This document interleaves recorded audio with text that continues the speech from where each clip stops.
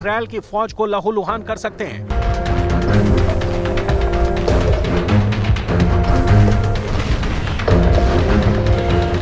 Iran के drone बहुत खतरनाक है। ये पूरी दुनिया मान चुकी है। यूक्रेन में ईरान के शाहिद 136 ड्रोन ने बड़ा कहर मचाया है। यूक्रेन के बिजली घरों पर रूस ने ईरान के ड्रोन से ही हमले किए और उनको इतना नुकसान पहुँचाया कि 50 प्रतिशत यूक्रेन अंधेरे में डूब गया। यूक्रेन में ईरान के ड्रोन ने ऐसा कहर मचाया है कि जेलेंस्की के सिस्टम का पुर्जा पुर्जा हिल गया है। कीव और खारकीव जैसे शहरों में यूक्रेन ने ऐसे हमले नहीं देखे थे और फिर हर तरफ़ ब्लैकआउट हो गया, क्योंकि पुतिन ने जेलेंस्की की पावर ग्रिड को टारगेट किया है।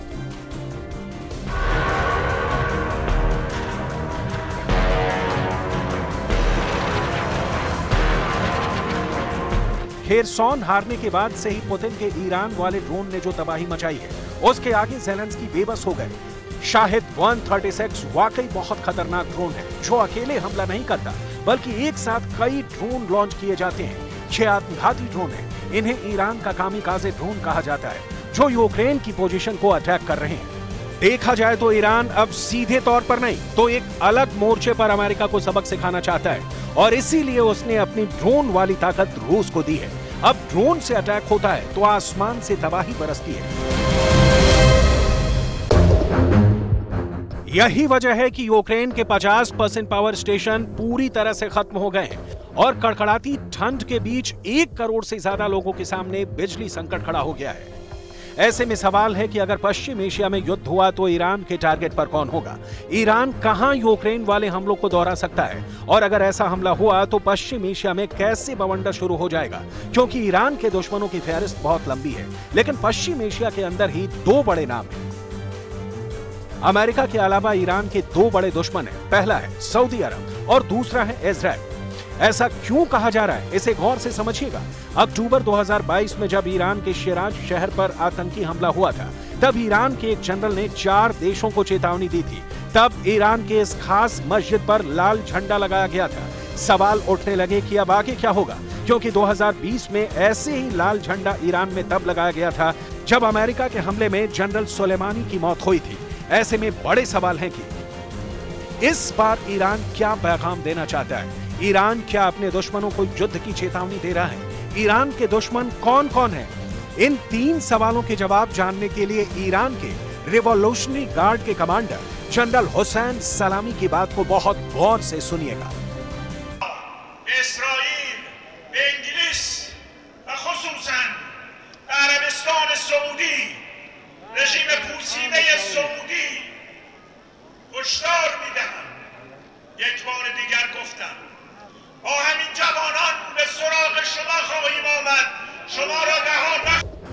ईरान के जनरल की चेतावनी चार देशों के लिए है अमेरिका इसराइल ब्रिटेन और सऊदी अरब इन सभी को यह धमकी खुल्लम खुल्ला दी गई है सवाल है कि क्या ईरान, सऊदी अरब या फिर इसराइल पर हमला करेगा?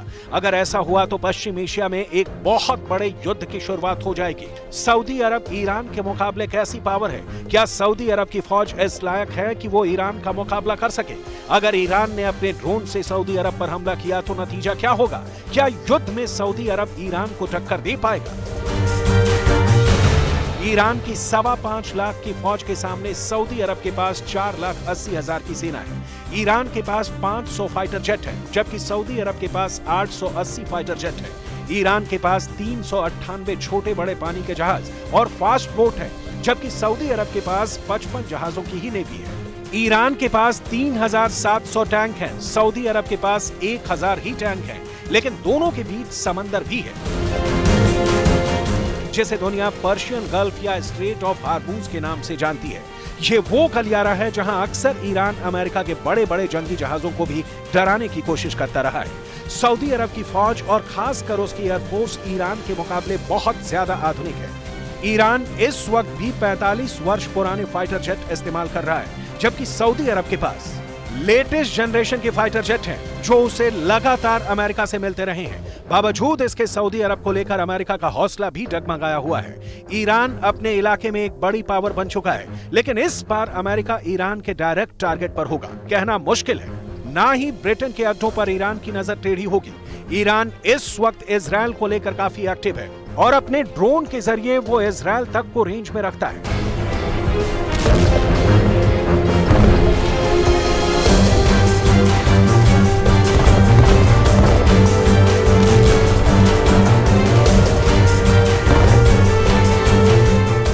अबाबिल ड्रोन के कई वर्जन हैं, और ये सूडान से लेकर इराक और यमन से लेकर सीरिया और लेबनन तक इस्तेमाल किए गए हैं। अबाबिल ड्रोन दुश्मन पर नज़र रखने के लिए भी इस्तेमाल होता है, और इससे दुश्मन के ठिकानों पर बमबारी भी की जा सकती है। ईरान पिछले तीन दशकों से ऐसे ड्रोन तैयार कर रहा है।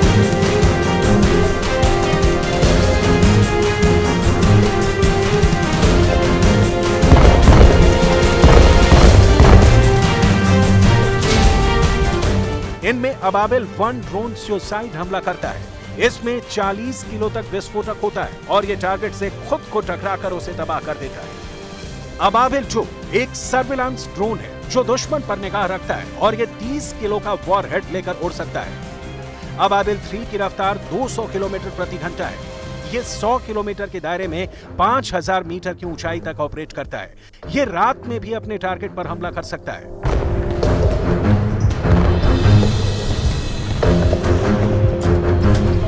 इस वक्त चर्चा में ईरान की ड्रोन की फैक्ट्री भी है, जो ईरान से बाहर तैयार हो रही है।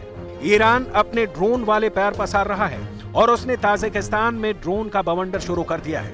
पुतिन को ईरान के ड्रोन से गजब की ताकत मिली है। अब ईरान इसी ड्रोन पावर के लिए सेंट्रल एशिया को अपना नया बेस बनाना चाहता है। मई 2022 में ही ईरान ने ताजिकिस्तान में ड्रोन फैक्ट्री खोली, जिसमें अब अबाबिल ड्रोन बनाए जा रहे हैं। अभी तक ईरान की सुरंगों में ड्रोन का गोदाम दिखाया गया है, लेकिन अब ईरान इसका उत्पादन दूसरे देशों में कर रहा है। इसके साफ़ मायने हैं कि ईरान इस वक्त दुनिया की सबसे बड़ी ड्रोन पावर या कहें कि ड्रोन लीडर बन चुका है, जिसके ड्रोन सस्ते हैं, असरदार हैं और युद्ध में खुद को साबित भी कर चुके हैं।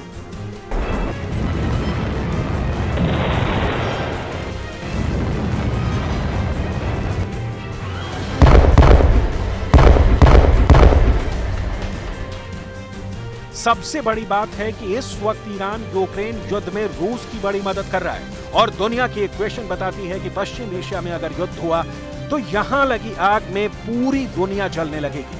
पश्चिम एशिया में इस वक्त युद्ध जैसे हालात बन चुके हैं और इसे देखते हुए ईरान पहले ही अपने हथियारों को यूक्रेन में भी आजमा चुका है और अब वो इसके साथ सऊदी अरब और इसराइल को भी चैलेंज कर रहा है।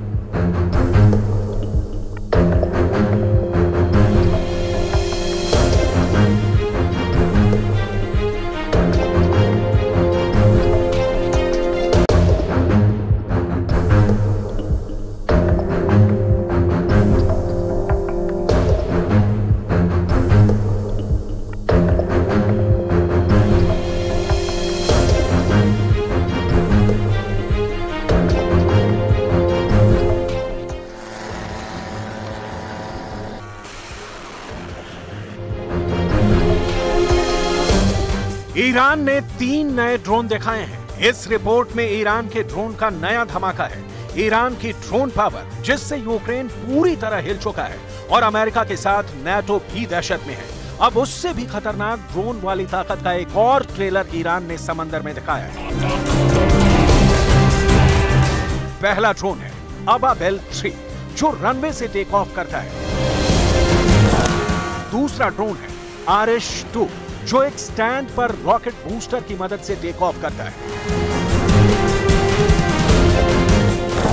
और तीसरा ड्रोन है अबाबेल टू जो एक नेवल शिप से लॉन्च किया जाता है।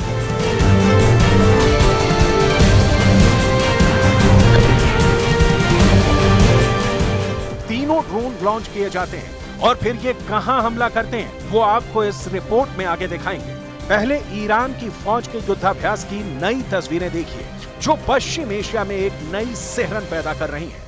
ये है ईरान का युद्धाभ्यास जुल्फिकार 1401 जिसमें ईरान ने एक टापू पर हमला करके उस पर कब्जा करने का ट्रेलर दिखाया है।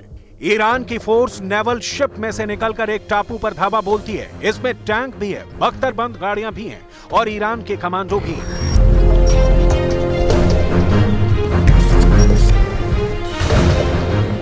यूक्रेन युद्ध के बीच इस वक्त ईरान बहुत ज़्यादा आक्रामक है।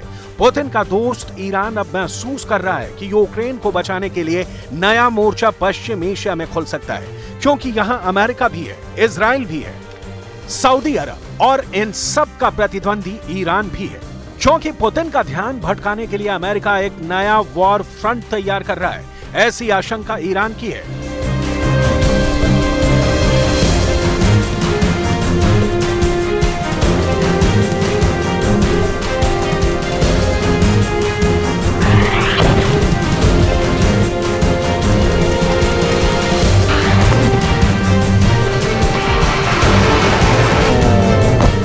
ईरान की फोर्स इस वक्त बहुत ज़्यादा एक्टिव है। फारस की खाड़ी से लेकर अरब सागर तक जितना भी इलाका है, यहाँ ईरान का खासा दबदबा रहता है। और यहाँ पर अक्सर आने वाले अमेरिका के समुद्री बेड़े को भी ईरान बहुत बड़ी चेतावनी दे रहा है। अब देखिए, ईरान ने जो ड्रोन लॉन्च किए थे, उन्होंने कैसे हमला किया? पहला ड्रोन है अबाबिल थ्री जो रनवे से टेक ऑफ़ करता है। वो पूरे स्ट्रेट ऑफ़ हार्मूज पर नज़र रखता है। ये ईरान की ड्रोन पावर का बहुत भरोसेमंद निगहबान माना जाता है। दूसरा ड्रोन है आरिश टू जो एक स्टैंड पर रॉकेट बूस्टर की मदद से टेक ऑफ़ करता है। वो नजदीकी पहाड़ पर दुश्मन के एक अड्डे को टारगेट करता है। जब अचूक निशाना लगता है तो धमाका देखकर ईरान के कमांडर एक दूसरे को बधाई देते हैं। अब देखिए तीसरा ड्रोन ये है अबाबिल टू जो एक नेवल शिप से लॉन्च किया जाता है। और फिर इसका टारगेट बनता है एक टापू, और उसके करीब खड़ा दुश्मन का जहाज़। ये एक नेवल शिप की डमी है, और इसी पर जाकर अबाबिल टू बहुत ही सटीक हमला करता है। तो इस तरह ईरान ने अपने तमाम हथियार आजमाने शुरू कर दिए हैं। ईरान की रणनीति शुरू से ही आक्रामक रही है। और इस ट्रेलर को रिलीज़ करके ईरान ने बता दिया है कि पश्चिम एशिया में उसको चैलेंज किया गया। तो नतीजा बुरा होगा। तो सवाल है कि आखिर ईरान ये चैलेंज किससे कर रहा है? अब इस रिपोर्ट में ईरान के दुश्मनों के बारे में समझिए, क्योंकि पश्चिम एशिया में ईरान अकेली पावर नहीं है। एक बार फिर देखिए, ईरान का ड्रोन अबाबिल टू किस ठिकाने को धमाके से तबाह कर देता है? रिपोर्ट के मुताबिक जिस टारगेट को धमाके से उड़ाया गया, वो इसराइल के एक वॉरशिप की ही डमी है। और ईरान ने बताया है कि कैसे उसके ड्रोन इसराइल की फौज को लहूलुहान कर सकते हैं।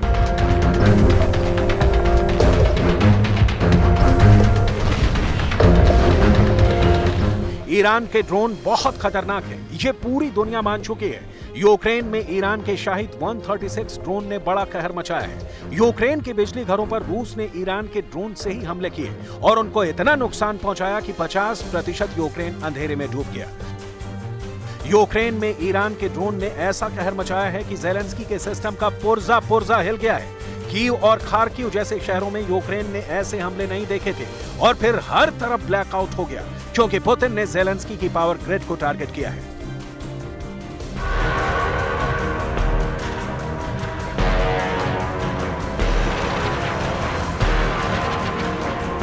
खेरसौन हारने के बाद से ही पुतिन के ईरान वाले ड्रोन ने जो तबाही मचाई है, उसके आगे जेलेंस्की बेबस हो गए।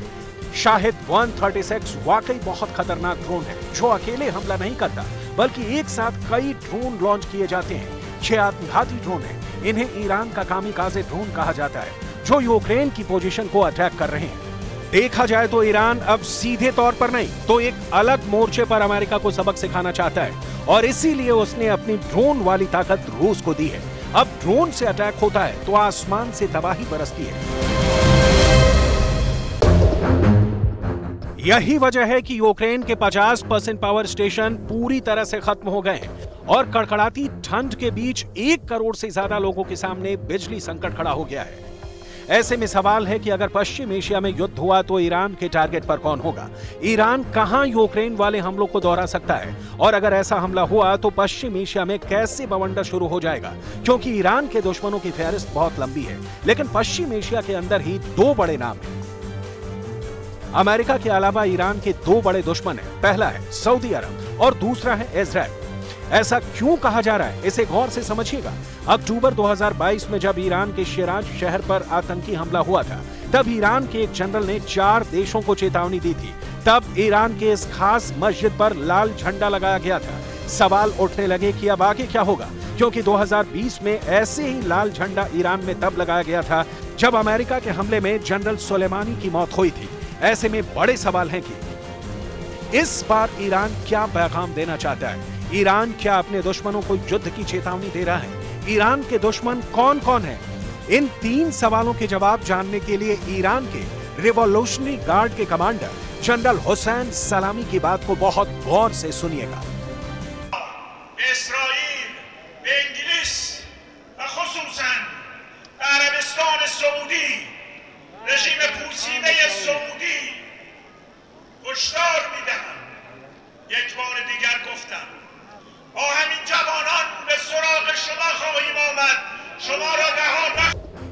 ईरान के जनरल की चेतावनी चार देशों के लिए है अमेरिका इसराइल ब्रिटेन और सऊदी अरब इन सभी को यह धमकी खुल्लम खुल्ला दी गई है सवाल है कि क्या ईरान, सऊदी अरब या फिर इसराइल पर हमला करेगा? अगर ऐसा हुआ तो पश्चिम एशिया में एक बहुत बड़े युद्ध की शुरुआत हो जाएगी। सऊदी अरब ईरान के मुकाबले कैसी पावर है? क्या सऊदी अरब की फौज इस लायक है कि वो ईरान का मुकाबला कर सके? अगर ईरान ने अपने ड्रोन से सऊदी अरब पर हमला किया तो नतीजा क्या होगा? क्या युद्ध में सऊदी अरब ईरान को टक्कर दे पाएगा? ईरान की सवा पाँच लाख की फौज के सामने सऊदी अरब के पास चार लाख अस्सी हज़ार की सेना है। ईरान के पास 500 फाइटर जेट है जबकि सऊदी अरब के पास 880 फाइटर जेट है। ईरान के पास तीन सौ अट्ठानवे छोटे बड़े पानी के जहाज़ और फास्ट बोट है जबकि सऊदी अरब के पास 55 जहाजों की ही नेवी है। ईरान के पास 3,700 टैंक हैं, सऊदी अरब के पास 1,000 ही टैंक हैं, लेकिन दोनों के बीच समंदर भी है। जिसे दुनिया पर्शियन गल्फ या स्ट्रेट ऑफ़ हार्मूज के नाम से जानती है। ये वो गलियारा है जहाँ अक्सर ईरान, अमेरिका के बड़े बड़े जंगी जहाजों को भी डराने की कोशिश करता रहा है। सऊदी अरब की फौज और खासकर उसकी एयरफोर्स ईरान के मुकाबले बहुत ज़्यादा आधुनिक है। ईरान इस वक्त भी 45 वर्ष पुराने फाइटर जेट इस्तेमाल कर रहा है, जबकि सऊदी अरब के पास। लेटेस्ट जनरेशन के फाइटर जेट हैं, जो उसे लगातार अमेरिका से मिलते रहे हैं। बावजूद इसके सऊदी अरब को लेकर अमेरिका का हौसला भी डगमगाया हुआ है। ईरान अपने इलाके में एक बड़ी पावर बन चुका है, लेकिन इस बार अमेरिका ईरान के डायरेक्ट टारगेट पर होगा। कहना मुश्किल है। ना ही ब्रिटेन के अड्डों पर ईरान की नज़र टेढ़ी होगी। ईरान इस वक्त इसराइल को लेकर काफ़ी एक्टिव है, और अपने ड्रोन के ज़रिए वो इसराइल तक को रेंज में रखता है।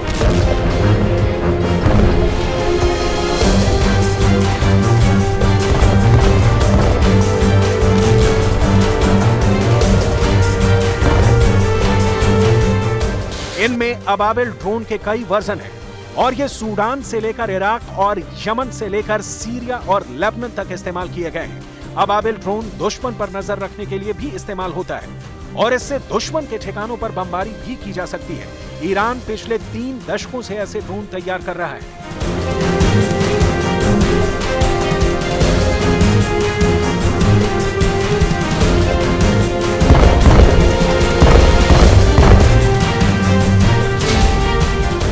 इनमें अबाबिल वन ड्रोन सुसाइड हमला करता है। इसमें 40 किलो तक विस्फोटक होता है और ये टारगेट से खुद को टकरा कर उसे तबाह कर देता है।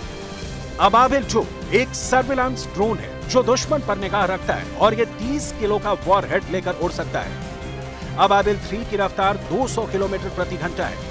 ये 100 किलोमीटर के दायरे में 5000 मीटर की ऊंचाई तक ऑपरेट करता है। ये रात में भी अपने टारगेट पर हमला कर सकता है।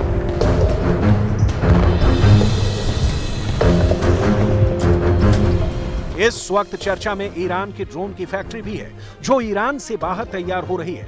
ईरान अपने ड्रोन वाले पैर पसार रहा है और उसने ताजिकिस्तान में ड्रोन का बवंडर शुरू कर दिया है। पुतिन को ईरान के ड्रोन से गजब की ताकत मिली है। अब ईरान इसी ड्रोन पावर के लिए सेंट्रल एशिया को अपना नया बेस बनाना चाहता है। मई 2022 में ही ईरान ने ताजिकिस्तान में ड्रोन फैक्ट्री खोली, जिसमें अब अबाबिल ड्रोन बनाए जा रहे हैं। अभी तक ईरान की सुरंगों में ड्रोन का गोदाम दिखाया गया है, लेकिन अब ईरान इसका उत्पादन दूसरे देशों में कर रहा है। इसके साफ़ मायने हैं कि ईरान इस वक्त दुनिया की सबसे बड़ी ड्रोन पावर या कहें कि ड्रोन लीडर बन चुका है, जिसके ड्रोन सस्ते हैं, असरदार हैं और युद्ध में खुद को साबित भी कर चुके हैं।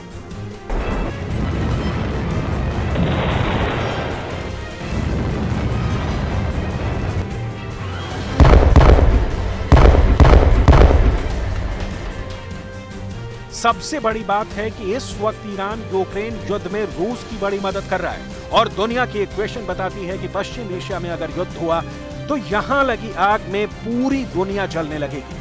पश्चिम एशिया में इस वक्त युद्ध जैसे हालात बन चुके हैं। और इसे देखते हुए ईरान पहले ही अपने हथियारों को यूक्रेन में भी आजमा चुका है। और अब वो इसके साथ सऊदी अरब और इसराइल को भी चैलेंज कर रहा है।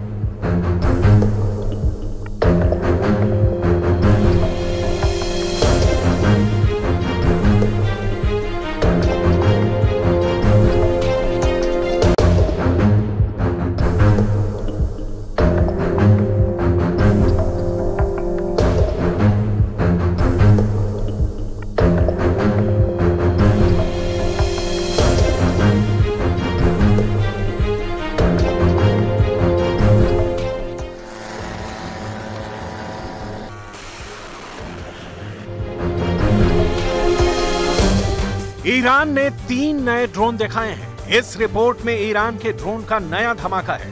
ईरान की ड्रोन पावर, जिससे यूक्रेन पूरी तरह हिल चुका है और अमेरिका के साथ नेटो भी दहशत में है। अब उससे भी खतरनाक ड्रोन वाली ताकत का एक और ट्रेलर ईरान ने समंदर में दिखाया है। पहला ड्रोन है, अबाबेल थ्री, जो रनवे से टेक ऑफ़ करता है। दूसरा ड्रोन है, आर एस टू जो एक स्टैंड पर रॉकेट बूस्टर की मदद से टेक ऑफ़ करता है। और तीसरा ड्रोन है अबाबेल टू जो एक नेवल शिप से लॉन्च किया जाता है।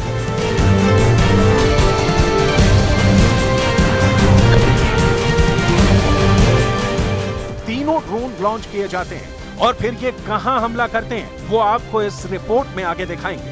पहले ईरान की फौज के युद्धाभ्यास की नई तस्वीरें देखिए, जो पश्चिम एशिया में एक नई सेहरन पैदा कर रही हैं। ये है ईरान का युद्धाभ्यास जुल्फिकार 1401 जिसमें ईरान ने एक टापू पर हमला करके उस पर कब्जा करने का ट्रेलर दिखाया है। ईरान की फोर्स नेवल शिप में से निकलकर एक टापू पर धावा बोलती है। इसमें टैंक भी है, बख्तरबंद गाड़ियाँ भी हैं और ईरान के कमांडो भी हैं।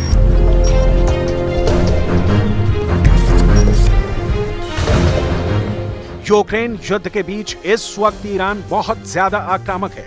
पुतिन का दोस्त ईरान अब महसूस कर रहा है कि यूक्रेन को बचाने के लिए नया मोर्चा पश्चिम एशिया में खुल सकता है, क्योंकि यहाँ अमेरिका भी है इसराइल भी है, सऊदी अरब और इन सब का प्रतिद्वंदी ईरान भी है।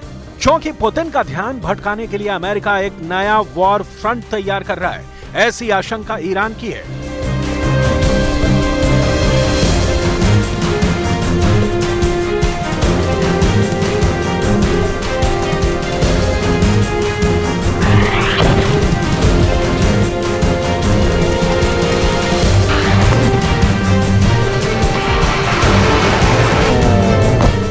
ईरान की फोर्स इस वक्त बहुत ज़्यादा एक्टिव है।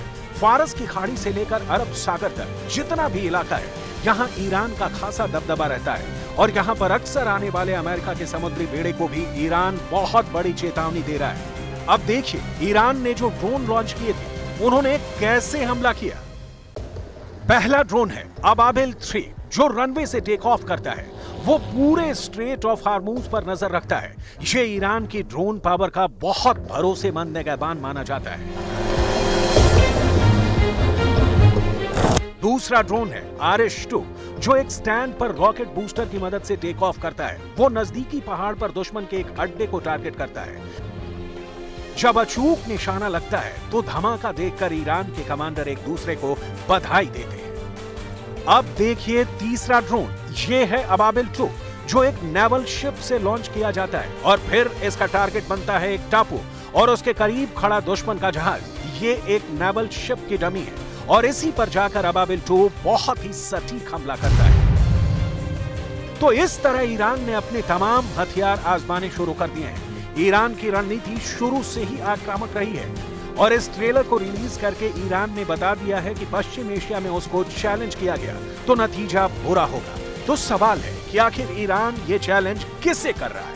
अब इस रिपोर्ट में ईरान के दुश्मनों के बारे में समझिए, क्योंकि पश्चिम एशिया में ईरान अकेली पावर नहीं है।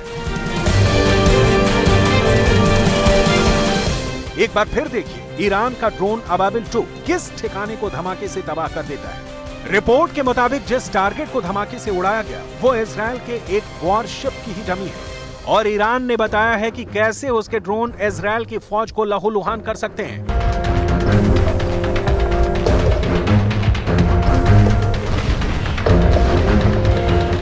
ईरान के ड्रोन बहुत खतरनाक है। ये पूरी दुनिया मान चुकी है। यूक्रेन में ईरान के शाहिद 136 ड्रोन ने बड़ा कहर मचाया है। यूक्रेन के बिजली घरों पर रूस ने ईरान के ड्रोन से ही हमले किए और उनको इतना नुकसान पहुँचाया कि 50 प्रतिशत यूक्रेन अंधेरे में डूब गया। यूक्रेन में ईरान के ड्रोन ने ऐसा कहर मचाया है कि जेलेंस्की के सिस्टम का पुर्जा पुर्जा हिल गया है। कीव और खारकीव जैसे शहरों में यूक्रेन ने ऐसे हमले नहीं देखे थे और फिर हर तरफ़ ब्लैकआउट हो गया, क्योंकि पुतिन ने जेलेंस्की की पावर ग्रिड को टारगेट किया है।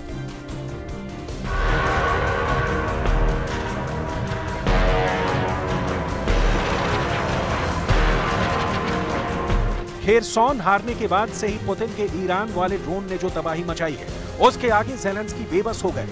शाहिद 136 वाकई बहुत खतरनाक ड्रोन है, जो अकेले हमला नहीं करता, बल्कि एक साथ कई ड्रोन लॉन्च किए जाते हैं। छह आत्मघाती ड्रोन है, इन्हें ईरान का कामिकाजे ड्रोन कहा जाता है, जो यूक्रेन की पोजीशन को अटैक कर रहे हैं। देखा जाए तो ईरान अब सीधे तौर पर नहीं तो एक अलग मोर्चे पर अमेरिका को सबक सिखाना चाहता है, और इसीलिए उसने अपनी ड्रोन वाली ताकत रूस को दी है। अब ड्रोन से अटैक होता है तो आसमान से तबाही बरसती है। यही वजह है कि यूक्रेन के 50 परसेंट पावर स्टेशन पूरी तरह से खत्म हो गए और कड़कड़ाती ठंड के बीच एक करोड़ से ज़्यादा लोगों के सामने बिजली संकट खड़ा हो गया है। ऐसे में सवाल है कि अगर पश्चिम एशिया में युद्ध हुआ तो ईरान के टारगेट पर कौन होगा? ईरान कहाँ यूक्रेन वाले हमलों को दोहरा सकता है? और अगर ऐसा हमला हुआ तो पश्चिम एशिया में कैसे बवंडर शुरू हो जाएगा? क्योंकि ईरान के दुश्मनों की फहरिस्त बहुत लंबी है, लेकिन पश्चिम एशिया के अंदर ही दो बड़े नाम हैं। अमेरिका के अलावा ईरान के दो बड़े दुश्मन हैं। पहला है सऊदी अरब और दूसरा है इसराइल ऐसा क्यों कहा जा रहा है? इसे गौर से समझिएगा। अक्टूबर 2022 में जब ईरान के शिराज शहर पर आतंकी हमला हुआ था, तब ईरान के एक जनरल ने चार देशों को चेतावनी दी थी।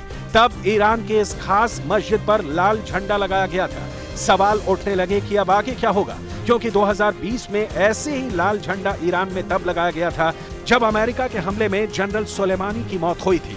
ऐसे में बड़े सवाल हैं कि इस बार ईरान क्या पैगाम देना चाहता है ईरान क्या अपने दुश्मनों को युद्ध की चेतावनी दे रहा है ईरान के दुश्मन कौन कौन है इन तीन सवालों के जवाब जानने के लिए ईरान के रिवोल्यूशनरी गार्ड के कमांडर जनरल हुसैन सलामी की बात को बहुत गौर से सुनिएगा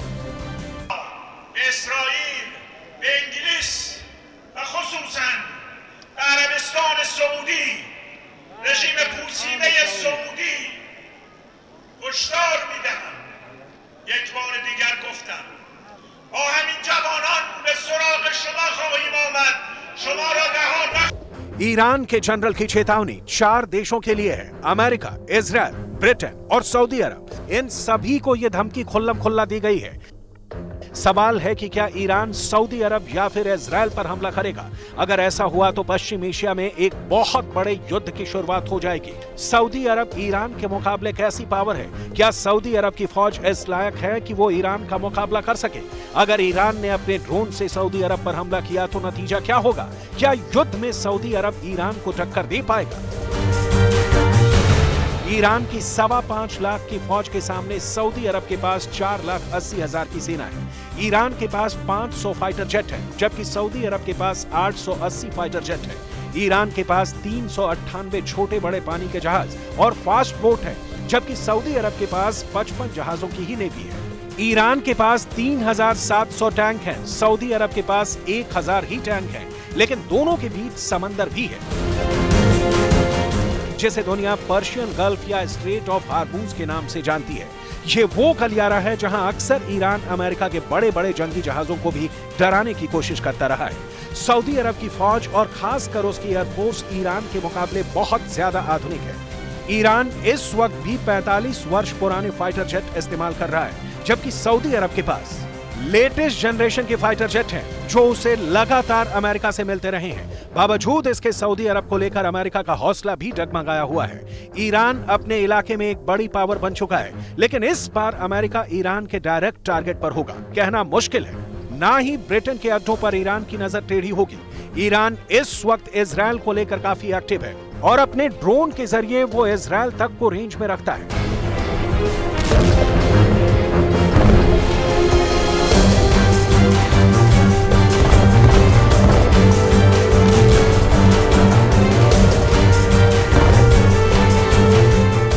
इनमें अबाबिल ड्रोन के कई वर्जन हैं, और ये सूडान से लेकर इराक और यमन से लेकर सीरिया और लेबनन तक इस्तेमाल किए गए हैं। अबाबिल ड्रोन दुश्मन पर नज़र रखने के लिए भी इस्तेमाल होता है, और इससे दुश्मन के ठिकानों पर बमबारी भी की जा सकती है। ईरान पिछले तीन दशकों से ऐसे ड्रोन तैयार कर रहा है।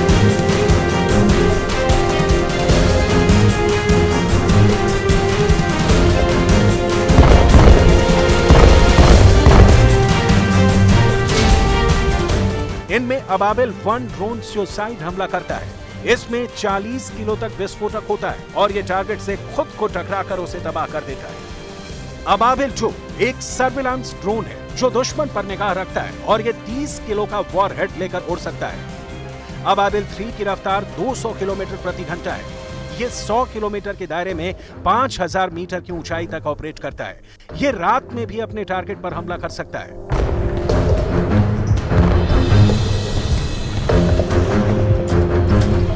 इस वक्त चर्चा में ईरान की ड्रोन की फैक्ट्री भी है, जो ईरान से बाहर तैयार हो रही है।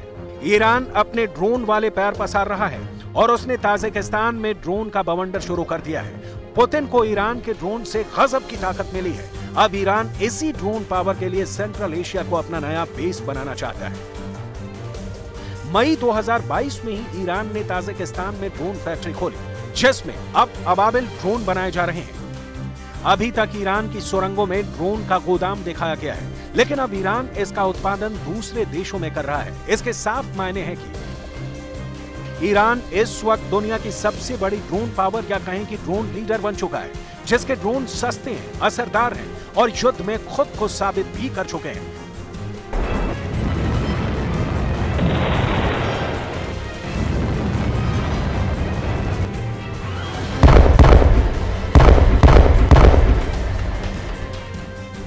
सबसे बड़ी बात है कि इस वक्त ईरान यूक्रेन युद्ध में रूस की बड़ी मदद कर रहा है। और दुनिया की इक्वेशन बताती है कि पश्चिम एशिया में अगर युद्ध हुआ तो यहाँ लगी आग में पूरी दुनिया जलने लगेगी। पश्चिम एशिया में इस वक्त युद्ध जैसे हालात बन चुके हैं। और इसे देखते हुए ईरान पहले ही अपने हथियारों को यूक्रेन में भी आजमा चुका है। और अब वो इसके साथ सऊदी अरब और इसराइल को भी चैलेंज कर रहा है।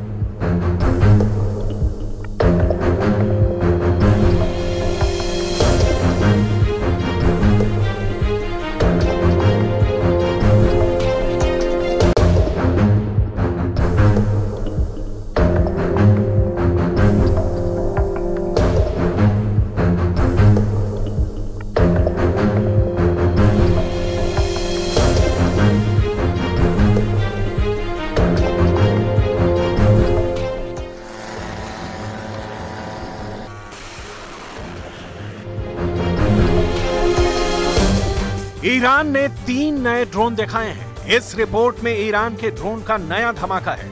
ईरान की ड्रोन पावर, जिससे यूक्रेन पूरी तरह हिल चुका है और अमेरिका के साथ नेटो भी दहशत में है। अब उससे भी खतरनाक ड्रोन वाली ताकत का एक और ट्रेलर ईरान ने समंदर में दिखाया है। पहला ड्रोन है अबाबेल थ्री जो रनवे से टेक ऑफ़ करता है। दूसरा ड्रोन है आरिश टू जो एक स्टैंड पर रॉकेट बूस्टर की मदद से टेक ऑफ़ करता है। और तीसरा ड्रोन है अबाबेल टू, जो एक नेवल शिप से लॉन्च किया जाता है।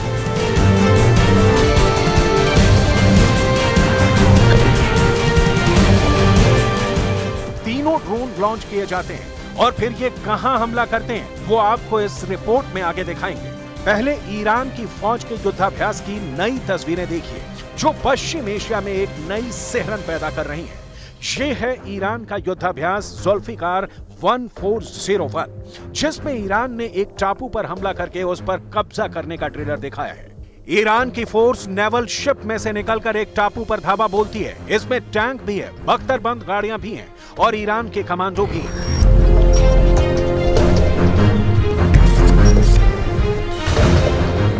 यूक्रेन युद्ध के बीच इस वक्त ईरान बहुत ज़्यादा आक्रामक है। पुतिन का दोस्त ईरान अब महसूस कर रहा है कि यूक्रेन को बचाने के लिए नया मोर्चा पश्चिम एशिया में खुल सकता है, क्योंकि यहाँ अमेरिका भी है इसराइल भी है, सऊदी अरब और इन सब का प्रतिद्वंदी ईरान भी है। क्योंकि पुतिन का ध्यान भटकाने के लिए अमेरिका एक नया वॉर फ्रंट तैयार कर रहा है, ऐसी आशंका ईरान की है।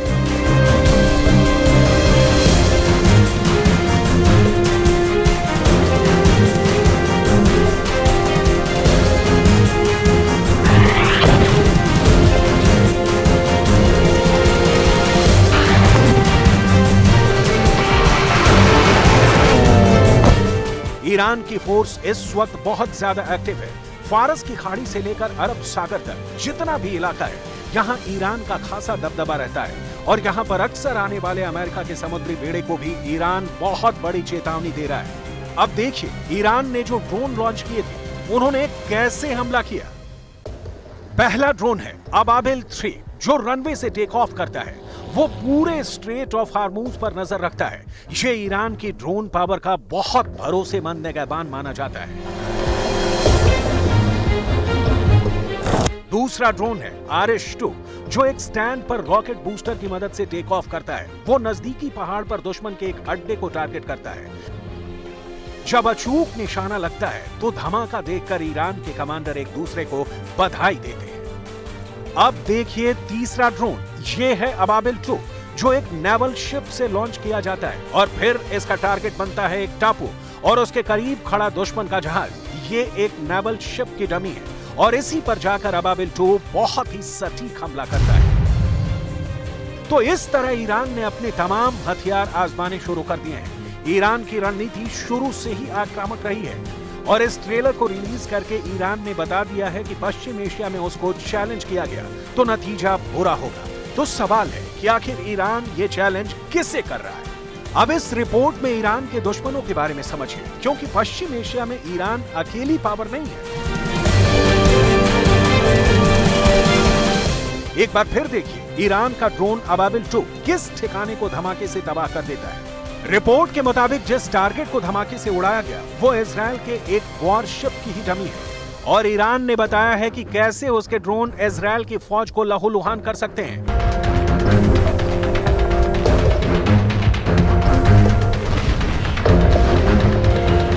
ईरान के ड्रोन बहुत खतरनाक है। ये पूरी दुनिया मान चुकी है। यूक्रेन में ईरान के शाहिद 136 ड्रोन ने बड़ा कहर मचाया है। यूक्रेन के बिजली घरों पर रूस ने ईरान के ड्रोन से ही हमले किए और उनको इतना नुकसान पहुँचाया कि 50 प्रतिशत यूक्रेन अंधेरे में डूब गया। यूक्रेन में ईरान के ड्रोन ने ऐसा कहर मचाया है कि जेलेंस्की के सिस्टम का पुर्जा पुर्जा हिल गया है। कीव और खारकीव जैसे शहरों में यूक्रेन ने ऐसे हमले नहीं देखे थे। और फिर हर तरफ़ ब्लैकआउट हो गया, क्योंकि पुतिन ने जेलेंस्की की पावर ग्रिड को टारगेट किया है।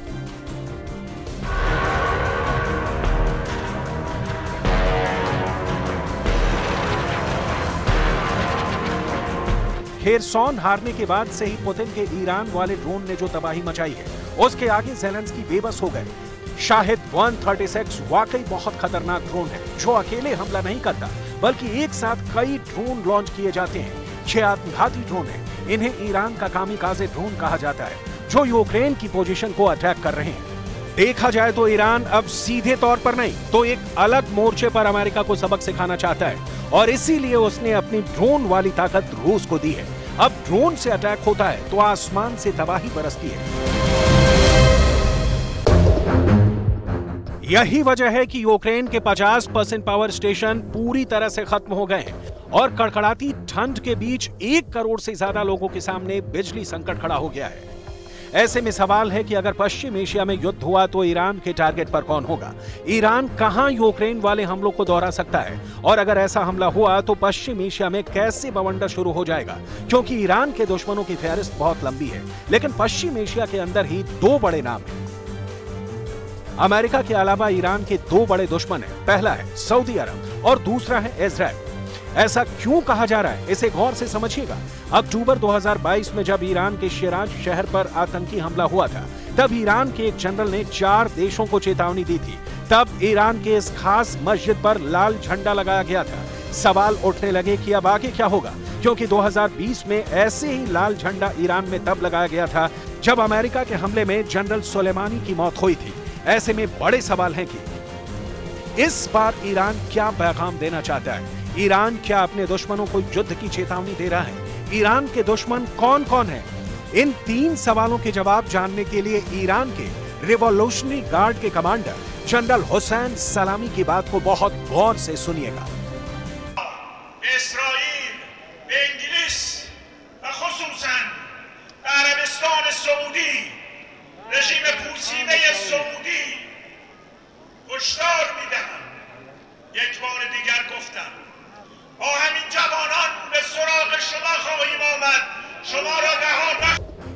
ईरान के जनरल की चेतावनी चार देशों के लिए है अमेरिका इसराइल ब्रिटेन और सऊदी अरब इन सभी को यह धमकी खुल्लम खुल्ला दी गई है सवाल है कि क्या ईरान, सऊदी अरब या फिर इसराइल पर हमला करेगा? अगर ऐसा हुआ तो पश्चिम एशिया में एक बहुत बड़े युद्ध की शुरुआत हो जाएगी। सऊदी अरब ईरान के मुकाबले कैसी पावर है? क्या सऊदी अरब की फौज इस लायक है कि वो ईरान का मुकाबला कर सके? अगर ईरान ने अपने ड्रोन से सऊदी अरब पर हमला किया तो नतीजा क्या होगा? क्या युद्ध में सऊदी अरब ईरान को टक्कर दे पाएगा? ईरान की सवा पाँच लाख की फौज के सामने सऊदी अरब के पास चार लाख अस्सी हज़ार की सेना है। ईरान के पास 500 फाइटर जेट है जबकि सऊदी अरब के पास 880 फाइटर जेट है। ईरान के पास तीन सौ अट्ठानवे छोटे बड़े पानी के जहाज़ और फास्ट बोट है जबकि सऊदी अरब के पास 55 जहाजों की ही नेवी है। ईरान के पास 3,700 टैंक हैं, सऊदी अरब के पास 1,000 ही टैंक हैं, लेकिन दोनों के बीच समंदर भी है। जिसे दुनिया पर्शियन गल्फ या स्ट्रेट ऑफ़ हार्मूज के नाम से जानती है। ये वो गलियारा है जहाँ अक्सर ईरान अमेरिका के बड़े बड़े जंगी जहाजों को भी डराने की कोशिश करता रहा है। सऊदी अरब की फौज और खासकर उसकी एयरफोर्स ईरान के मुकाबले बहुत ज़्यादा आधुनिक है। ईरान इस वक्त भी 45 वर्ष पुराने फाइटर जेट इस्तेमाल कर रहा है, जबकि सऊदी अरब के पास। लेटेस्ट जनरेशन के फाइटर जेट हैं, जो उसे लगातार अमेरिका से मिलते रहे हैं। बावजूद इसके सऊदी अरब को लेकर अमेरिका का हौसला भी डगमगाया हुआ है। ईरान अपने इलाके में एक बड़ी पावर बन चुका है, लेकिन इस बार अमेरिका ईरान के डायरेक्ट टारगेट पर होगा। कहना मुश्किल है। ना ही ब्रिटेन के अड्डों पर ईरान की नज़र टेढ़ी होगी। ईरान इस वक्त इसराइल को लेकर काफ़ी एक्टिव है और अपने ड्रोन के ज़रिए वो इसराइल तक को रेंज में रखता है।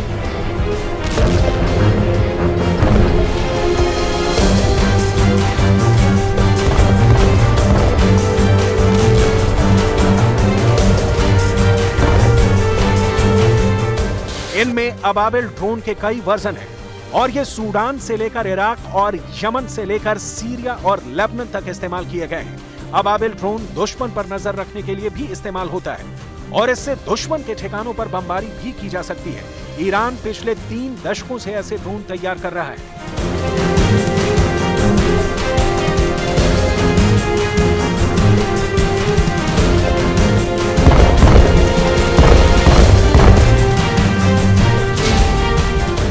इनमें अबाबिल वन ड्रोन सुसाइड हमला करता है। इसमें 40 किलो तक विस्फोटक होता है और ये टारगेट से खुद को टकराकर उसे तबाह कर देता है।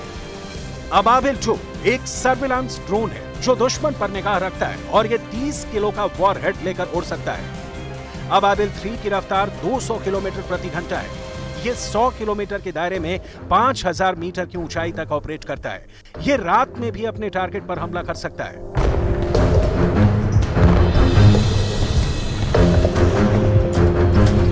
इस वक्त चर्चा में ईरान की ड्रोन की फैक्ट्री भी है, जो ईरान से बाहर तैयार हो रही है।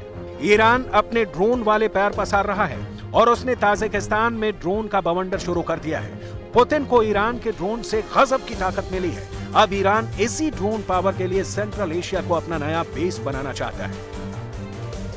मई 2022 में ही ईरान ने ताजिकिस्तान में ड्रोन फैक्ट्री खोली, जिसमें अब अबाबिल ड्रोन बनाए जा रहे हैं। अभी तक ईरान की सुरंगों में ड्रोन का गोदाम दिखाया गया है, लेकिन अब ईरान इसका उत्पादन दूसरे देशों में कर रहा है। इसके साफ़ मायने हैं कि ईरान इस वक्त दुनिया की सबसे बड़ी ड्रोन पावर या कहें कि ड्रोन लीडर बन चुका है, जिसके ड्रोन सस्ते हैं, असरदार हैं और युद्ध में खुद को साबित भी कर चुके हैं।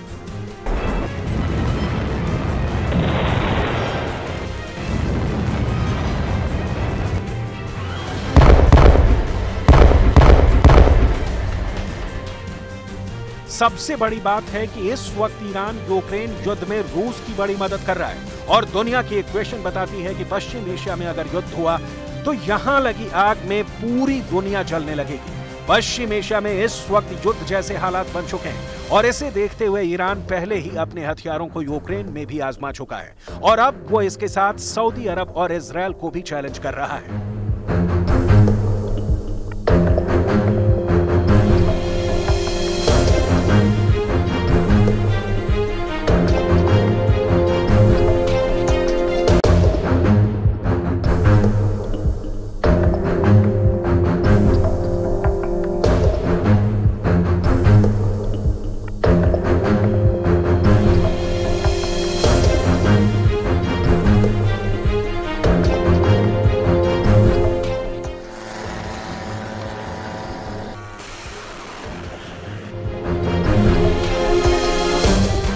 ईरान ने तीन नए ड्रोन दिखाए हैं। इस रिपोर्ट में ईरान के ड्रोन का नया धमाका है। ईरान की ड्रोन पावर, जिससे यूक्रेन पूरी तरह हिल चुका है और अमेरिका के साथ नेटो भी दहशत में है। अब उससे भी खतरनाक ड्रोन वाली ताकत का एक और ट्रेलर ईरान ने समंदर में दिखाया है। पहला ड्रोन है अबाबेल थ्री जो रनवे से टेक ऑफ़ करता है। दूसरा ड्रोन है आर एस टू जो एक स्टैंड पर रॉकेट बूस्टर की मदद से टेक ऑफ़ करता है। और तीसरा ड्रोन है अबाबेल टू, जो एक नेवल शिप से लॉन्च किया जाता है।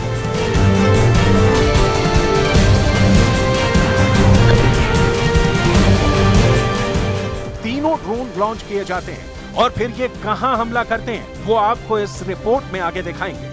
पहले ईरान की फौज के युद्धाभ्यास की नई तस्वीरें देखिए, जो पश्चिम एशिया में एक नई सेहरन पैदा कर रही हैं। ये है ईरान का युद्धाभ्यास जुल्फिकार 1401 जिसमें ईरान ने एक टापू पर हमला करके उस पर कब्जा करने का ट्रेलर दिखाया है। ईरान की फोर्स नेवल शिप में से निकलकर एक टापू पर धावा बोलती है। इसमें टैंक भी है, बख्तरबंद गाड़ियाँ भी हैं और ईरान के कमांडो भी हैं।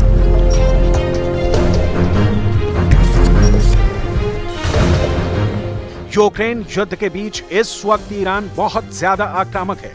पुतिन का दोस्त ईरान अब महसूस कर रहा है कि यूक्रेन को बचाने के लिए नया मोर्चा पश्चिम एशिया में खुल सकता है, क्योंकि यहाँ अमेरिका भी है इसराइल भी है, सऊदी अरब और इन सब का प्रतिद्वंदी ईरान भी है। क्योंकि पुतिन का ध्यान भटकाने के लिए अमेरिका एक नया वॉर फ्रंट तैयार कर रहा है, ऐसी आशंका ईरान की है।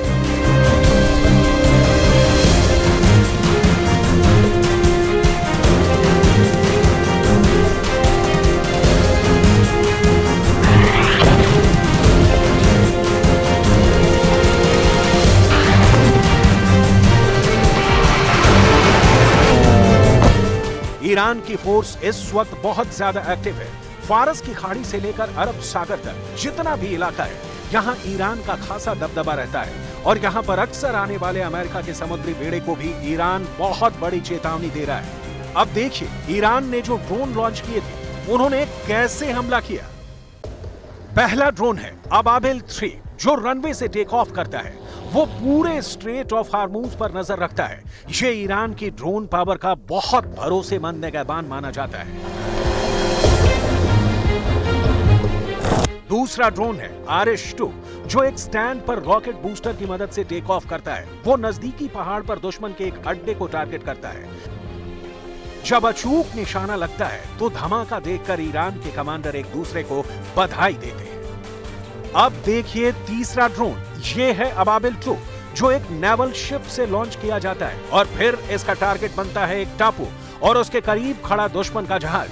ये एक नेवल शिप की डमी है और इसी पर जाकर अबाबिल टू बहुत ही सटीक हमला करता है।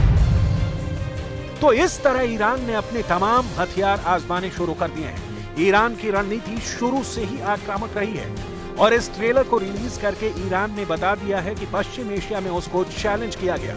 तो नतीजा बुरा होगा। तो सवाल है कि आखिर ईरान ये चैलेंज किससे कर रहा है? अब इस रिपोर्ट में ईरान के दुश्मनों के बारे में समझिए, क्योंकि पश्चिम एशिया में ईरान अकेली पावर नहीं है। एक बार फिर देखिए, ईरान का ड्रोन अबाबिल टू किस ठिकाने को धमाके से तबाह कर देता है? रिपोर्ट के मुताबिक जिस टारगेट को धमाके से उड़ाया गया, वो इसराइल के एक वॉरशिप की ही डमी है। और ईरान ने बताया है कि कैसे उसके ड्रोन इसराइल की फौज को लहूलुहान कर सकते हैं।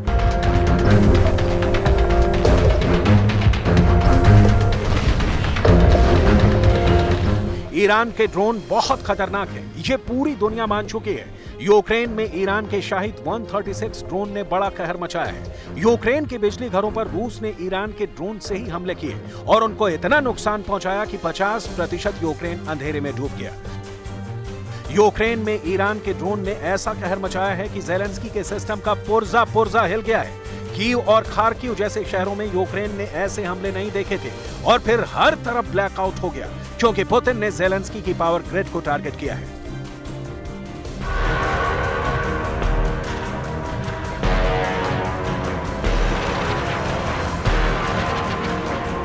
खेरसौन हारने के बाद से ही पुतिन के ईरान वाले ड्रोन ने जो तबाही मचाई है, उसके आगे जेलेंस्की बेबस हो गए। शाहिद 136 वाकई बहुत खतरनाक ड्रोन है, जो अकेले हमला नहीं करता, बल्कि एक साथ कई ड्रोन लॉन्च किए जाते हैं। छह आत्मघाती ड्रोन है, इन्हें ईरान का कामिकाजे ड्रोन कहा जाता है, जो यूक्रेन की पोजीशन को अटैक कर रहे हैं। देखा जाए तो ईरान अब सीधे तौर पर नहीं तो एक अलग मोर्चे पर अमेरिका को सबक सिखाना चाहता है, और इसीलिए उसने अपनी ड्रोन वाली ताकत रूस को दी है। अब ड्रोन से अटैक होता है तो आसमान से तबाही बरसती है। यही वजह है कि यूक्रेन के 50 परसेंट पावर स्टेशन पूरी तरह से खत्म हो गए हैं और कड़कड़ाती ठंड के बीच एक करोड़ से ज़्यादा लोगों के सामने बिजली संकट खड़ा हो गया है। ऐसे में सवाल है कि अगर पश्चिम एशिया में युद्ध हुआ तो ईरान के टारगेट पर कौन होगा? ईरान कहाँ यूक्रेन वाले हमलों को दोहरा सकता है? और अगर ऐसा हमला हुआ तो पश्चिम एशिया में कैसे बवंडर शुरू हो जाएगा? क्योंकि ईरान के दुश्मनों की फहरिस्त बहुत लंबी है, लेकिन पश्चिम एशिया के अंदर ही दो बड़े नाम हैं। अमेरिका के अलावा ईरान के दो बड़े दुश्मन हैं। पहला है सऊदी अरब और दूसरा है इसराइल ऐसा क्यों कहा जा रहा है? इसे गौर से समझिएगा। अक्टूबर 2022 में जब ईरान के शिराज शहर पर आतंकी हमला हुआ था, तब ईरान के एक जनरल ने चार देशों को चेतावनी दी थी। तब ईरान के इस खास मस्जिद पर लाल झंडा लगाया गया था। सवाल उठने लगे कि अब आगे क्या होगा, क्योंकि 2020 में ऐसे ही लाल झंडा ईरान में तब लगाया गया था, जब अमेरिका के हमले में जनरल सोलेमानी की मौत हुई थी। ऐसे में बड़े सवाल हैं कि इस बार ईरान क्या पैगाम देना चाहता है?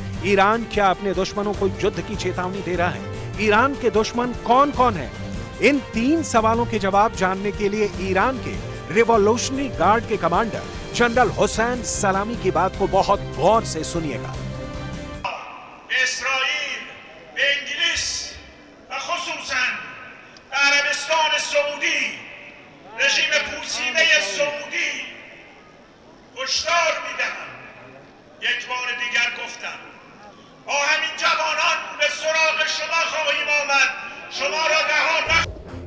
ईरान के जनरल की चेतावनी चार देशों के लिए है अमेरिका इसराइल ब्रिटेन और सऊदी अरब इन सभी को यह धमकी खुल्लम खुल्ला दी गई है सवाल है कि क्या ईरान, सऊदी अरब या फिर इसराइल पर हमला करेगा?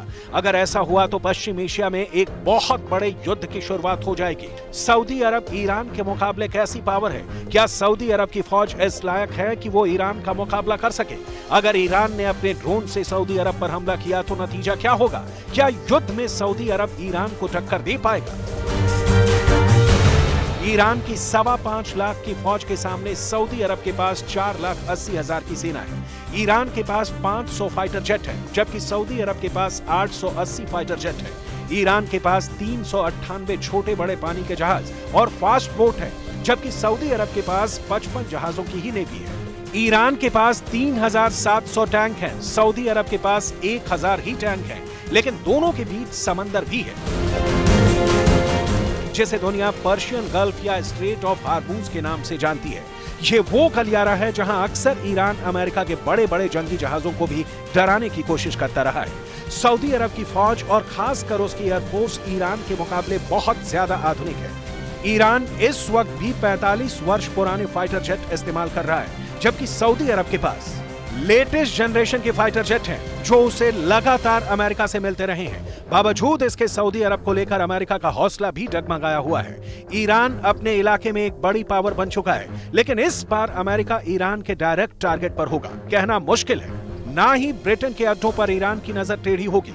ईरान इस वक्त इसराइल को लेकर काफ़ी एक्टिव है, और अपने ड्रोन के ज़रिए वो इसराइल तक को रेंज में रखता है।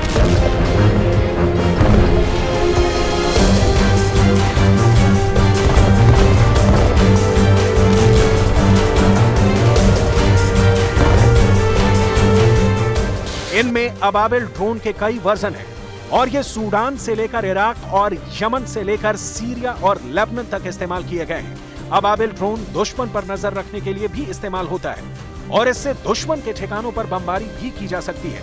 ईरान पिछले तीन दशकों से ऐसे ड्रोन तैयार कर रहा है।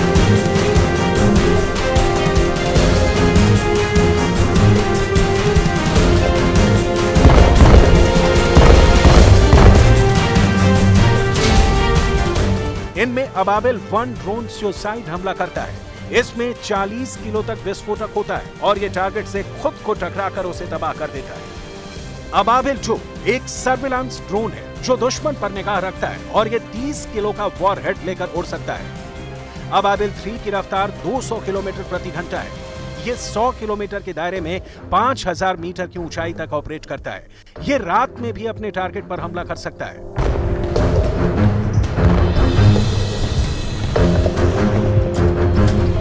इस वक्त चर्चा में ईरान की ड्रोन की फैक्ट्री भी है, जो ईरान से बाहर तैयार हो रही है। ईरान अपने ड्रोन वाले पैर पसार रहा है और उसने ताजिकिस्तान में ड्रोन का बवंडर शुरू कर दिया है। पुतिन को ईरान के ड्रोन से गजब की ताकत मिली है। अब ईरान इसी ड्रोन पावर के लिए सेंट्रल एशिया को अपना नया बेस बनाना चाहता है। मई 2022 में ही ईरान ने ताजिकिस्तान में ड्रोन फैक्ट्री खोली, जिसमें अब अबाबिल ड्रोन बनाए जा रहे हैं। अभी तक ईरान की सुरंगों में ड्रोन का गोदाम दिखाया गया है। लेकिन अब ईरान इसका उत्पादन दूसरे देशों में कर रहा है। इसके साफ़ मायने हैं कि ईरान इस वक्त दुनिया की सबसे बड़ी ड्रोन पावर या कहें कि ड्रोन लीडर बन चुका है, जिसके ड्रोन सस्ते हैं, असरदार हैं और युद्ध में खुद को साबित भी कर चुके हैं।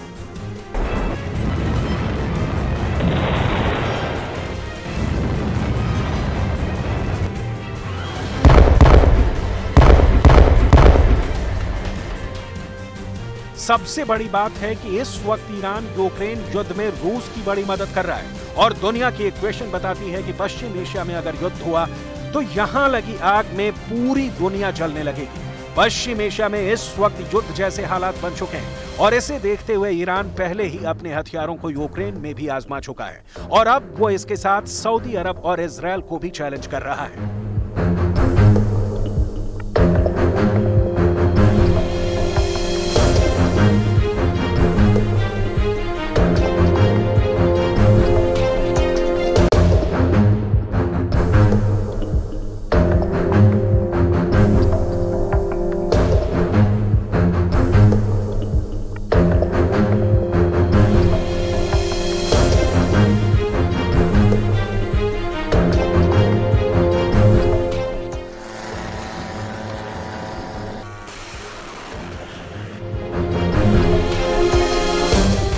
ईरान ने तीन नए ड्रोन दिखाए हैं। इस रिपोर्ट में ईरान के ड्रोन का नया धमाका है। ईरान की ड्रोन पावर, जिससे यूक्रेन पूरी तरह हिल चुका है और अमेरिका के साथ नेटो भी दहशत में है। अब उससे भी खतरनाक ड्रोन वाली ताकत का एक और ट्रेलर ईरान ने समंदर में दिखाया है। पहला ड्रोन है अबाबेल थ्री जो रनवे से टेक ऑफ़ करता है। दूसरा ड्रोन है आर एस टू जो एक स्टैंड पर रॉकेट बूस्टर की मदद से टेक ऑफ़ करता है। और तीसरा ड्रोन है अबाबेल टू, जो एक नेवल शिप से लॉन्च किया जाता है।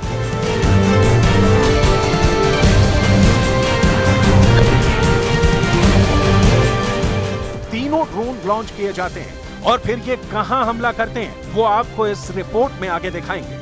पहले ईरान की फौज के युद्धाभ्यास की नई तस्वीरें देखिए, जो पश्चिम एशिया में एक नई सेहरन पैदा कर रही है। ये है ईरान का युद्धाभ्यास जुल्फिकार 1401 जिसमें ईरान ने एक टापू पर हमला करके उस पर कब्जा करने का ट्रेलर दिखाया है।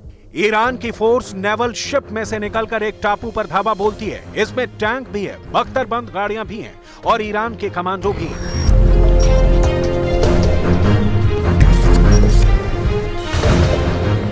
यूक्रेन युद्ध के बीच इस वक्त ईरान बहुत ज़्यादा आक्रामक है। पुतिन का दोस्त ईरान अब महसूस कर रहा है कि यूक्रेन को बचाने के लिए नया मोर्चा पश्चिम एशिया में खुल सकता है, क्योंकि यहाँ अमेरिका भी है इसराइल भी है, सऊदी अरब और इन सब का प्रतिद्वंदी ईरान भी है। क्योंकि पुतिन का ध्यान भटकाने के लिए अमेरिका एक नया वॉर फ्रंट तैयार कर रहा है, ऐसी आशंका ईरान की है।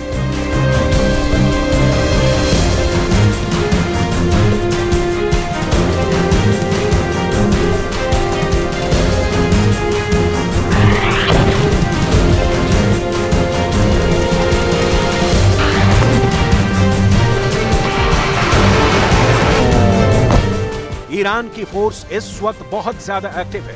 फारस की खाड़ी से लेकर अरब सागर तक जितना भी इलाका है, यहाँ ईरान का खासा दबदबा रहता है। और यहाँ पर अक्सर आने वाले अमेरिका के समुद्री बेड़े को भी ईरान बहुत बड़ी चेतावनी दे रहा है। अब देखिए, ईरान ने जो ड्रोन लॉन्च किए थे, उन्होंने कैसे हमला किया?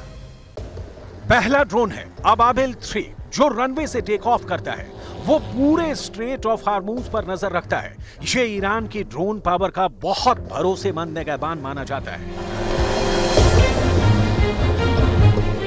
दूसरा ड्रोन है आर एस टू जो एक स्टैंड पर रॉकेट बूस्टर की मदद से टेक ऑफ़ करता है। वो नजदीकी पहाड़ पर दुश्मन के एक अड्डे को टारगेट करता है। जब अचूक निशाना लगता है तो धमाका देखकर ईरान के कमांडर एक दूसरे को बधाई देते हैं। अब देखिए तीसरा ड्रोन ये है अबाबिल टू जो एक नेवल शिप से लॉन्च किया जाता है। और फिर इसका टारगेट बनता है एक टापू, और उसके करीब खड़ा दुश्मन का जहाज़। ये एक नेवल शिप की डमी है, और इसी पर जाकर अबाबिल टू बहुत ही सटीक हमला करता है। तो इस तरह ईरान ने अपने तमाम हथियार आजमाने शुरू कर दिए हैं। ईरान की रणनीति शुरू से ही आक्रामक रही है, और इस ट्रेलर को रिलीज़ करके ईरान ने बता दिया है कि पश्चिम एशिया में उसको चैलेंज किया गया तो नतीजा बुरा होगा। तो सवाल है कि आखिर ईरान ये चैलेंज किससे कर रहा है? अब इस रिपोर्ट में ईरान के दुश्मनों के बारे में समझिए, क्योंकि पश्चिम एशिया में ईरान अकेली पावर नहीं है। एक बार फिर देखिए, ईरान का ड्रोन अबाबिल टू किस ठिकाने को धमाके से तबाह कर देता है? रिपोर्ट के मुताबिक जिस टारगेट को धमाके से उड़ाया गया, वो इसराइल के एक वॉरशिप की ही डमी है। और ईरान ने बताया है कि कैसे उसके ड्रोन इसराइल की फौज को लहूलुहान कर सकते हैं।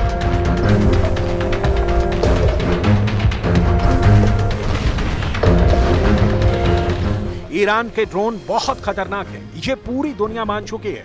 यूक्रेन में ईरान के शाहिद 136 ड्रोन ने बड़ा कहर मचाया है। यूक्रेन के बिजली घरों पर रूस ने ईरान के ड्रोन से ही हमले किए और उनको इतना नुकसान पहुँचाया कि 50 प्रतिशत यूक्रेन अंधेरे में डूब गया।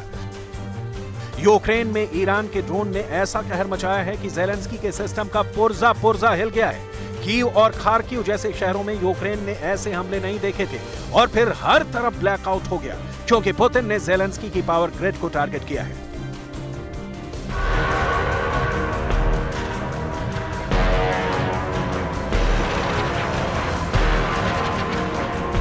खेरसौन हारने के बाद से ही पुतिन के ईरान वाले ड्रोन ने जो तबाही मचाई है, उसके आगे जेलेंस्की बेबस हो गए। शाहिद 136 वाकई बहुत खतरनाक ड्रोन है, जो अकेले हमला नहीं करता, बल्कि एक साथ कई ड्रोन लॉन्च किए जाते हैं। छह आत्मघाती ड्रोन है, इन्हें ईरान का कामी काजे ड्रोन कहा जाता है, जो यूक्रेन की पोजीशन को अटैक कर रहे हैं। देखा जाए तो ईरान अब सीधे तौर पर नहीं तो एक अलग मोर्चे पर अमेरिका को सबक सिखाना चाहता है। और इसीलिए उसने अपनी ड्रोन वाली ताकत रूस को दी है। अब ड्रोन से अटैक होता है तो आसमान से तबाही बरसती है। यही वजह है कि यूक्रेन के 50 परसेंट पावर स्टेशन पूरी तरह से खत्म हो गए और कड़कड़ाती ठंड के बीच एक करोड़ से ज़्यादा लोगों के सामने बिजली संकट खड़ा हो गया है। ऐसे में सवाल है कि अगर पश्चिम एशिया में युद्ध हुआ तो ईरान के टारगेट पर कौन होगा? ईरान कहाँ यूक्रेन वाले हमलों को दोहरा सकता है? और अगर ऐसा हमला हुआ तो पश्चिम एशिया में कैसे बवंडर शुरू हो जाएगा? क्योंकि ईरान के दुश्मनों की फहरिस्त बहुत लंबी है, लेकिन पश्चिम एशिया के अंदर ही दो बड़े नाम हैं। अमेरिका के अलावा ईरान के दो बड़े दुश्मन हैं। पहला है सऊदी अरब और दूसरा है इसराइल ऐसा क्यों कहा जा रहा है? इसे गौर से समझिएगा। अक्टूबर 2022 में जब ईरान के शिराज शहर पर आतंकी हमला हुआ था, तब ईरान के एक जनरल ने चार देशों को चेतावनी दी थी। तब ईरान के इस खास मस्जिद पर लाल झंडा लगाया गया था। सवाल उठने लगे कि अब आगे क्या होगा? क्योंकि 2020 में ऐसे ही लाल झंडा ईरान में तब लगाया गया था, जब अमेरिका के हमले में जनरल सोलेमानी की मौत हुई थी। ऐसे में बड़े सवाल हैं कि इस बार ईरान क्या पैगाम देना चाहता है? ईरान क्या अपने दुश्मनों को युद्ध की चेतावनी दे रहा है ईरान के दुश्मन कौन कौन है इन तीन सवालों के जवाब जानने के लिए ईरान के रिवोल्यूशनरी गार्ड के कमांडर जनरल हुसैन सलामी की बात को बहुत गौर से सुनिएगा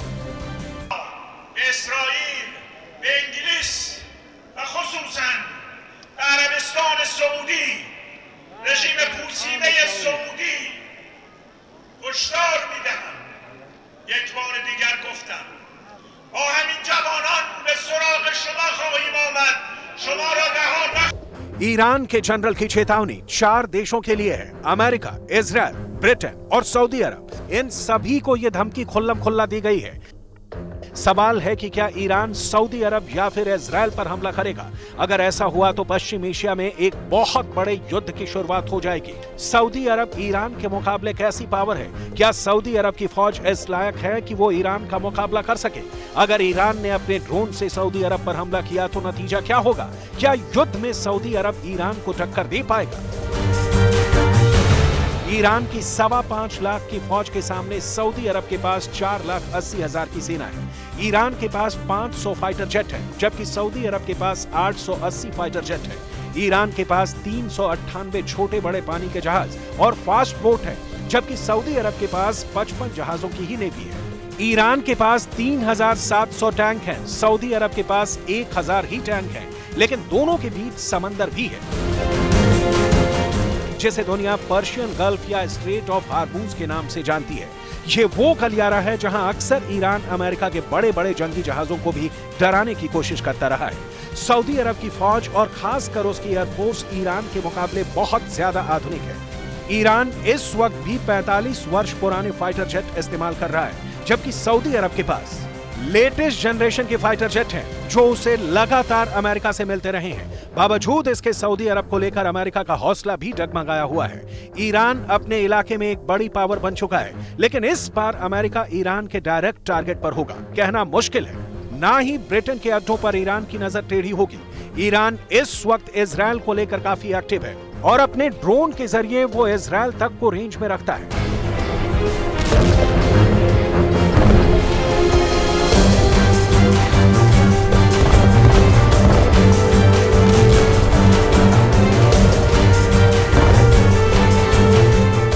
इनमें अबाबिल ड्रोन के कई वर्जन हैं, और ये सूडान से लेकर इराक और यमन से लेकर सीरिया और लेबनन तक इस्तेमाल किए गए हैं। अबाबिल ड्रोन दुश्मन पर नज़र रखने के लिए भी इस्तेमाल होता है, और इससे दुश्मन के ठिकानों पर बमबारी भी की जा सकती है।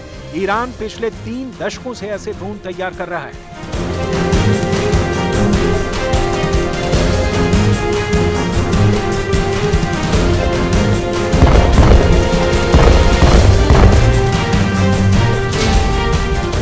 इनमें अबाबिल वन ड्रोन सुसाइड हमला करता है। इसमें 40 किलो तक विस्फोटक होता है और ये टारगेट से खुद को टकराकर उसे तबाह कर देता है। अबाबिल जो एक सर्विलांस ड्रोन है जो दुश्मन पर निगाह रखता है और ये 30 किलो का वॉर हेड लेकर उड़ सकता है। अबाबिल थ्री की रफ्तार 200 किलोमीटर प्रति घंटा है। ये 100 किलोमीटर के दायरे में 5000 मीटर की ऊंचाई तक ऑपरेट करता है। ये रात में भी अपने टारगेट पर हमला कर सकता है।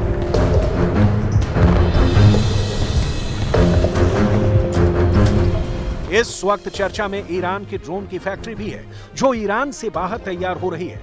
ईरान अपने ड्रोन वाले पैर पसार रहा है और उसने ताजिकिस्तान में ड्रोन का बवंडर शुरू कर दिया है। पुतिन को ईरान के ड्रोन से गजब की ताकत मिली है। अब ईरान इसी ड्रोन पावर के लिए सेंट्रल एशिया को अपना नया बेस बनाना चाहता है। मई 2022 में ही ईरान ने ताजिकिस्तान में ड्रोन फैक्ट्री खोली, जिसमें अब अबाबिल ड्रोन बनाए जा रहे हैं। अभी तक ईरान की सुरंगों में ड्रोन का गोदाम दिखाया गया है, लेकिन अब ईरान इसका उत्पादन दूसरे देशों में कर रहा है। इसके साफ़ मायने हैं कि ईरान इस वक्त दुनिया की सबसे बड़ी ड्रोन पावर या कहें कि ड्रोन लीडर बन चुका है, जिसके ड्रोन सस्ते हैं, असरदार हैं और युद्ध में खुद को साबित भी कर चुके हैं।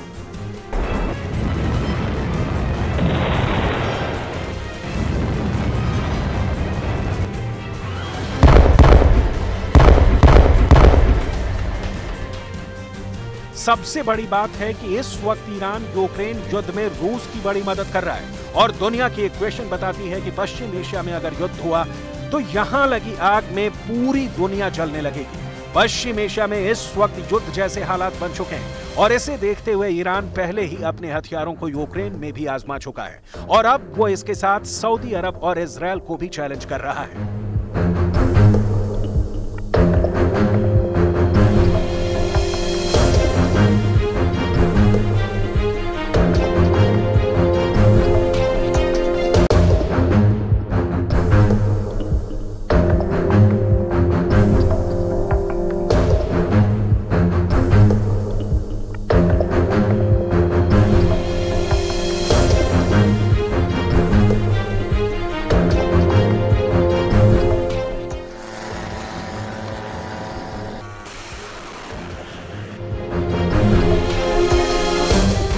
ईरान ने तीन नए ड्रोन दिखाए हैं। इस रिपोर्ट में ईरान के ड्रोन का नया धमाका है।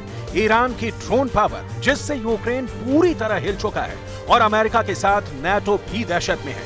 अब उससे भी खतरनाक ड्रोन वाली ताकत का एक और ट्रेलर ईरान ने समंदर में दिखाया है। पहला ड्रोन है, अबाबेल थ्री, जो रनवे से टेक ऑफ़ करता है।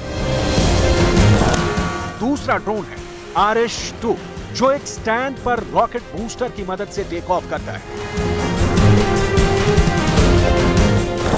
और तीसरा ड्रोन है अबाबेल चो जो एक नेवल शिप से लॉन्च किया जाता है।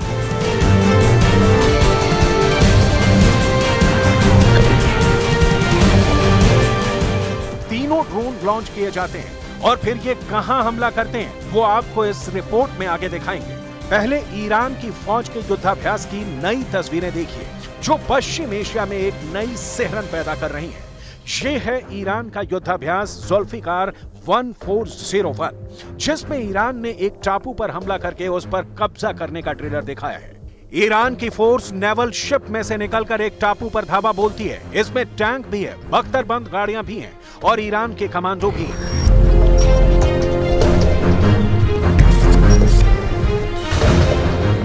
यूक्रेन युद्ध के बीच इस वक्त ईरान बहुत ज़्यादा आक्रामक है। पुतिन का दोस्त ईरान अब महसूस कर रहा है कि यूक्रेन को बचाने के लिए नया मोर्चा पश्चिम एशिया में खुल सकता है, क्योंकि यहाँ अमेरिका भी है इसराइल भी है, सऊदी अरब और इन सब का प्रतिद्वंदी ईरान भी है। क्योंकि पुतिन का ध्यान भटकाने के लिए अमेरिका एक नया वॉर फ्रंट तैयार कर रहा है, ऐसी आशंका ईरान की है।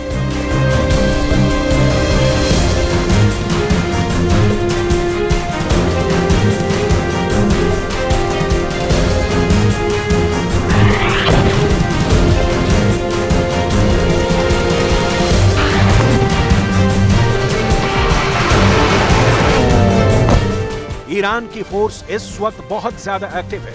फारस की खाड़ी से लेकर अरब सागर तक जितना भी इलाका है, यहाँ ईरान का खासा दबदबा रहता है। और यहाँ पर अक्सर आने वाले अमेरिका के समुद्री बेड़े को भी ईरान बहुत बड़ी चेतावनी दे रहा है। अब देखिए, ईरान ने जो ड्रोन लॉन्च किए थे, उन्होंने कैसे हमला किया?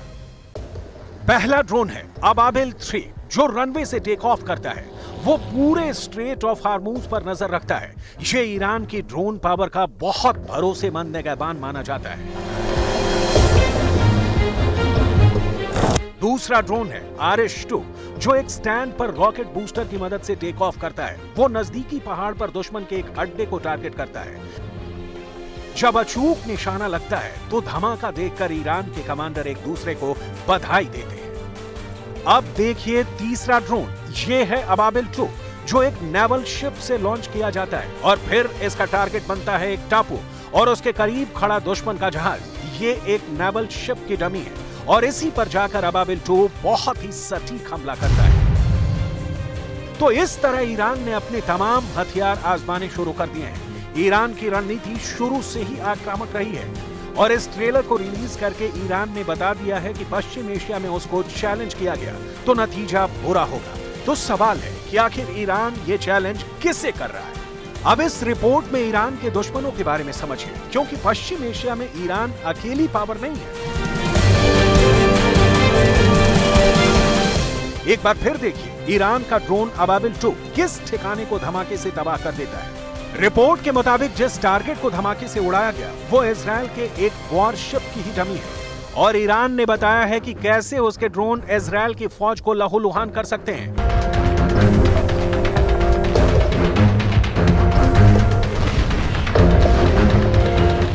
ईरान के ड्रोन बहुत खतरनाक है। ये पूरी दुनिया मान चुकी है।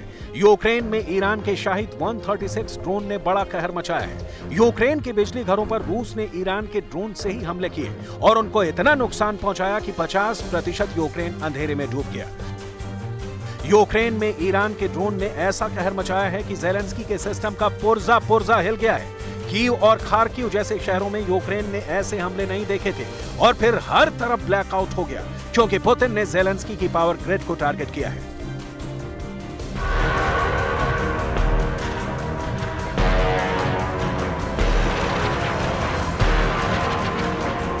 खेरसौन हारने के बाद से ही पुतिन के ईरान वाले ड्रोन ने जो तबाही मचाई है, उसके आगे जेलेंस्की बेबस हो गए। शाहिद 136 वाकई बहुत खतरनाक ड्रोन है, जो अकेले हमला नहीं करता, बल्कि एक साथ कई ड्रोन लॉन्च किए जाते हैं। छह आत्मघाती ड्रोन है, इन्हें ईरान का कामिकाजे ड्रोन कहा जाता है, जो यूक्रेन की पोजीशन को अटैक कर रहे हैं। देखा जाए तो ईरान अब सीधे तौर पर नहीं तो एक अलग मोर्चे पर अमेरिका को सबक सिखाना चाहता है, और इसीलिए उसने अपनी ड्रोन वाली ताकत रूस को दी है। अब ड्रोन से अटैक होता है तो आसमान से तबाही बरसती है। यही वजह है कि यूक्रेन के 50 परसेंट पावर स्टेशन पूरी तरह से खत्म हो गए और कड़कड़ाती ठंड के बीच एक करोड़ से ज़्यादा लोगों के सामने बिजली संकट खड़ा हो गया है। ऐसे में सवाल है कि अगर पश्चिम एशिया में युद्ध हुआ तो ईरान के टारगेट पर कौन होगा? ईरान कहाँ यूक्रेन वाले हमलों को दोहरा सकता है? और अगर ऐसा हमला हुआ तो पश्चिम एशिया में कैसे बवंडर शुरू हो जाएगा?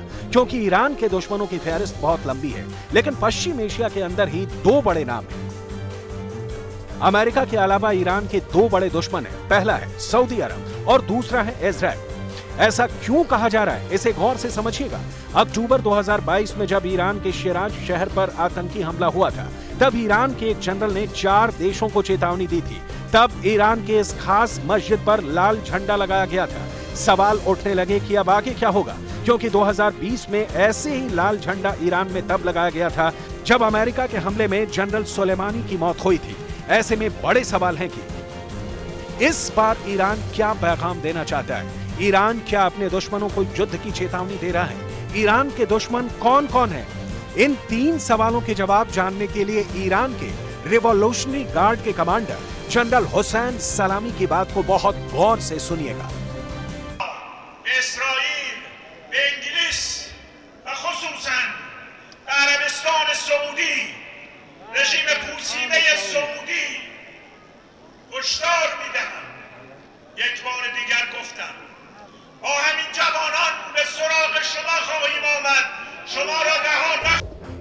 ईरान के जनरल की चेतावनी चार देशों के लिए है अमेरिका इसराइल ब्रिटेन और सऊदी अरब इन सभी को यह धमकी खुल्लम खुल्ला दी गई है सवाल है कि क्या ईरान, सऊदी अरब या फिर इसराइल पर हमला करेगा? अगर ऐसा हुआ तो पश्चिम एशिया में एक बहुत बड़े युद्ध की शुरुआत हो जाएगी। सऊदी अरब ईरान के मुकाबले कैसी पावर है? क्या सऊदी अरब की फौज इस लायक है कि वो ईरान का मुकाबला कर सके? अगर ईरान ने अपने ड्रोन से सऊदी अरब पर हमला किया तो नतीजा क्या होगा? क्या युद्ध में सऊदी अरब ईरान को टक्कर दे पाएगा?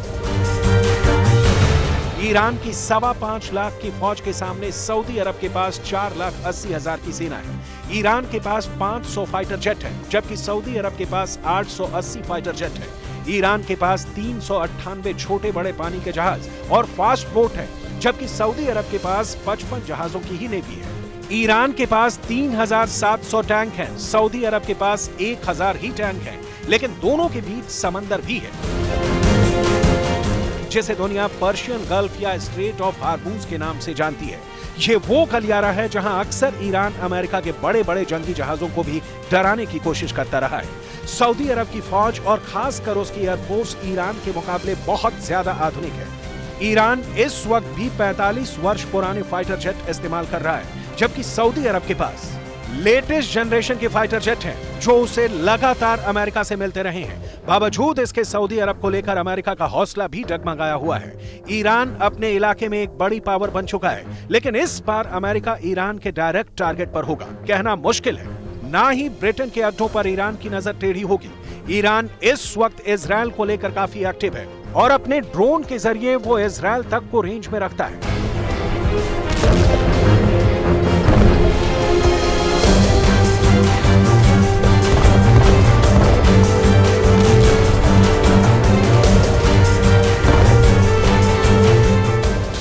इनमें अबाबिल ड्रोन के कई वर्जन हैं, और ये सूडान से लेकर इराक और यमन से लेकर सीरिया और लेबनन तक इस्तेमाल किए गए हैं। अबाबिल ड्रोन दुश्मन पर नज़र रखने के लिए भी इस्तेमाल होता है, और इससे दुश्मन के ठिकानों पर बमबारी भी की जा सकती है।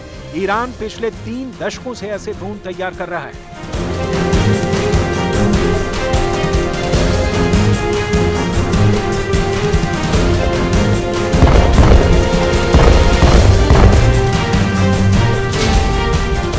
इनमें अबाबिल वन ड्रोन सुसाइड हमला करता है। इसमें 40 किलो तक विस्फोटक होता है और ये टारगेट से खुद को टकराकर उसे तबाह कर देता है।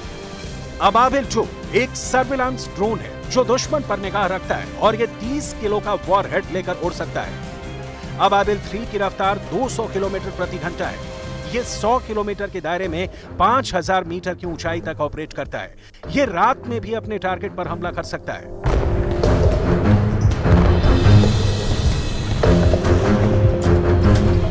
इस वक्त चर्चा में ईरान की ड्रोन की फैक्ट्री भी है, जो ईरान से बाहर तैयार हो रही है। ईरान अपने ड्रोन वाले पैर पसार रहा है और उसने ताजिकिस्तान में ड्रोन का बवंडर शुरू कर दिया है। पुतिन को ईरान के ड्रोन से गजब की ताकत मिली है। अब ईरान इसी ड्रोन पावर के लिए सेंट्रल एशिया को अपना नया बेस बनाना चाहता है। मई 2022 में ही ईरान ने ताजिकिस्तान में ड्रोन फैक्ट्री खोली, जिसमें अब अबाबिल ड्रोन बनाए जा रहे हैं। अभी तक ईरान की सुरंगों में ड्रोन का गोदाम दिखाया गया है, लेकिन अब ईरान इसका उत्पादन दूसरे देशों में कर रहा है। इसके साफ़ मायने हैं कि ईरान इस वक्त दुनिया की सबसे बड़ी ड्रोन पावर या कहें कि ड्रोन लीडर बन चुका है, जिसके ड्रोन सस्ते हैं, असरदार हैं और युद्ध में खुद को साबित भी कर चुके हैं।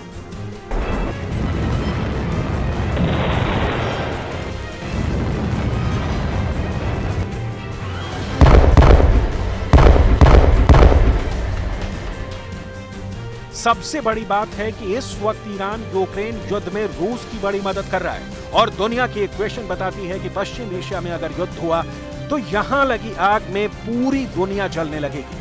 पश्चिम एशिया में इस वक्त युद्ध जैसे हालात बन चुके हैं और इसे देखते हुए ईरान पहले ही अपने हथियारों को यूक्रेन में भी आजमा चुका है और अब वो इसके साथ सऊदी अरब और इसराइल को भी चैलेंज कर रहा है।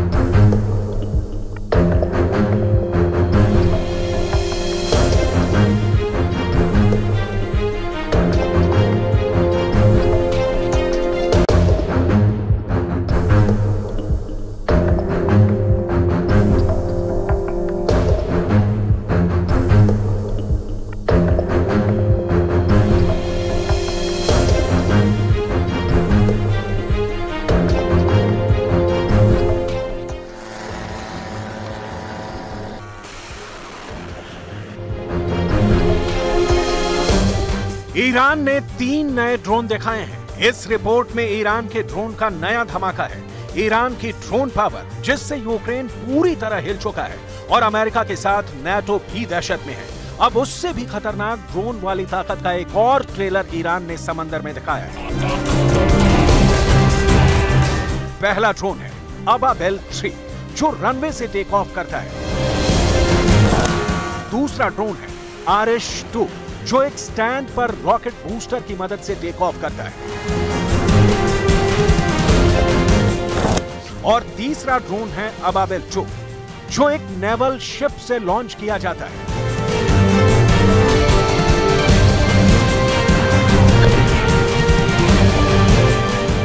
तीनों ड्रोन लॉन्च किए जाते हैं। और फिर ये कहाँ हमला करते हैं, वो आपको इस रिपोर्ट में आगे दिखाएँगे।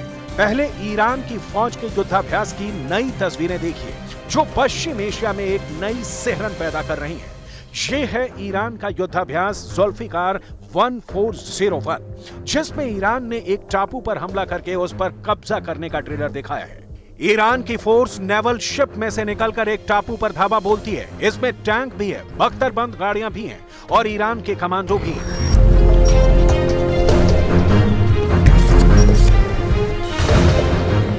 यूक्रेन युद्ध के बीच इस वक्त ईरान बहुत ज़्यादा आक्रामक है। पुतिन का दोस्त ईरान अब महसूस कर रहा है कि यूक्रेन को बचाने के लिए नया मोर्चा पश्चिम एशिया में खुल सकता है, क्योंकि यहाँ अमेरिका भी है इसराइल भी है, सऊदी अरब और इन सब का प्रतिद्वंदी ईरान भी है। क्योंकि पुतिन का ध्यान भटकाने के लिए अमेरिका एक नया वॉर फ्रंट तैयार कर रहा है, ऐसी आशंका ईरान की है।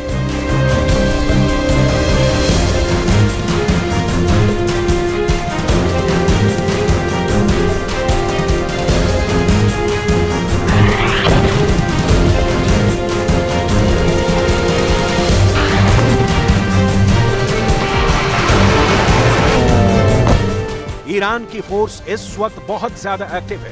फारस की खाड़ी से लेकर अरब सागर तक जितना भी इलाका है, यहाँ ईरान का खासा दबदबा रहता है। और यहाँ पर अक्सर आने वाले अमेरिका के समुद्री बेड़े को भी ईरान बहुत बड़ी चेतावनी दे रहा है। अब देखिए, ईरान ने जो ड्रोन लॉन्च किए थे, उन्होंने कैसे हमला किया? पहला ड्रोन है अबाबिल थ्री जो रनवे से टेक ऑफ़ करता है। वो पूरे स्ट्रेट ऑफ़ हार्मूज पर नज़र रखता है। ये ईरान की ड्रोन पावर का बहुत भरोसेमंद निगहबान माना जाता है। दूसरा ड्रोन है आरिश टू जो एक स्टैंड पर रॉकेट बूस्टर की मदद से टेक ऑफ़ करता है। वो नजदीकी पहाड़ पर दुश्मन के एक अड्डे को टारगेट करता है। जब अचूक निशाना लगता है तो धमाका देखकर ईरान के कमांडर एक दूसरे को बधाई देते हैं। अब देखिए तीसरा ड्रोन ये है अबाबिल टू जो एक नेवल शिप से लॉन्च किया जाता है। और फिर इसका टारगेट बनता है एक टापू, और उसके करीब खड़ा दुश्मन का जहाज़। ये एक नेवल शिप की डमी है, और इसी पर जाकर अबाबिल टू बहुत ही सटीक हमला करता है। तो इस तरह ईरान ने अपने तमाम हथियार आजमाने शुरू कर दिए हैं। ईरान की रणनीति शुरू से ही आक्रामक रही है। और इस ट्रेलर को रिलीज़ करके ईरान ने बता दिया है कि पश्चिम एशिया में उसको चैलेंज किया गया। तो नतीजा बुरा होगा। तो सवाल है कि आखिर ईरान ये चैलेंज किससे कर रहा है? अब इस रिपोर्ट में ईरान के दुश्मनों के बारे में समझिए, क्योंकि पश्चिम एशिया में ईरान अकेली पावर नहीं है। एक बार फिर देखिए, ईरान का ड्रोन अबाबिल टू किस ठिकाने को धमाके से तबाह कर देता है? रिपोर्ट के मुताबिक जिस टारगेट को धमाके से उड़ाया गया, वो इसराइल के एक वॉरशिप की ही डमी है। और ईरान ने बताया है कि कैसे उसके ड्रोन इसराइल की फौज को लहूलुहान कर सकते हैं।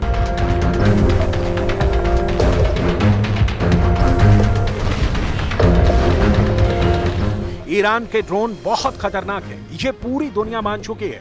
यूक्रेन में ईरान के शाहिद 136 ड्रोन ने बड़ा कहर मचाया है। यूक्रेन के बिजली घरों पर रूस ने ईरान के ड्रोन से ही हमले किए और उनको इतना नुकसान पहुँचाया कि 50 प्रतिशत यूक्रेन अंधेरे में डूब गया। यूक्रेन में ईरान के ड्रोन ने ऐसा कहर मचाया है कि जेलेंस्की के सिस्टम का पुर्जा पुर्जा हिल गया है। कीव और खारकीव जैसे शहरों में यूक्रेन ने ऐसे हमले नहीं देखे थे और फिर हर तरफ़ ब्लैकआउट हो गया, क्योंकि पुतिन ने जेलेंस्की की पावर ग्रिड को टारगेट किया है।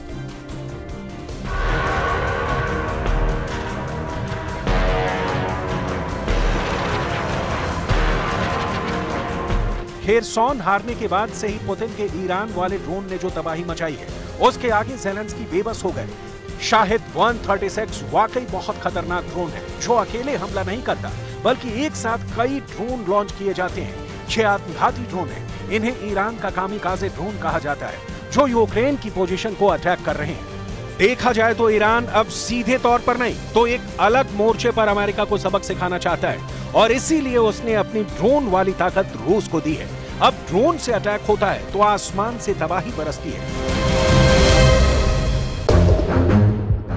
यही वजह है कि यूक्रेन के 50 परसेंट पावर स्टेशन पूरी तरह से खत्म हो गए हैं और कड़कड़ाती ठंड के बीच एक करोड़ से ज़्यादा लोगों के सामने बिजली संकट खड़ा हो गया है। ऐसे में सवाल है कि अगर पश्चिम एशिया में युद्ध हुआ तो ईरान के टारगेट पर कौन होगा? ईरान कहाँ यूक्रेन वाले हमलों को दोहरा सकता है? और अगर ऐसा हमला हुआ तो पश्चिम एशिया में कैसे बवंडर शुरू हो जाएगा?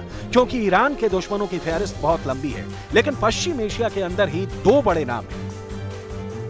अमेरिका के अलावा ईरान के दो बड़े दुश्मन हैं। पहला है सऊदी अरब और दूसरा है इसराइल ऐसा क्यों कहा जा रहा है? इसे गौर से समझिएगा। अक्टूबर 2022 में जब ईरान के शिराज शहर पर आतंकी हमला हुआ था, तब ईरान के एक जनरल ने चार देशों को चेतावनी दी थी। तब ईरान के इस खास मस्जिद पर लाल झंडा लगाया गया था। सवाल उठने लगे कि अब आगे क्या होगा? क्योंकि 2020 में ऐसे ही लाल झंडा ईरान में तब लगाया गया था, जब अमेरिका के हमले में जनरल सोलेमानी की मौत हुई थी। ऐसे में बड़े सवाल हैं कि इस बार ईरान क्या पैगाम देना चाहता है? ईरान क्या अपने दुश्मनों को युद्ध की चेतावनी दे रहा है ईरान के दुश्मन कौन कौन है इन तीन सवालों के जवाब जानने के लिए ईरान के रिवोल्यूशनरी गार्ड के कमांडर जनरल हुसैन सलामी की बात को बहुत गौर से सुनिएगा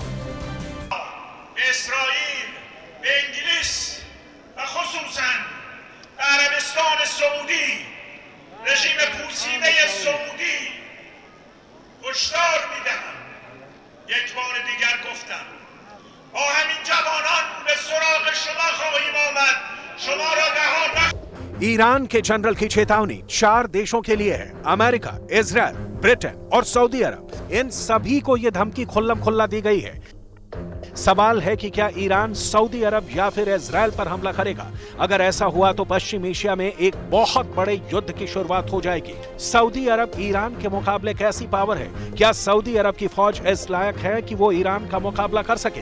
अगर ईरान ने अपने ड्रोन से सऊदी अरब पर हमला किया तो नतीजा क्या होगा? क्या युद्ध में सऊदी अरब ईरान को टक्कर दे पाएगा? ईरान की सवा पाँच लाख की फौज के सामने सऊदी अरब के पास चार लाख अस्सी हज़ार की सेना है। ईरान के पास 500 फाइटर जेट है जबकि सऊदी अरब के पास 880 फाइटर जेट है। ईरान के पास तीन सौ अट्ठानवे छोटे बड़े पानी के जहाज़ और फास्ट बोट है जबकि सऊदी अरब के पास 55 जहाजों की ही नेवी है। ईरान के पास 3,700 टैंक हैं, सऊदी अरब के पास 1,000 ही टैंक हैं, लेकिन दोनों के बीच समंदर भी है। जिसे दुनिया पर्शियन गल्फ या स्ट्रेट ऑफ़ हार्मूज के नाम से जानती है। ये वो गलियारा है जहाँ अक्सर ईरान, अमेरिका के बड़े बड़े जंगी जहाजों को भी डराने की कोशिश करता रहा है। सऊदी अरब की फौज और खासकर उसकी एयरफोर्स ईरान के मुकाबले बहुत ज़्यादा आधुनिक है।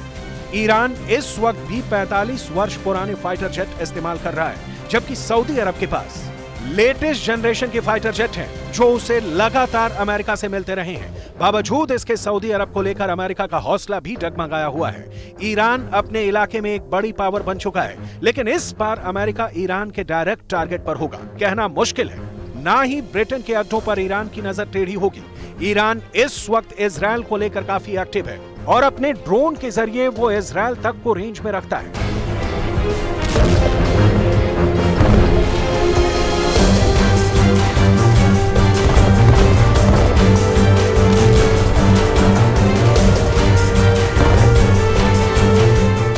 इनमें अबाबिल ड्रोन के कई वर्जन हैं, और ये सूडान से लेकर इराक और यमन से लेकर सीरिया और लेबनन तक इस्तेमाल किए गए हैं। अबाबिल ड्रोन दुश्मन पर नज़र रखने के लिए भी इस्तेमाल होता है, और इससे दुश्मन के ठिकानों पर बमबारी भी की जा सकती है। ईरान पिछले तीन दशकों से ऐसे ड्रोन तैयार कर रहा है।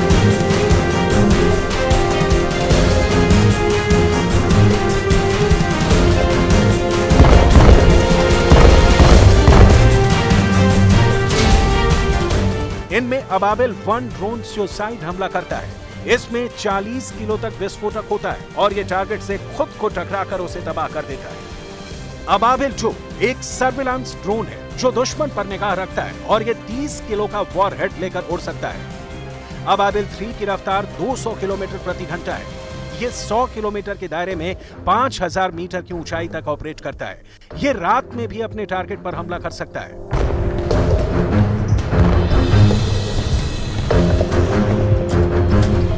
इस वक्त चर्चा में ईरान की ड्रोन की फैक्ट्री भी है, जो ईरान से बाहर तैयार हो रही है। ईरान अपने ड्रोन वाले पैर पसार रहा है और उसने ताजिकिस्तान में ड्रोन का बवंडर शुरू कर दिया है। पुतिन को ईरान के ड्रोन से गजब की ताकत मिली है। अब ईरान इसी ड्रोन पावर के लिए सेंट्रल एशिया को अपना नया बेस बनाना चाहता है। मई 2022 में ही ईरान ने ताजिकिस्तान में ड्रोन फैक्ट्री खोली, जिसमें अब अबाबिल ड्रोन बनाए जा रहे हैं। अभी तक ईरान की सुरंगों में ड्रोन का गोदाम दिखाया गया है, लेकिन अब ईरान इसका उत्पादन दूसरे देशों में कर रहा है। इसके साफ़ मायने हैं कि ईरान इस वक्त दुनिया की सबसे बड़ी ड्रोन पावर या कहें कि ड्रोन लीडर बन चुका है, जिसके ड्रोन सस्ते हैं, असरदार हैं और युद्ध में खुद को साबित भी कर चुके हैं।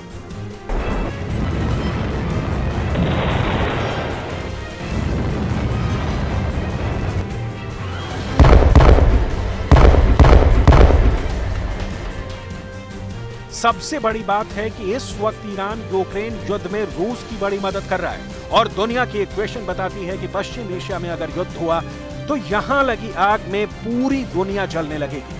पश्चिम एशिया में इस वक्त युद्ध जैसे हालात बन चुके हैं। और इसे देखते हुए ईरान पहले ही अपने हथियारों को यूक्रेन में भी आजमा चुका है। और अब वो इसके साथ सऊदी अरब और इसराइल को भी चैलेंज कर रहा है।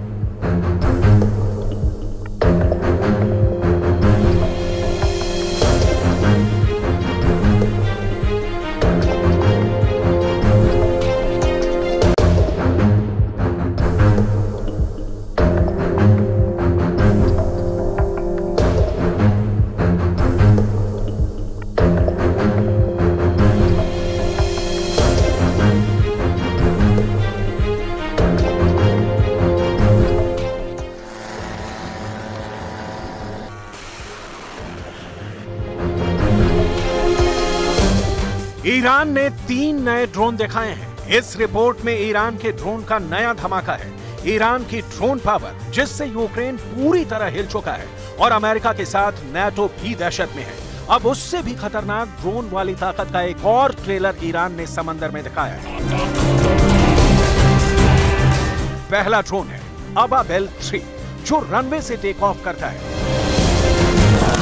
दूसरा ड्रोन है, आर एस टू जो एक स्टैंड पर रॉकेट बूस्टर की मदद से टेक ऑफ़ करता है।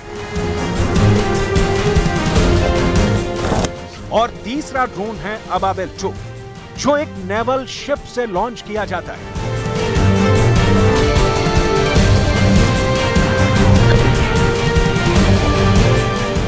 तीनों ड्रोन लॉन्च किए जाते हैं। और फिर ये कहाँ हमला करते हैं, वो आपको इस रिपोर्ट में आगे दिखाएँगे।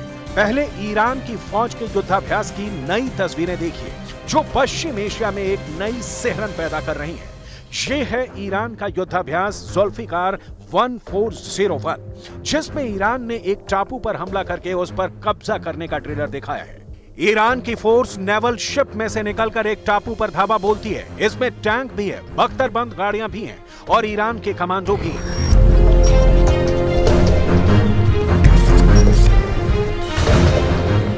यूक्रेन युद्ध के बीच इस वक्त ईरान बहुत ज़्यादा आक्रामक है। पुतिन का दोस्त ईरान अब महसूस कर रहा है कि यूक्रेन को बचाने के लिए नया मोर्चा पश्चिम एशिया में खुल सकता है, क्योंकि यहाँ अमेरिका भी है इसराइल भी है, सऊदी अरब और इन सब का प्रतिद्वंदी ईरान भी है। क्योंकि पुतिन का ध्यान भटकाने के लिए अमेरिका एक नया वॉर फ्रंट तैयार कर रहा है, ऐसी आशंका ईरान की है।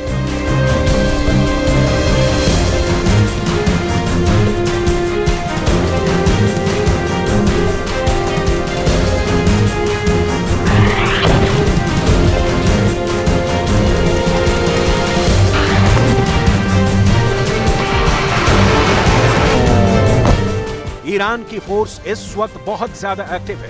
फारस की खाड़ी से लेकर अरब सागर तक जितना भी इलाका है, यहाँ ईरान का खासा दबदबा रहता है। और यहाँ पर अक्सर आने वाले अमेरिका के समुद्री बेड़े को भी ईरान बहुत बड़ी चेतावनी दे रहा है। अब देखिए, ईरान ने जो ड्रोन लॉन्च किए थे, उन्होंने कैसे हमला किया? पहला ड्रोन है अबाबिल थ्री जो रनवे से टेक ऑफ़ करता है। वो पूरे स्ट्रेट ऑफ़ हार्मूज पर नज़र रखता है। ये ईरान की ड्रोन पावर का बहुत भरोसेमंद निगहबान माना जाता है। दूसरा ड्रोन है, आर एस टू, जो एक स्टैंड पर रॉकेट बूस्टर की मदद से टेक ऑफ़ करता है। वो नजदीकी पहाड़ पर दुश्मन के एक अड्डे को टारगेट करता है। जब अचूक निशाना लगता है तो धमाका देखकर ईरान के कमांडर एक दूसरे को बधाई देते हैं। अब देखिए तीसरा ड्रोन। ये है अबाबिल टू, जो एक नेवल शिप से लॉन्च किया जाता है और फिर इसका टारगेट बनता है एक टापू और उसके करीब खड़ा दुश्मन का जहाज़। ये एक नेवल शिप की डमी है और इसी पर जाकर अबाबिल टू बहुत ही सटीक हमला करता है।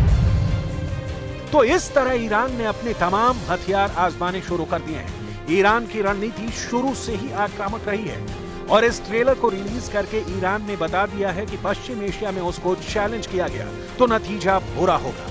तो सवाल है कि आखिर ईरान ये चैलेंज किससे कर रहा है? अब इस रिपोर्ट में ईरान के दुश्मनों के बारे में समझिए, क्योंकि पश्चिम एशिया में ईरान अकेली पावर नहीं है। एक बार फिर देखिए, ईरान का ड्रोन अबाबिल टू किस ठिकाने को धमाके से तबाह कर देता है? रिपोर्ट के मुताबिक जिस टारगेट को धमाके से उड़ाया गया, वो इसराइल के एक वॉरशिप की ही डमी है। और ईरान ने बताया है कि कैसे उसके ड्रोन इसराइल की फौज को लहूलुहान कर सकते हैं।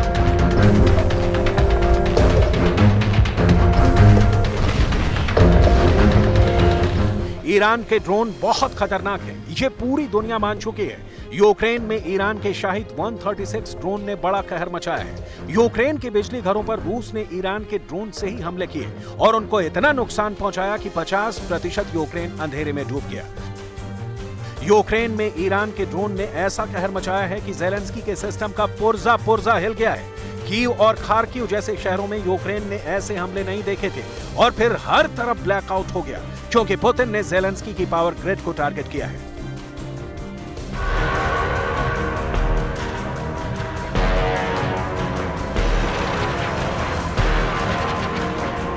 खेरसौन हारने के बाद से ही पुतिन के ईरान वाले ड्रोन ने जो तबाही मचाई है, उसके आगे जेलेंस्की बेबस हो गए। शाहिद 136 वाकई बहुत खतरनाक ड्रोन है, जो अकेले हमला नहीं करता, बल्कि एक साथ कई ड्रोन लॉन्च किए जाते हैं। छह आत्मघाती ड्रोन है, इन्हें ईरान का कामिकाजे ड्रोन कहा जाता है, जो यूक्रेन की पोजीशन को अटैक कर रहे हैं। देखा जाए तो ईरान अब सीधे तौर पर नहीं तो एक अलग मोर्चे पर अमेरिका को सबक सिखाना चाहता है, और इसीलिए उसने अपनी ड्रोन वाली ताकत रूस को दी है। अब ड्रोन से अटैक होता है तो आसमान से तबाही बरसती है।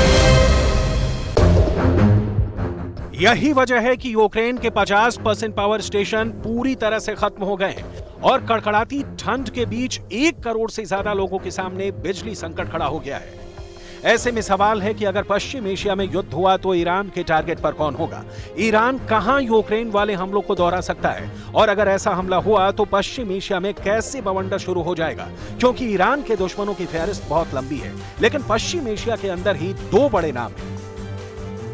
अमेरिका के अलावा ईरान के दो बड़े दुश्मन हैं। पहला है सऊदी अरब और दूसरा है इसराइल ऐसा क्यों कहा जा रहा है? इसे गौर से समझिएगा।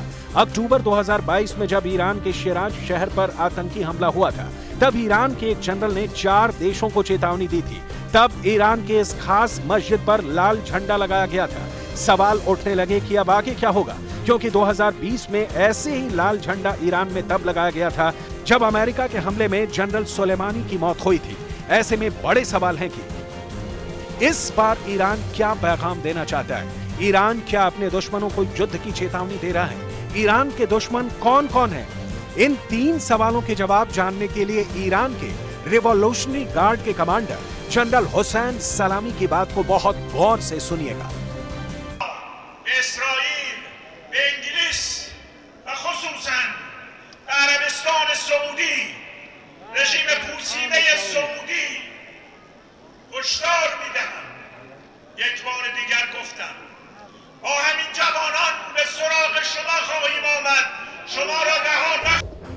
ईरान के जनरल की चेतावनी चार देशों के लिए है अमेरिका इसराइल ब्रिटेन और सऊदी अरब इन सभी को यह धमकी खुल्लम खुल्ला दी गई है सवाल है कि क्या ईरान, सऊदी अरब या फिर इसराइल पर हमला करेगा? अगर ऐसा हुआ तो पश्चिम एशिया में एक बहुत बड़े युद्ध की शुरुआत हो जाएगी। सऊदी अरब ईरान के मुकाबले कैसी पावर है? क्या सऊदी अरब की फौज इस लायक है कि वो ईरान का मुकाबला कर सके? अगर ईरान ने अपने ड्रोन से सऊदी अरब पर हमला किया तो नतीजा क्या होगा? क्या युद्ध में सऊदी अरब ईरान को टक्कर दे पाएगा? ईरान की सवा पाँच लाख की फौज के सामने सऊदी अरब के पास चार लाख अस्सी हज़ार की सेना है। ईरान के पास 500 फाइटर जेट है जबकि सऊदी अरब के पास 880 फाइटर जेट है। ईरान के पास तीन सौ अट्ठानवे छोटे बड़े पानी के जहाज़ और फास्ट बोट है जबकि सऊदी अरब के पास 55 जहाजों की ही नेवी है।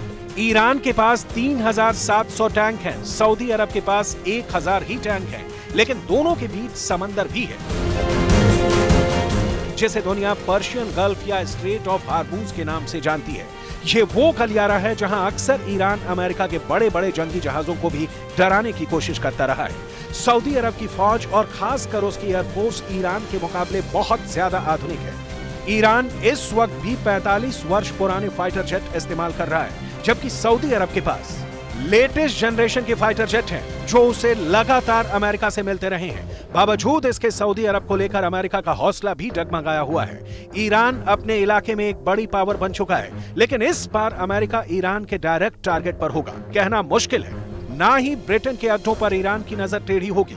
ईरान इस वक्त इसराइल को लेकर काफ़ी एक्टिव है और अपने ड्रोन के ज़रिए वो इसराइल तक को रेंज में रखता है।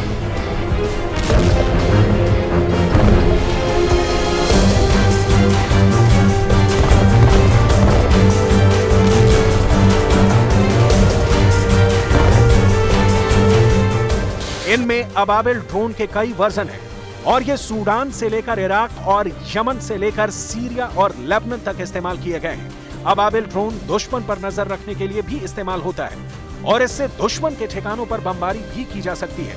ईरान पिछले तीन दशकों से ऐसे ड्रोन तैयार कर रहा है।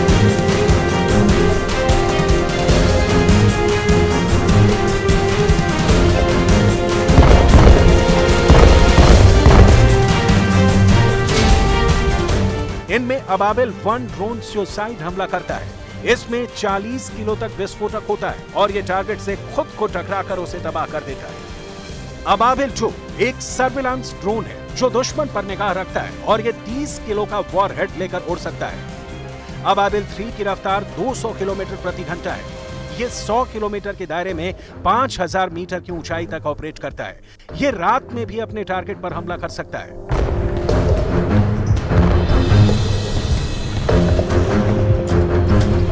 इस वक्त चर्चा में ईरान की ड्रोन की फैक्ट्री भी है, जो ईरान से बाहर तैयार हो रही है। ईरान अपने ड्रोन वाले पैर पसार रहा है और उसने ताजिकिस्तान में ड्रोन का बवंडर शुरू कर दिया है। पुतिन को ईरान के ड्रोन से गजब की ताकत मिली है। अब ईरान इसी ड्रोन पावर के लिए सेंट्रल एशिया को अपना नया बेस बनाना चाहता है। मई 2022 में ही ईरान ने ताजिकिस्तान में ड्रोन फैक्ट्री खोली, जिसमें अब अबाबिल ड्रोन बनाए जा रहे हैं। अभी तक ईरान की सुरंगों में ड्रोन का गोदाम दिखाया गया है, लेकिन अब ईरान इसका उत्पादन दूसरे देशों में कर रहा है। इसके साफ़ मायने हैं कि ईरान इस वक्त दुनिया की सबसे बड़ी ड्रोन पावर या कहें कि ड्रोन लीडर बन चुका है, जिसके ड्रोन सस्ते हैं, असरदार हैं और युद्ध में खुद को साबित भी कर चुके हैं।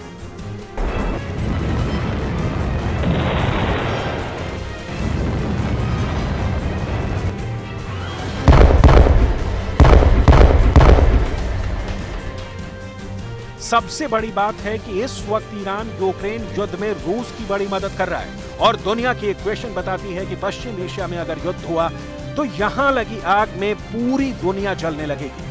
पश्चिम एशिया में इस वक्त युद्ध जैसे हालात बन चुके हैं और इसे देखते हुए ईरान पहले ही अपने हथियारों को यूक्रेन में भी आजमा चुका है और अब वो इसके साथ सऊदी अरब और इसराइल को भी चैलेंज कर रहा है।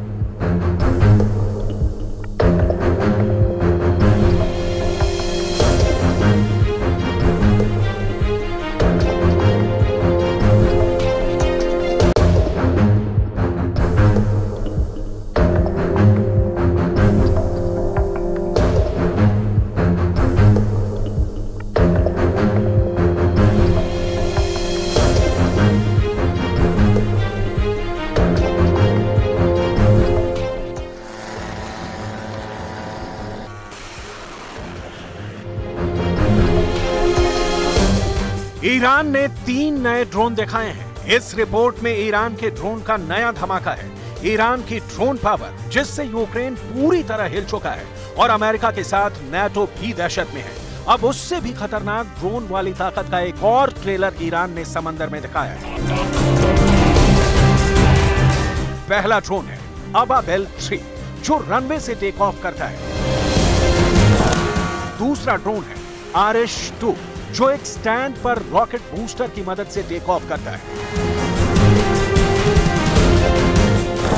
और तीसरा ड्रोन है अबाबेल टू, जो एक नेवल शिप से लॉन्च किया जाता है।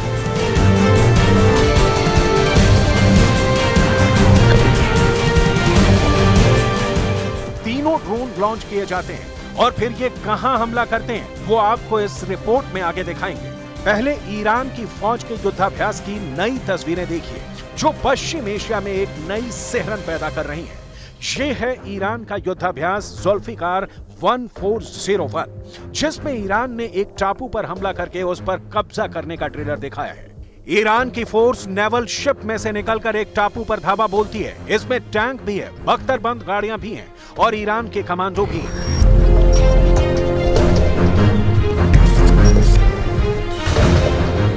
यूक्रेन युद्ध के बीच इस वक्त ईरान बहुत ज़्यादा आक्रामक है। पुतिन का दोस्त ईरान अब महसूस कर रहा है कि यूक्रेन को बचाने के लिए नया मोर्चा पश्चिम एशिया में खुल सकता है, क्योंकि यहाँ अमेरिका भी है इसराइल भी है, सऊदी अरब और इन सब का प्रतिद्वंदी ईरान भी है। क्योंकि पुतिन का ध्यान भटकाने के लिए अमेरिका एक नया वॉर फ्रंट तैयार कर रहा है, ऐसी आशंका ईरान की है।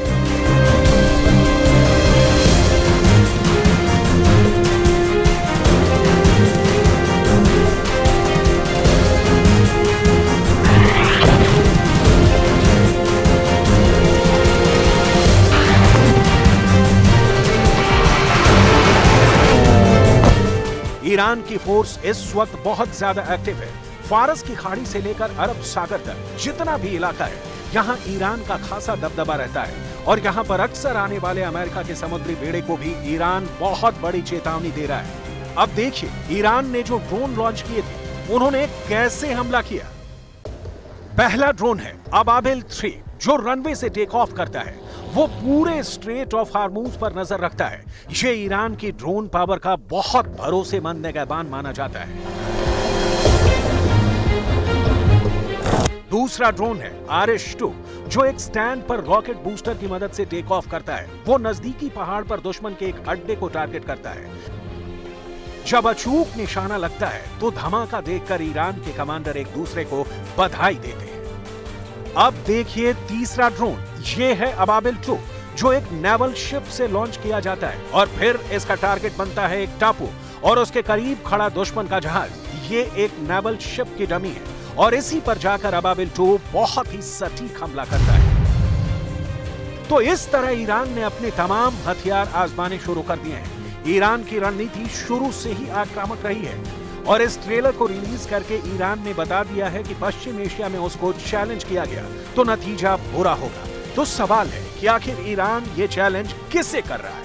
अब इस रिपोर्ट में ईरान के दुश्मनों के बारे में समझिए, क्योंकि पश्चिम एशिया में ईरान अकेली पावर नहीं है। एक बार फिर देखिए, ईरान का ड्रोन अबाबिल टू किस ठिकाने को धमाके से तबाह कर देता है? रिपोर्ट के मुताबिक जिस टारगेट को धमाके से उड़ाया गया, वो इसराइल के एक वॉरशिप की ही जमी है। और ईरान ने बताया है कि कैसे उसके ड्रोन इसराइल की फौज को लहूलुहान कर सकते हैं।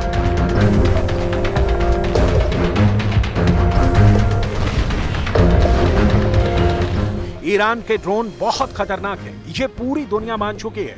यूक्रेन में ईरान के शाहिद 136 ड्रोन ने बड़ा कहर मचाया है। यूक्रेन के बिजली घरों पर रूस ने ईरान के ड्रोन से ही हमले किए और उनको इतना नुकसान पहुँचाया कि 50 प्रतिशत यूक्रेन अंधेरे में डूब गया। यूक्रेन में ईरान के ड्रोन ने ऐसा कहर मचाया है कि जेलेंस्की के सिस्टम का पुर्जा पुर्जा हिल गया है। कीव और खारकीव जैसे शहरों में यूक्रेन ने ऐसे हमले नहीं देखे थे। और फिर हर तरफ़ ब्लैकआउट हो गया, क्योंकि पुतिन ने जेलेंस्की की पावर ग्रिड को टारगेट किया है।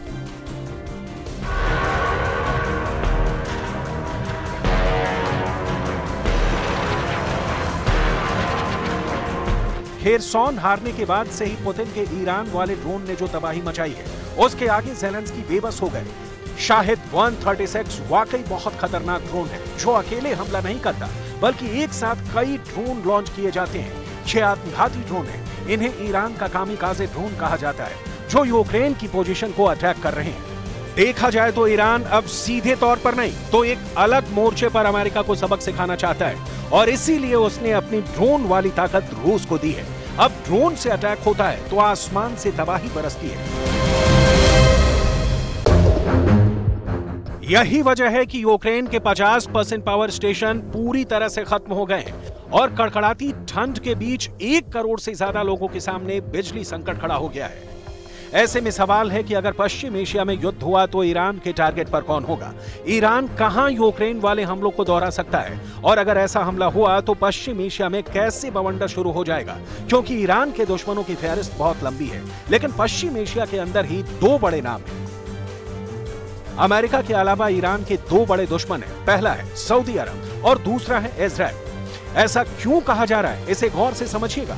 अक्टूबर 2022 में जब ईरान के शिराज शहर पर आतंकी हमला हुआ था, तब ईरान के एक जनरल ने चार देशों को चेतावनी दी थी। तब ईरान के इस खास मस्जिद पर लाल झंडा लगाया गया था। सवाल उठने लगे कि अब आगे क्या होगा, क्योंकि 2020 में ऐसे ही लाल झंडा ईरान में तब लगाया गया था जब अमेरिका के हमले में जनरल सोलेमानी की मौत हुई थी। ऐसे में बड़े सवाल हैं कि इस बार ईरान क्या पैगाम देना चाहता है? ईरान क्या अपने दुश्मनों को युद्ध की चेतावनी दे रहा है? ईरान के दुश्मन कौन कौन है? इन तीन सवालों के जवाब जानने के लिए ईरान के रिवोल्यूशनरी गार्ड के कमांडर जनरल हुसैन सलामी की बात को बहुत गौर से सुनिएगा।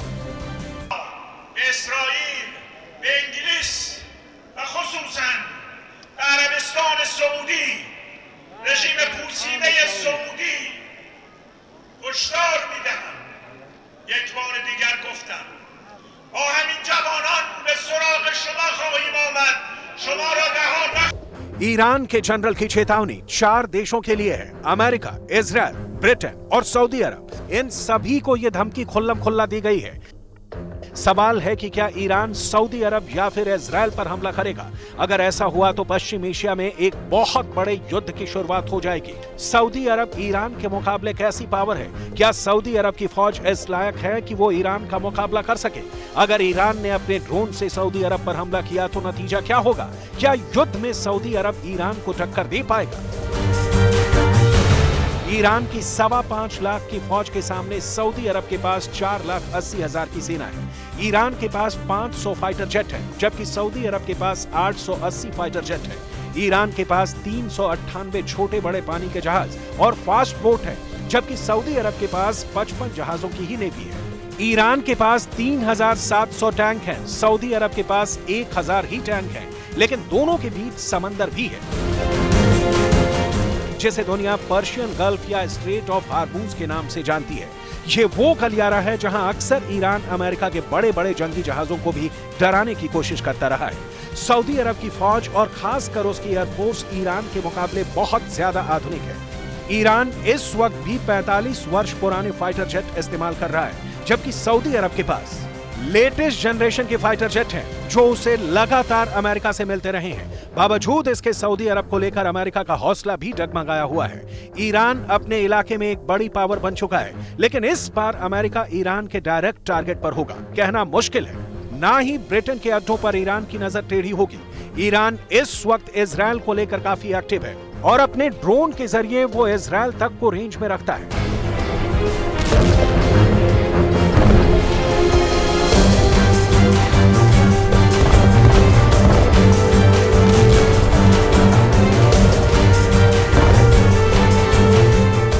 इनमें अबाबिल ड्रोन के कई वर्जन हैं, और ये सूडान से लेकर इराक और यमन से लेकर सीरिया और लेबनन तक इस्तेमाल किए गए हैं। अबाबिल ड्रोन दुश्मन पर नज़र रखने के लिए भी इस्तेमाल होता है, और इससे दुश्मन के ठिकानों पर बमबारी भी की जा सकती है।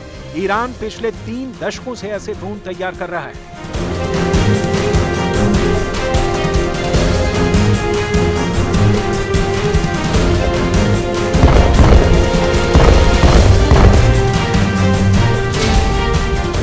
इनमें अबाबिल वन ड्रोन सुसाइड हमला करता है। इसमें 40 किलो तक विस्फोटक होता है और ये टारगेट से खुद को टकराकर उसे तबाह कर देता है।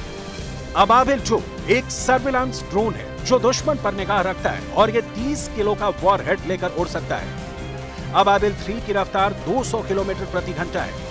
ये 100 किलोमीटर के दायरे में 5000 मीटर की ऊंचाई तक ऑपरेट करता है। ये रात में भी अपने टारगेट पर हमला कर सकता है।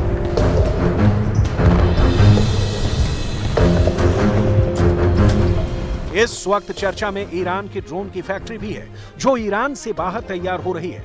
ईरान अपने ड्रोन वाले पैर पसार रहा है और उसने ताजिकिस्तान में ड्रोन का बवंडर शुरू कर दिया है। पुतिन को ईरान के ड्रोन से गजब की ताकत मिली है। अब ईरान इसी ड्रोन पावर के लिए सेंट्रल एशिया को अपना नया बेस बनाना चाहता है। मई 2022 में ही ईरान ने ताजिकिस्तान में ड्रोन फैक्ट्री खोली, जिसमें अब अबाबिल ड्रोन बनाए जा रहे हैं। अभी तक ईरान की सुरंगों में ड्रोन का गोदाम दिखाया गया है, लेकिन अब ईरान इसका उत्पादन दूसरे देशों में कर रहा है। इसके साफ़ मायने हैं कि ईरान इस वक्त दुनिया की सबसे बड़ी ड्रोन पावर या कहें कि ड्रोन लीडर बन चुका है, जिसके ड्रोन सस्ते हैं, असरदार हैं और युद्ध में खुद को साबित भी कर चुके हैं।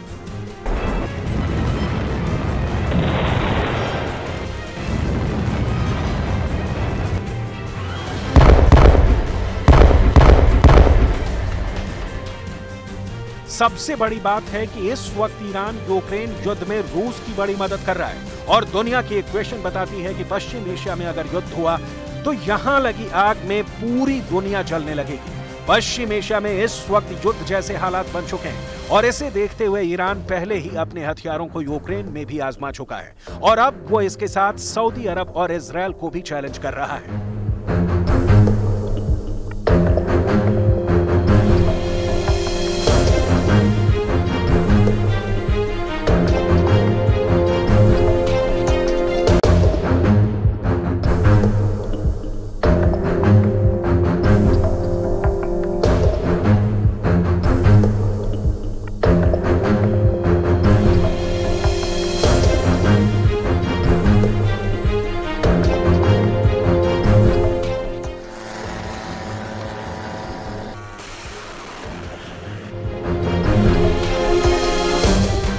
ईरान ने तीन नए ड्रोन दिखाए हैं। इस रिपोर्ट में ईरान के ड्रोन का नया धमाका है। ईरान की ड्रोन पावर, जिससे यूक्रेन पूरी तरह हिल चुका है और अमेरिका के साथ नेटो भी दहशत में है। अब उससे भी खतरनाक ड्रोन वाली ताकत का एक और ट्रेलर ईरान ने समंदर में दिखाया है। पहला ड्रोन है अबाबेल थ्री जो रनवे से टेक ऑफ़ करता है। दूसरा ड्रोन है आर एश टू जो एक स्टैंड पर रॉकेट बूस्टर की मदद से टेक ऑफ़ करता है। और तीसरा ड्रोन है अबाबेल टू, जो एक नेवल शिप से लॉन्च किया जाता है।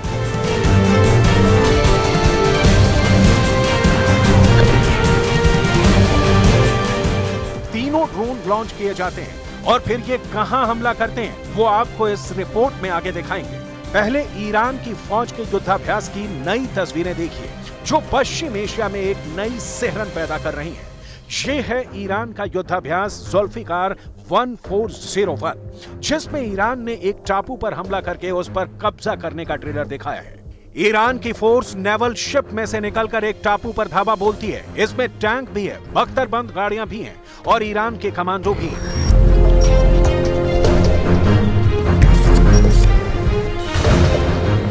यूक्रेन युद्ध के बीच इस वक्त ईरान बहुत ज़्यादा आक्रामक है। पुतिन का दोस्त ईरान अब महसूस कर रहा है कि यूक्रेन को बचाने के लिए नया मोर्चा पश्चिम एशिया में खुल सकता है, क्योंकि यहाँ अमेरिका भी है इसराइल भी है, सऊदी अरब और इन सब का प्रतिद्वंदी ईरान भी है। क्योंकि पुतिन का ध्यान भटकाने के लिए अमेरिका एक नया वॉर फ्रंट तैयार कर रहा है, ऐसी आशंका ईरान की है।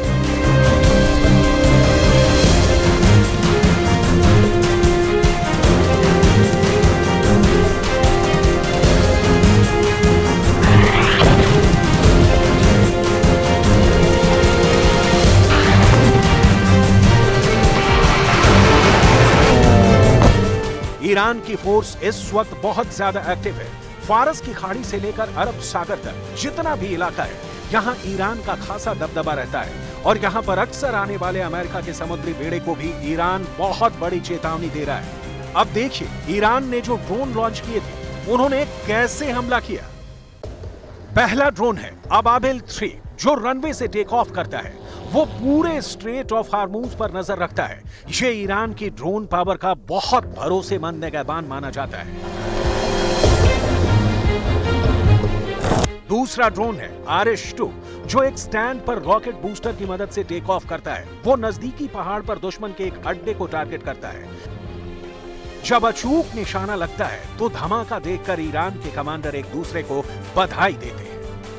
अब देखिए तीसरा ड्रोन ये है अबाबिल टू जो एक नेवल शिप से लॉन्च किया जाता है और फिर इसका टारगेट बनता है एक टापू और उसके करीब खड़ा दुश्मन का जहाज़। ये एक नेवल शिप की डमी है और इसी पर जाकर अबाबिल टू बहुत ही सटीक हमला करता है।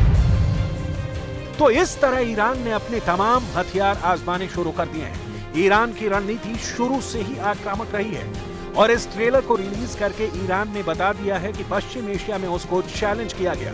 तो नतीजा बुरा होगा। तो सवाल है कि आखिर ईरान ये चैलेंज किससे कर रहा है?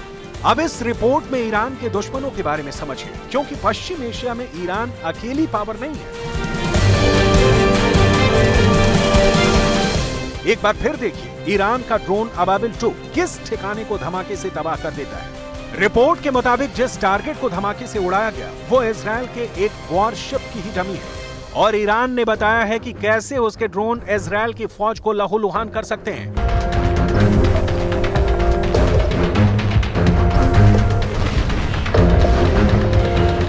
ईरान के ड्रोन बहुत खतरनाक है। ये पूरी दुनिया मान चुकी है। यूक्रेन में ईरान के शाहिद 136 ड्रोन ने बड़ा कहर मचाया है। यूक्रेन के बिजली घरों पर रूस ने ईरान के ड्रोन से ही हमले किए और उनको इतना नुकसान पहुँचाया कि 50 प्रतिशत यूक्रेन अंधेरे में डूब गया। यूक्रेन में ईरान के ड्रोन ने ऐसा कहर मचाया है कि जेलेंस्की के सिस्टम का पुर्जा पुर्जा हिल गया है। कीव और खारकीव जैसे शहरों में यूक्रेन ने ऐसे हमले नहीं देखे थे और फिर हर तरफ़ ब्लैकआउट हो गया, क्योंकि पुतिन ने जेलेंस्की की पावर ग्रिड को टारगेट किया है।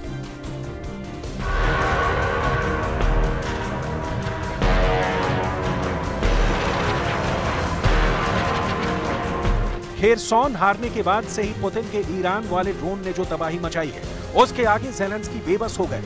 शाहिद 136 वाकई बहुत खतरनाक ड्रोन है, जो अकेले हमला नहीं करता, बल्कि एक साथ कई ड्रोन लॉन्च किए जाते हैं। छह आत्मघाती ड्रोन है, इन्हें ईरान का कामिकाजे ड्रोन कहा जाता है, जो यूक्रेन की पोजीशन को अटैक कर रहे हैं। देखा जाए तो ईरान अब सीधे तौर पर नहीं तो एक अलग मोर्चे पर अमेरिका को सबक सिखाना चाहता है, और इसीलिए उसने अपनी ड्रोन वाली ताकत रूस को दी है। अब ड्रोन से अटैक होता है तो आसमान से तबाही बरसती है। यही वजह है कि यूक्रेन के 50 परसेंट पावर स्टेशन पूरी तरह से खत्म हो गए हैं और कड़कड़ाती ठंड के बीच एक करोड़ से ज़्यादा लोगों के सामने बिजली संकट खड़ा हो गया है। ऐसे में सवाल है कि अगर पश्चिम एशिया में युद्ध हुआ तो ईरान के टारगेट पर कौन होगा? ईरान कहाँ यूक्रेन वाले हमलों को दोहरा सकता है? और अगर ऐसा हमला हुआ तो पश्चिम एशिया में कैसे बवंडर शुरू हो जाएगा? क्योंकि ईरान के दुश्मनों की फहरिस्त बहुत लंबी है, लेकिन पश्चिम एशिया के अंदर ही दो बड़े नाम हैं। अमेरिका के अलावा ईरान के दो बड़े दुश्मन हैं। पहला है सऊदी अरब और दूसरा है इसराइल ऐसा क्यों कहा जा रहा है? इसे गौर से समझिएगा। अक्टूबर 2022 में जब ईरान के शिराज शहर पर आतंकी हमला हुआ था, तब ईरान के एक जनरल ने चार देशों को चेतावनी दी थी। तब ईरान के इस खास मस्जिद पर लाल झंडा लगाया गया था। सवाल उठने लगे कि अब आगे क्या होगा? क्योंकि 2020 में ऐसे ही लाल झंडा ईरान में तब लगाया गया था, जब अमेरिका के हमले में जनरल सोलेमानी की मौत हुई थी। ऐसे में बड़े सवाल हैं कि इस बार ईरान क्या पैगाम देना चाहता है? ईरान क्या अपने दुश्मनों को युद्ध की चेतावनी दे रहा है ईरान के दुश्मन कौन कौन है इन तीन सवालों के जवाब जानने के लिए ईरान के रिवोल्यूशनरी गार्ड के कमांडर जनरल हुसैन सलामी की बात को बहुत गौर से सुनिएगा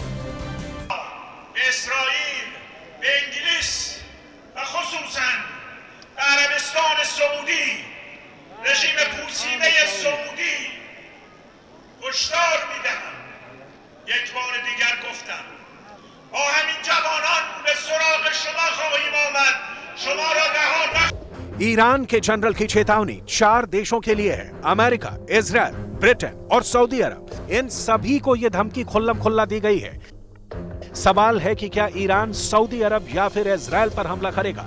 अगर ऐसा हुआ तो पश्चिम एशिया में एक बहुत बड़े युद्ध की शुरुआत हो जाएगी। सऊदी अरब ईरान के मुकाबले कैसी पावर है? क्या सऊदी अरब की फौज इस लायक है कि वो ईरान का मुकाबला कर सके? अगर ईरान ने अपने ड्रोन से सऊदी अरब पर हमला किया तो नतीजा क्या होगा? क्या युद्ध में सऊदी अरब ईरान को टक्कर दे पाएगा? ईरान की सवा पाँच लाख की फौज के सामने सऊदी अरब के पास चार लाख अस्सी हज़ार की सेना है। ईरान के पास 500 फाइटर जेट है जबकि सऊदी अरब के पास 880 फाइटर जेट है। ईरान के पास तीन सौ अट्ठानवे छोटे बड़े पानी के जहाज़ और फास्ट बोट है जबकि सऊदी अरब के पास 55 जहाजों की ही नेवी है। ईरान के पास 3,700 टैंक हैं, सऊदी अरब के पास 1,000 ही टैंक हैं, लेकिन दोनों के बीच समंदर भी है। जिसे दुनिया पर्शियन गल्फ या स्ट्रेट ऑफ़ हार्बूज के नाम से जानती है। ये वो गलियारा है जहाँ अक्सर ईरान, अमेरिका के बड़े बड़े जंगी जहाजों को भी डराने की कोशिश करता रहा है। सऊदी अरब की फौज और खासकर उसकी एयरफोर्स ईरान के मुकाबले बहुत ज़्यादा आधुनिक है। ईरान इस वक्त भी 45 वर्ष पुराने फाइटर जेट इस्तेमाल कर रहा है, जबकि सऊदी अरब के पास। लेटेस्ट जनरेशन के फाइटर जेट हैं, जो उसे लगातार अमेरिका से मिलते रहे हैं। बावजूद इसके सऊदी अरब को लेकर अमेरिका का हौसला भी डगमगाया हुआ है। ईरान अपने इलाके में एक बड़ी पावर बन चुका है, लेकिन इस बार अमेरिका ईरान के डायरेक्ट टारगेट पर होगा। कहना मुश्किल है। ना ही ब्रिटेन के अड्डों पर ईरान की नज़र टेढ़ी होगी। ईरान इस वक्त इसराइल को लेकर काफ़ी एक्टिव है, और अपने ड्रोन के ज़रिए वो इसराइल तक को रेंज में रखता है।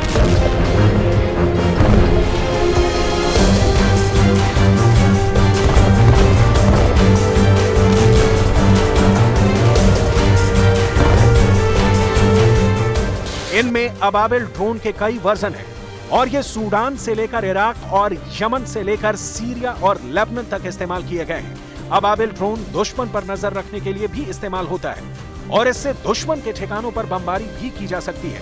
ईरान पिछले तीन दशकों से ऐसे ड्रोन तैयार कर रहा है।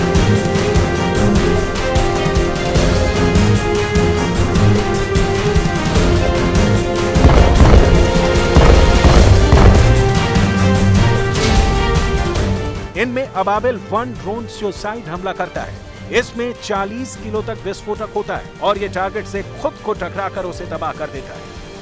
अबाबिल टू एक सर्विलांस ड्रोन है जो दुश्मन पर निगाह रखता है और ये 30 किलो का वॉर हेड लेकर उड़ सकता है। अबाबिल थ्री की रफ्तार 200 किलोमीटर प्रति घंटा है।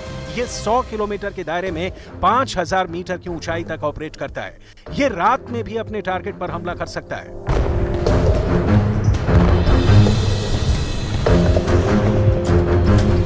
इस वक्त चर्चा में ईरान की ड्रोन की फैक्ट्री भी है, जो ईरान से बाहर तैयार हो रही है। ईरान अपने ड्रोन वाले पैर पसार रहा है और उसने ताजिकिस्तान में ड्रोन का बवंडर शुरू कर दिया है। पुतिन को ईरान के ड्रोन से गजब की ताकत मिली है। अब ईरान इसी ड्रोन पावर के लिए सेंट्रल एशिया को अपना नया बेस बनाना चाहता है। मई 2022 में ही ईरान ने ताजिकिस्तान में ड्रोन फैक्ट्री खोली, जिसमें अब अबाबिल ड्रोन बनाए जा रहे हैं। अभी तक ईरान की सुरंगों में ड्रोन का गोदाम दिखाया गया है, लेकिन अब ईरान इसका उत्पादन दूसरे देशों में कर रहा है। इसके साफ़ मायने हैं कि ईरान इस वक्त दुनिया की सबसे बड़ी ड्रोन पावर या कहें कि ड्रोन लीडर बन चुका है, जिसके ड्रोन सस्ते हैं, असरदार हैं और युद्ध में खुद को साबित भी कर चुके हैं।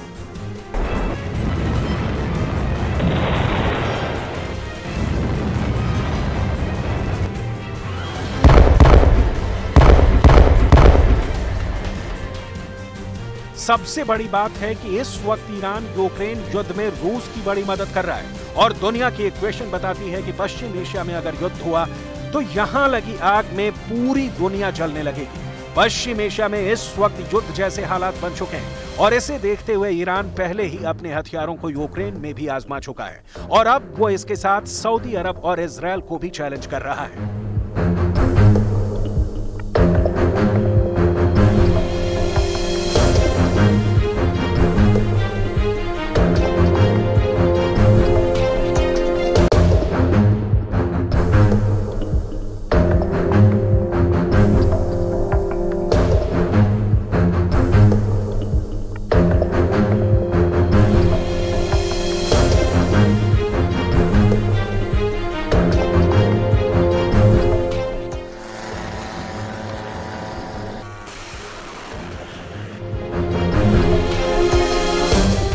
ईरान ने तीन नए ड्रोन दिखाए हैं। इस रिपोर्ट में ईरान के ड्रोन का नया धमाका है। ईरान की ड्रोन पावर, जिससे यूक्रेन पूरी तरह हिल चुका है और अमेरिका के साथ नेटो भी दहशत में है। अब उससे भी खतरनाक ड्रोन वाली ताकत का एक और ट्रेलर ईरान ने समंदर में दिखाया है। पहला ड्रोन है अबाबेल थ्री जो रनवे से टेक ऑफ़ करता है। दूसरा ड्रोन है आर एस टू जो एक स्टैंड पर रॉकेट बूस्टर की मदद से टेक ऑफ़ करता है। और तीसरा ड्रोन है अबाबेल टू, जो एक नेवल शिप से लॉन्च किया जाता है।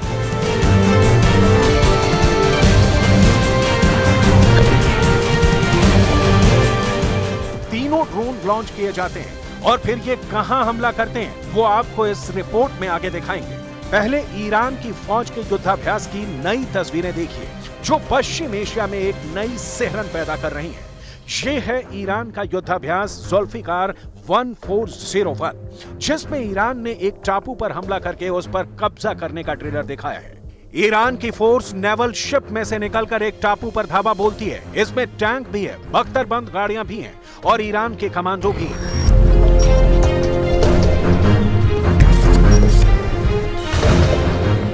यूक्रेन युद्ध के बीच इस वक्त ईरान बहुत ज़्यादा आक्रामक है। पुतिन का दोस्त ईरान अब महसूस कर रहा है कि यूक्रेन को बचाने के लिए नया मोर्चा पश्चिम एशिया में खुल सकता है, क्योंकि यहाँ अमेरिका भी है इसराइल भी है, सऊदी अरब और इन सब का प्रतिद्वंदी ईरान भी है। क्योंकि पुतिन का ध्यान भटकाने के लिए अमेरिका एक नया वॉर फ्रंट तैयार कर रहा है, ऐसी आशंका ईरान की है।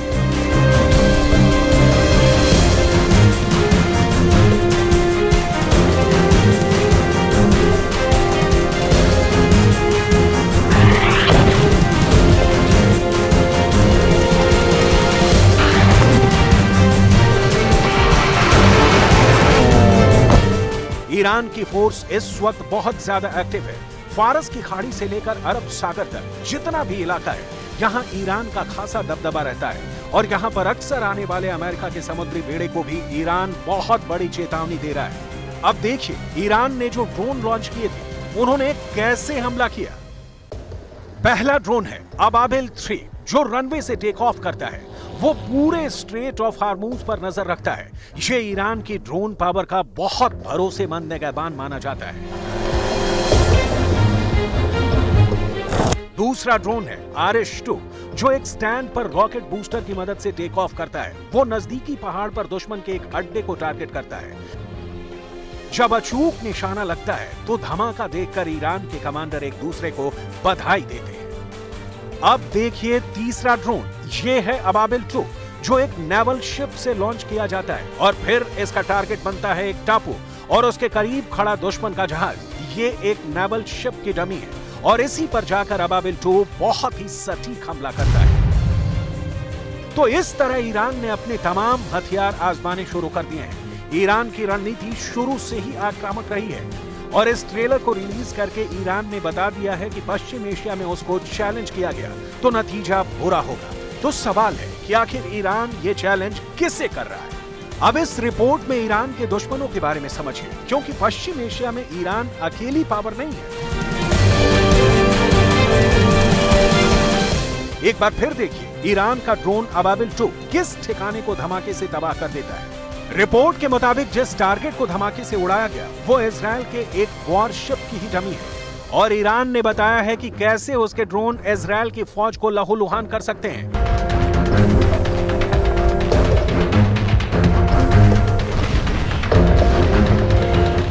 ईरान के ड्रोन बहुत खतरनाक है। ये पूरी दुनिया मान चुकी है।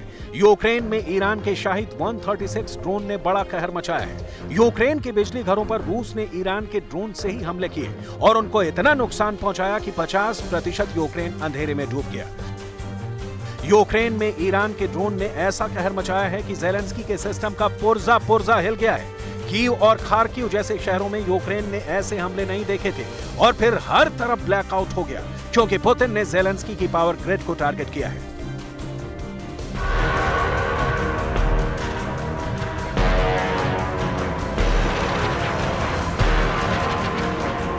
खेरसौन हारने के बाद से ही पुतिन के ईरान वाले ड्रोन ने जो तबाही मचाई है उसके आगे जेलेंस्की बेबस हो गए। शाहिद 136 वाकई बहुत खतरनाक ड्रोन है, जो अकेले हमला नहीं करता, बल्कि एक साथ कई ड्रोन लॉन्च किए जाते हैं। छह आत्मघाती ड्रोन है, इन्हें ईरान का कामी काजे ड्रोन कहा जाता है, जो यूक्रेन की पोजीशन को अटैक कर रहे हैं। देखा जाए तो ईरान अब सीधे तौर पर नहीं तो एक अलग मोर्चे पर अमेरिका को सबक सिखाना चाहता है, और इसीलिए उसने अपनी ड्रोन वाली ताकत रूस को दी है। अब ड्रोन से अटैक होता है तो आसमान से तबाही बरसती है। यही वजह है कि यूक्रेन के 50 परसेंट पावर स्टेशन पूरी तरह से खत्म हो गए और कड़कड़ाती ठंड के बीच एक करोड़ से ज़्यादा लोगों के सामने बिजली संकट खड़ा हो गया है। ऐसे में सवाल है कि अगर पश्चिम एशिया में युद्ध हुआ तो ईरान के टारगेट पर कौन होगा? ईरान कहाँ यूक्रेन वाले हमलों को दोहरा सकता है? और अगर ऐसा हमला हुआ तो पश्चिम एशिया में कैसे बवंडर शुरू हो जाएगा? क्योंकि ईरान के दुश्मनों की फहरिस्त बहुत लंबी है, लेकिन पश्चिम एशिया के अंदर ही दो बड़े नाम हैं। अमेरिका के अलावा ईरान के दो बड़े दुश्मन हैं। पहला है सऊदी अरब और दूसरा है इसराइल ऐसा क्यों कहा जा रहा है? इसे गौर से समझिएगा।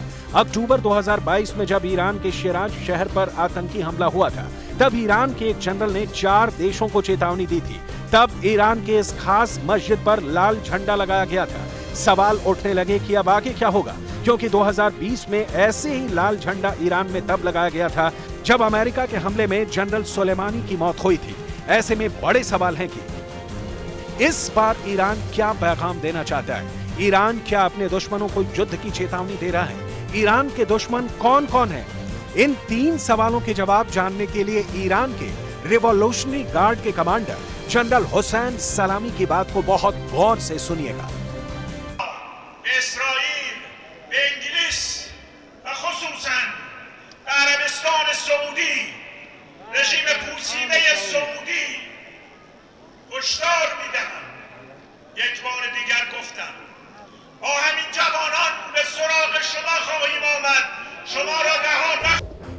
ईरान के जनरल की चेतावनी चार देशों के लिए है अमेरिका इसराइल ब्रिटेन और सऊदी अरब इन सभी को यह धमकी खुल्लम खुल्ला दी गई है सवाल है कि क्या ईरान, सऊदी अरब या फिर इसराइल पर हमला करेगा? अगर ऐसा हुआ तो पश्चिम एशिया में एक बहुत बड़े युद्ध की शुरुआत हो जाएगी। सऊदी अरब, ईरान के मुकाबले कैसी पावर है? क्या सऊदी अरब की फौज इस लायक है कि वो ईरान का मुकाबला कर सके? अगर ईरान ने अपने ड्रोन से सऊदी अरब पर हमला किया तो नतीजा क्या होगा? क्या युद्ध में सऊदी अरब ईरान को टक्कर दे पाएगा? ईरान की सवा पाँच लाख की फौज के सामने सऊदी अरब के पास चार लाख अस्सी हज़ार की सेना है। ईरान के पास 500 फाइटर जेट है जबकि सऊदी अरब के पास 880 फाइटर जेट है। ईरान के पास तीन सौ अट्ठानवे छोटे बड़े पानी के जहाज़ और फास्ट बोट है जबकि सऊदी अरब के पास 55 जहाजों की ही नेवी है। ईरान के पास 3,700 टैंक हैं, सऊदी अरब के पास 1,000 ही टैंक हैं, लेकिन दोनों के बीच समंदर भी है। जिसे दुनिया पर्शियन गल्फ या स्ट्रेट ऑफ़ हार्मूज के नाम से जानती है। ये वो गलियारा है जहाँ अक्सर ईरान, अमेरिका के बड़े बड़े जंगी जहाजों को भी डराने की कोशिश करता रहा है। सऊदी अरब की फौज और खासकर उसकी एयरफोर्स ईरान के मुकाबले बहुत ज़्यादा आधुनिक है।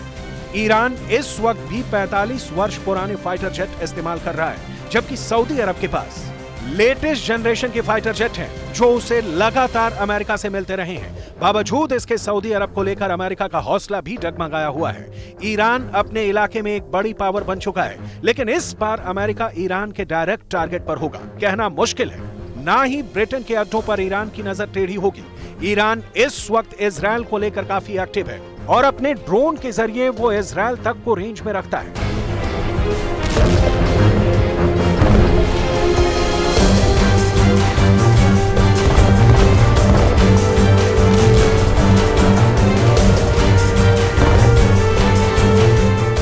इनमें अबाबिल ड्रोन के कई वर्जन हैं, और ये सूडान से लेकर इराक और यमन से लेकर सीरिया और लेबनन तक इस्तेमाल किए गए हैं। अबाबिल ड्रोन दुश्मन पर नज़र रखने के लिए भी इस्तेमाल होता है, और इससे दुश्मन के ठिकानों पर बमबारी भी की जा सकती है।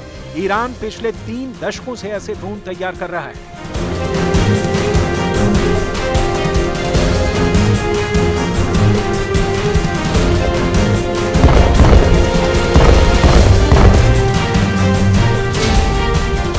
इनमें अबाबिल वन ड्रोन सुसाइड हमला करता है। इसमें 40 किलो तक विस्फोटक होता है और ये टारगेट से खुद को टकराकर उसे तबाह कर देता है।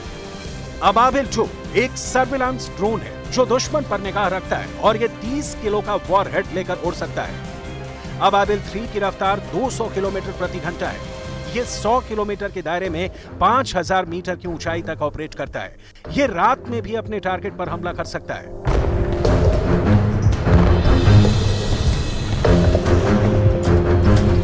इस वक्त चर्चा में ईरान की ड्रोन की फैक्ट्री भी है, जो ईरान से बाहर तैयार हो रही है। ईरान अपने ड्रोन वाले पैर पसार रहा है और उसने ताजिकिस्तान में ड्रोन का बवंडर शुरू कर दिया है। पुतिन को ईरान के ड्रोन से गजब की ताकत मिली है। अब ईरान इसी ड्रोन पावर के लिए सेंट्रल एशिया को अपना नया बेस बनाना चाहता है। मई 2022 में ही ईरान ने ताजिकिस्तान में ड्रोन फैक्ट्री खोली, जिसमें अब अबाबिल ड्रोन बनाए जा रहे हैं। अभी तक ईरान की सुरंगों में ड्रोन का गोदाम दिखाया गया है, लेकिन अब ईरान इसका उत्पादन दूसरे देशों में कर रहा है। इसके साफ़ मायने हैं कि ईरान इस वक्त दुनिया की सबसे बड़ी ड्रोन पावर या कहें कि ड्रोन लीडर बन चुका है, जिसके ड्रोन सस्ते हैं, असरदार हैं और युद्ध में खुद को साबित भी कर चुके हैं।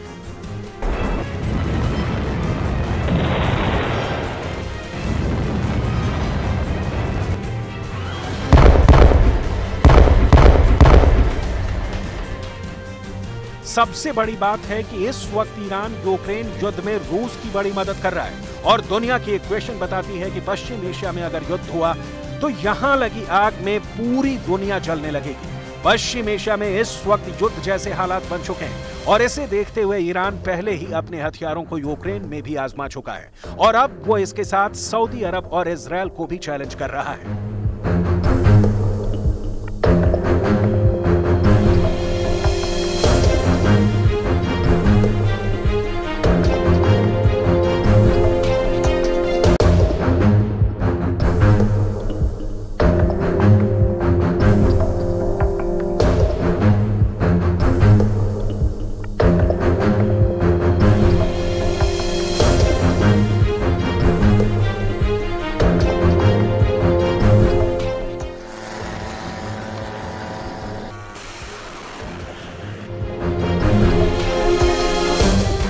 ईरान ने तीन नए ड्रोन दिखाए हैं। इस रिपोर्ट में ईरान के ड्रोन का नया धमाका है। ईरान की ड्रोन पावर, जिससे यूक्रेन पूरी तरह हिल चुका है और अमेरिका के साथ नेटो भी दहशत में है। अब उससे भी खतरनाक ड्रोन वाली ताकत का एक और ट्रेलर ईरान ने समंदर में दिखाया है। पहला ड्रोन है अबाबेल थ्री जो रनवे से टेक ऑफ़ करता है। दूसरा ड्रोन है आर एस टू जो एक स्टैंड पर रॉकेट बूस्टर की मदद से टेक ऑफ़ करता है। और तीसरा ड्रोन है अबाबेल टू, जो एक नेवल शिप से लॉन्च किया जाता है।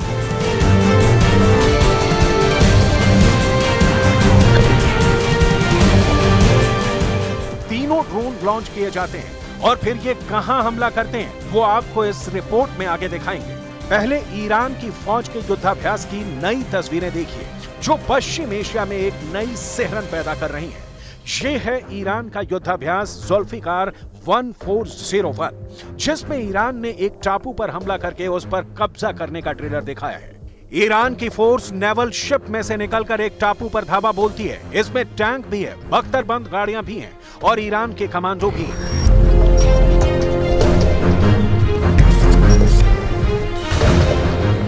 यूक्रेन युद्ध के बीच इस वक्त ईरान बहुत ज़्यादा आक्रामक है। पुतिन का दोस्त ईरान अब महसूस कर रहा है कि यूक्रेन को बचाने के लिए नया मोर्चा पश्चिम एशिया में खुल सकता है, क्योंकि यहाँ अमेरिका भी है इसराइल भी है, सऊदी अरब और इन सब का प्रतिद्वंदी ईरान भी है। क्योंकि पुतिन का ध्यान भटकाने के लिए अमेरिका एक नया वॉर फ्रंट तैयार कर रहा है, ऐसी आशंका ईरान की है।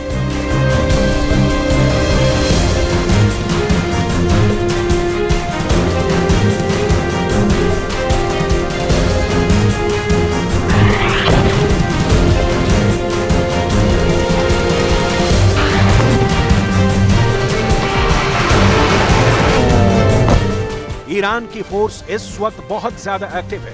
फारस की खाड़ी से लेकर अरब सागर तक जितना भी इलाका है, यहाँ ईरान का खासा दबदबा रहता है। और यहाँ पर अक्सर आने वाले अमेरिका के समुद्री बेड़े को भी ईरान बहुत बड़ी चेतावनी दे रहा है। अब देखिए, ईरान ने जो ड्रोन लॉन्च किए थे, उन्होंने कैसे हमला किया? पहला ड्रोन है अबाबिल थ्री जो रनवे से टेक ऑफ़ करता है। वो पूरे स्ट्रेट ऑफ़ हार्मूज पर नज़र रखता है। ये ईरान की ड्रोन पावर का बहुत भरोसेमंद निगहबान माना जाता है। दूसरा ड्रोन है आर एस टू जो एक स्टैंड पर रॉकेट बूस्टर की मदद से टेक ऑफ़ करता है। वो नजदीकी पहाड़ पर दुश्मन के एक अड्डे को टारगेट करता है। जब अचूक निशाना लगता है तो धमाका देखकर ईरान के कमांडर एक दूसरे को बधाई देते हैं। अब देखिए तीसरा ड्रोन ये है अबाबिल टू जो एक नेवल शिप से लॉन्च किया जाता है। और फिर इसका टारगेट बनता है एक टापू, और उसके करीब खड़ा दुश्मन का जहाज़। ये एक नेवल शिप की डमी है, और इसी पर जाकर अबाबिल टू बहुत ही सटीक हमला करता है। तो इस तरह ईरान ने अपने तमाम हथियार आजमाने शुरू कर दिए हैं। ईरान की रणनीति शुरू से ही आक्रामक रही है। और इस ट्रेलर को रिलीज़ करके ईरान ने बता दिया है कि पश्चिम एशिया में उसको चैलेंज किया गया। तो नतीजा बुरा होगा। तो सवाल है कि आखिर ईरान ये चैलेंज किससे कर रहा है?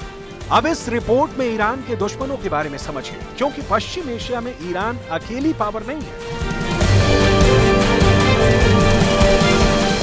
एक बार फिर देखिए, ईरान का ड्रोन अबाबिल टू किस ठिकाने को धमाके से तबाह कर देता है? रिपोर्ट के मुताबिक जिस टारगेट को धमाके से उड़ाया गया, वो इसराइल के एक वॉरशिप की ही जमी है। और ईरान ने बताया है कि कैसे उसके ड्रोन इसराइल की फौज को लहूलुहान कर सकते हैं।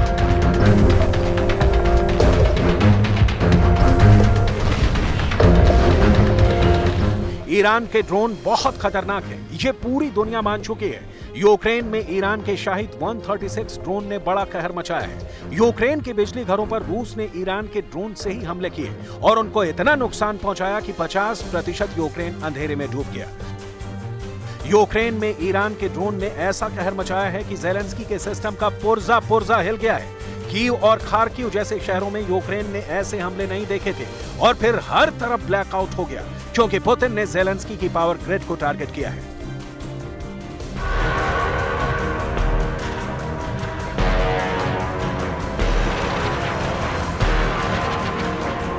खेरसौन हारने के बाद से ही पुतिन के ईरान वाले ड्रोन ने जो तबाही मचाई है, उसके आगे जेलेंस्की बेबस हो गए। शाहिद 136 वाकई बहुत खतरनाक ड्रोन है, जो अकेले हमला नहीं करता, बल्कि एक साथ कई ड्रोन लॉन्च किए जाते हैं। छह आत्मघाती ड्रोन है, इन्हें ईरान का कामिकाजे ड्रोन कहा जाता है, जो यूक्रेन की पोजीशन को अटैक कर रहे हैं। देखा जाए तो ईरान अब सीधे तौर पर नहीं तो एक अलग मोर्चे पर अमेरिका को सबक सिखाना चाहता है, और इसीलिए उसने अपनी ड्रोन वाली ताकत रूस को दी है। अब ड्रोन से अटैक होता है तो आसमान से तबाही बरसती है। यही वजह है कि यूक्रेन के 50 परसेंट पावर स्टेशन पूरी तरह से खत्म हो गए और कड़कड़ाती ठंड के बीच एक करोड़ से ज़्यादा लोगों के सामने बिजली संकट खड़ा हो गया है। ऐसे में सवाल है कि अगर पश्चिम एशिया में युद्ध हुआ तो ईरान के टारगेट पर कौन होगा?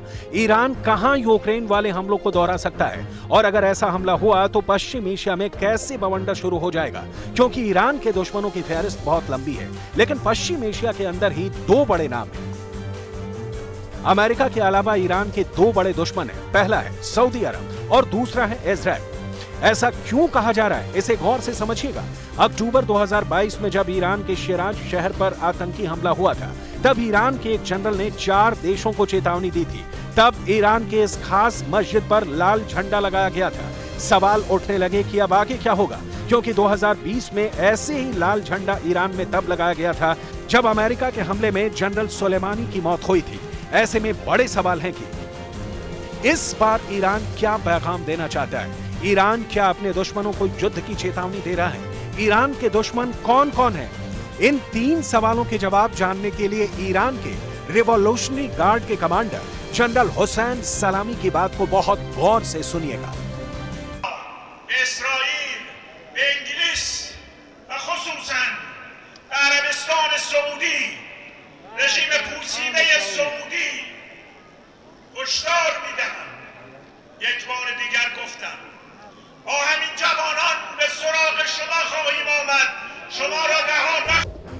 ईरान के जनरल की चेतावनी चार देशों के लिए है अमेरिका इसराइल ब्रिटेन और सऊदी अरब इन सभी को यह धमकी खुल्लम खुल्ला दी गई है सवाल है कि क्या ईरान, सऊदी अरब या फिर इसराइल पर हमला करेगा? अगर ऐसा हुआ तो पश्चिम एशिया में एक बहुत बड़े युद्ध की शुरुआत हो जाएगी। सऊदी अरब ईरान के मुकाबले कैसी पावर है? क्या सऊदी अरब की फौज इस लायक है कि वो ईरान का मुकाबला कर सके? अगर ईरान ने अपने ड्रोन से सऊदी अरब पर हमला किया तो नतीजा क्या होगा? क्या युद्ध में सऊदी अरब ईरान को टक्कर दे पाएगा? ईरान की सवा पाँच लाख की फौज के सामने सऊदी अरब के पास चार लाख अस्सी हज़ार की सेना है। ईरान के पास 500 फाइटर जेट है जबकि सऊदी अरब के पास 880 फाइटर जेट है। ईरान के पास तीन सौ अट्ठानवे छोटे बड़े पानी के जहाज़ और फास्ट बोट है जबकि सऊदी अरब के पास 55 जहाजों की ही नेवी है। ईरान के पास 3,700 टैंक हैं, सऊदी अरब के पास 1,000 ही टैंक हैं, लेकिन दोनों के बीच समंदर भी है। जिसे दुनिया पर्शियन गल्फ या स्ट्रेट ऑफ़ हार्मूज के नाम से जानती है। ये वो गलियारा है जहाँ अक्सर ईरान, अमेरिका के बड़े बड़े जंगी जहाजों को भी डराने की कोशिश करता रहा है। सऊदी अरब की फौज और खासकर उसकी एयरफोर्स ईरान के मुकाबले बहुत ज़्यादा आधुनिक है। ईरान इस वक्त भी 45 वर्ष पुराने फाइटर जेट इस्तेमाल कर रहा है, जबकि सऊदी अरब के पास लेटेस्ट जनरेशन के फाइटर जेट हैं, जो उसे लगातार अमेरिका से मिलते रहे हैं। बावजूद इसके सऊदी अरब को लेकर अमेरिका का हौसला भी डगमगाया हुआ है। ईरान अपने इलाके में एक बड़ी पावर बन चुका है, लेकिन इस बार अमेरिका ईरान के डायरेक्ट टारगेट पर होगा। कहना मुश्किल है। ना ही ब्रिटेन के अड्डों पर ईरान की नज़र टेढ़ी होगी। ईरान इस वक्त इसराइल को लेकर काफ़ी एक्टिव है, और अपने ड्रोन के ज़रिए वो इसराइल तक को रेंज में रखता है।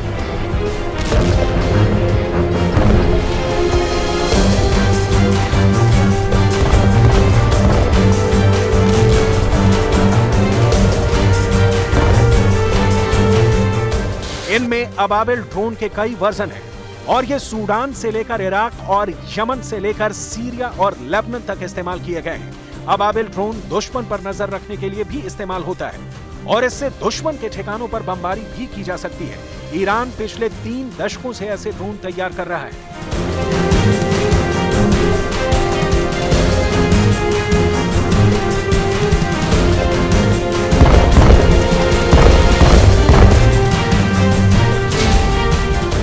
इनमें अबाबिल वन ड्रोन सुसाइड हमला करता है। इसमें 40 किलो तक विस्फोटक होता है और ये टारगेट से खुद को टकराकर उसे तबाह कर देता है। अबाबिल जो एक सर्विलांस ड्रोन है जो दुश्मन पर निगाह रखता है और ये 30 किलो का वॉर हेड लेकर उड़ सकता है। अबाबिल थ्री की रफ्तार 200 किलोमीटर प्रति घंटा है। ये 100 किलोमीटर के दायरे में 5000 मीटर की ऊंचाई तक ऑपरेट करता है। ये रात में भी अपने टारगेट पर हमला कर सकता है।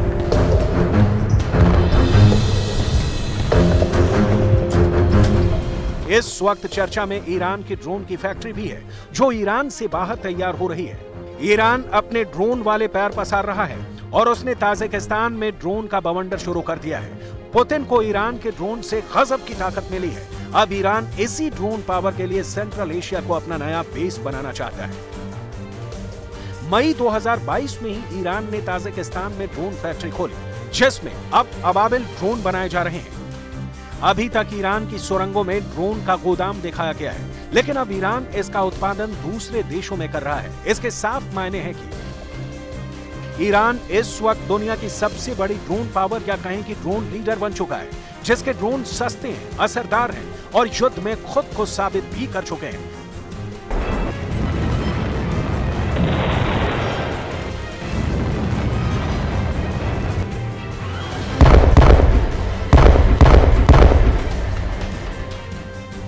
सबसे बड़ी बात है कि इस वक्त ईरान यूक्रेन युद्ध में रूस की बड़ी मदद कर रहा है। और दुनिया की इक्वेशन बताती है कि पश्चिम एशिया में अगर युद्ध हुआ तो यहाँ लगी आग में पूरी दुनिया जलने लगेगी। पश्चिम एशिया में इस वक्त युद्ध जैसे हालात बन चुके हैं। और इसे देखते हुए ईरान पहले ही अपने हथियारों को यूक्रेन में भी आजमा चुका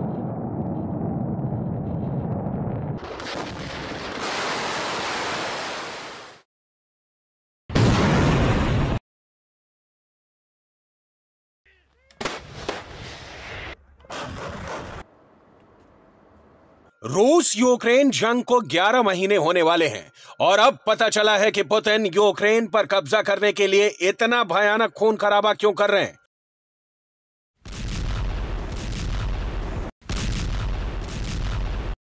अब पता चला है कि पुतिन जंग के 315 दिन बाद क्यों पूरे यूक्रेन की फौज का सफाया करने पर उतारू हैं।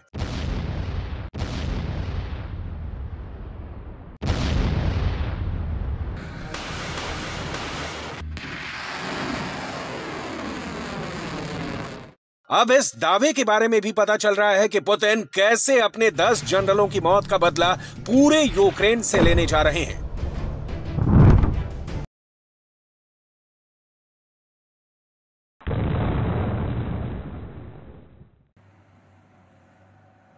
दुनिया के कई एक्सपर्ट्स ये क्यों दावा कर रहे हैं कि पुतिन रूसी तानाशाह स्टालिन की तरह अब पूरे यूक्रेन में भयानक नरसंहार करवा रहे हैं।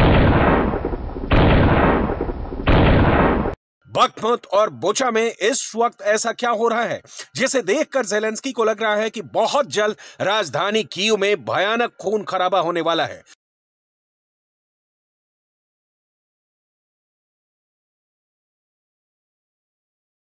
क्या रूस जनवरी से लेकर मार्च तक यूक्रेन के पंद्रह शहरों पर पूरी तरह से कब्जा कर लेगा?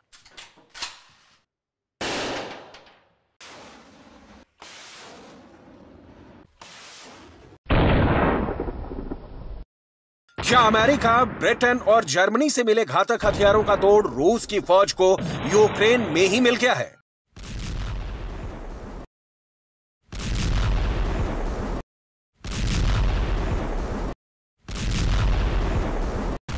कई एक्सपर्ट्स ये दावा अब क्यों करने लगे हैं कि पुतिन के खूनी इरादों को भांपने में नेटो और अमेरिका से बहुत बड़ी गलती हो गई है, जिसकी कीमत यूक्रेन की तबाही में दिख रही है।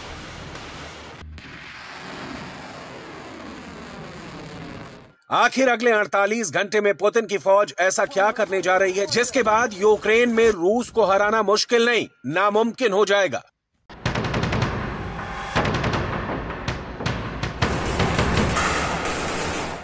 लगता है सत्तर साल के रूसी राष्ट्रपति पुतिन ने सोना छोड़ दिया है, क्योंकि 48 घंटे से पुतिन लगातार एक्टिव हैं।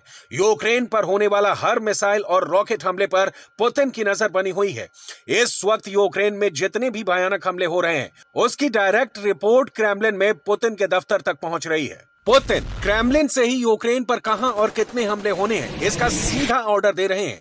जानकारों के मुताबिक पुतिन ने अच्छी तरह से गुणा भाग कर लिया है कि अगर जनवरी से लेकर मार्च तक उन्होंने यूक्रेन को संभलने का मौका नहीं दिया तो जेलेंस्की के यूक्रेन को हर हाल में रूस के सामने घुटने टेकने होंगे।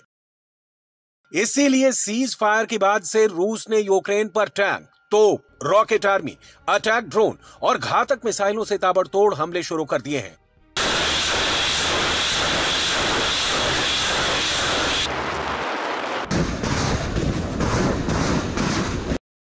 यूक्रेन के दोनेस्क प्रांत के गवर्नर पावलो किरिलेंको के मुताबिक रूस की फौज ने इलाके में नौ से ज़्यादा मिसाइल हमले किए हैं क्रमाटोरस जेपोरेसिया शहर में भयानक धमाकों की आवाज़ें सुनाई दी हैं। हम आपको बता दें कि दोनेस्क प्रांत के मकियुका में ही यूक्रेन ने अमेरिका के हाइमस से छह रॉकेट दागकर नवासी रूसी सैनिकों को मार डाला था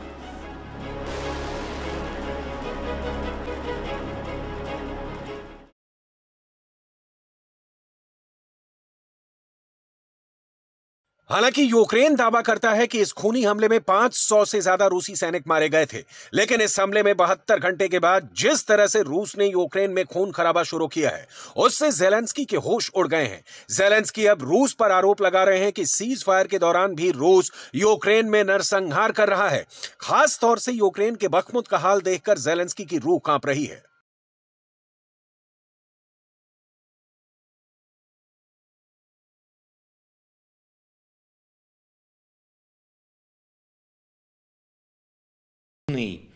Підсумок в роботі щодо багатьох громадян Росії та пов'язаних з нею осіб, які виправдовують війну, допомагають її вести чи оспівують державу терорист. Сьогодні є перший такий санкційний список.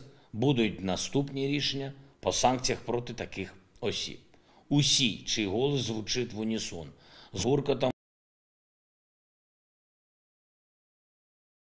कुछ रिपोर्ट्स के मुताबिक रूस की तीन लाख फौज अगले 48 घंटे में यूक्रेन पर धावा बोलने जा रही है। ये राजधानी कीव और दक्षिणी यूक्रेन के उन हिस्सों पर हमला करने जा रहे हैं, जहाँ रूस के खिलाफ सबसे ज़्यादा नेटो और पश्चिमी देशों के हथियार यूक्रेन इस्तेमाल कर रहा है। डिफेंस एक्सपर्ट्स के मुताबिक, यूक्रेन ने रूस के सैनिकों को जिस बड़े पैमाने पर मारा है, उससे पुतिन बुरी तरह से बौखला गए हैं। ओपन सोर्स की रिपोर्ट के मुताबिक 24 फरवरी 2022 से, जब से रूस और यूक्रेन के बीच जंग शुरू हुई है तब से यूक्रेन ने रूस सेना के अधिकारियों की टारगेट किलिंग की है। यूक्रेन की इस टारगेट किलिंग के बाद से रूस को बहुत बड़ी संख्या में अपने अधिकारियों की जान से हाथ धोना पड़ा है। यूक्रेन के टॉप कमांडर्स की तरफ़ से यहाँ तक दावा किया जा रहा है कि यूक्रेन पर हमला करने में शामिल रूसी सेना के आधे से ज़्यादा कमांडर यूक्रेन में मारे जा चुके हैं। हम आपको ओपन सोर्स के एक आंकड़े को दिखाते हैं, जो दावा करता है कि 10 महीने की जंग में रूस की फौज को भयानक नुकसान हुआ है।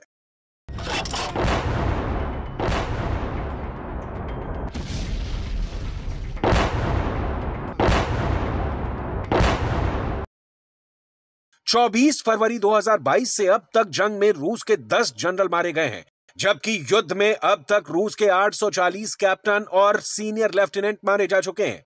कुल मिलाकर 10 महीने से ज़्यादा की जंग में रूस के 1600 अफसरों को यूक्रेनी सेना ने मार गिराया है। जबकि अगर रूस के कुल सैनिकों की मौत की बात करें तो यह आंकड़ा एक लाख दस हज़ार को पार कर गया है।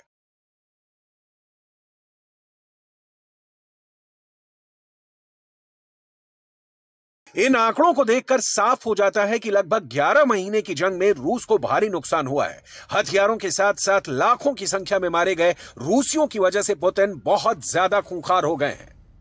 और इसीलिए पुतिन ने प्राइवेट आर्मी वैगनर, कादिरव की चेचन सेना को बकमुत बोचा जैसे शहरों में उतार दिया है, जहाँ रूसी सेना के साथ मिलकर इस वक्त भयंकर नरसंहार हो रहा है।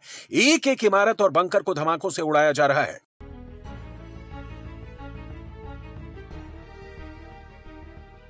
दो दिन के सीज फायर को भी पुतिन ने अपनी जंगी चाल में बदल दिया है रूस यूक्रेन पर आरोप लगा रहा है कि उसने सीज फायर के दौरान रूस पर हमला किया जिसकी वजह से रूस ने यूक्रेन पर जवाबी कार्रवाई की है रूस का दावा है कि यूक्रेन की फौज की तरफ से सीज फायर के दौरान इकतीस बार तोपखाने से भयंकर हमले किए गए हैं В Запорожской области вооруженные силы Украины открывали артиллерийский огонь 31 раз. На Херсонском и Криворожском направлениях противник произвел 17 артиллерийских обстрелов. Ответным огнем российских войск все позиции вооруженных сил Украины, с которых осуществлялись обстрелы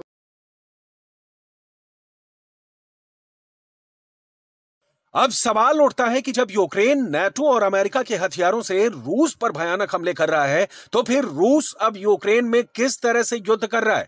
डिफेंस एक्सपर्ट्स के मुताबिक, अब पुतिन ने रूसी तानाशाह रहे स्टालिन की तरह यूक्रेन के शहरों और गाँवों का सफाया शुरू कर दिया है। पहला है, यूक्रेन सैनिकों को देखते ही जान से मार दो। दूसरा है, जो यूक्रेनी सैनिक रूसी फौज के मुखबिर लगे, उन्हें तुरंत गोला मार दो। तीसरा है हर उस इमारत को पूरी तरह नस्तो नाबूद कर दो जिसका फायदा यूक्रेन की फौज उठा सकती है इसीलिए अब पुतिन ने स्टालिन की तरह टारगेट किलिंग यूक्रेन में शुरू कर दी है वैगनर ग्रुप के लड़ाके बड़े पैमाने पर नरसंहार कर रहे हैं Так, если я таке пережив, а що ж ще далі делать? Я ж нікуди не уїжджав. І під автоматом був. і- Вони ж впред мене взяли, сука. Ну, ну, подвалі жила, ну. Ну, що русські, вони освободителі. Ми говоримо, прийшли освобождати. Кого не освобождати? Вони тупорили.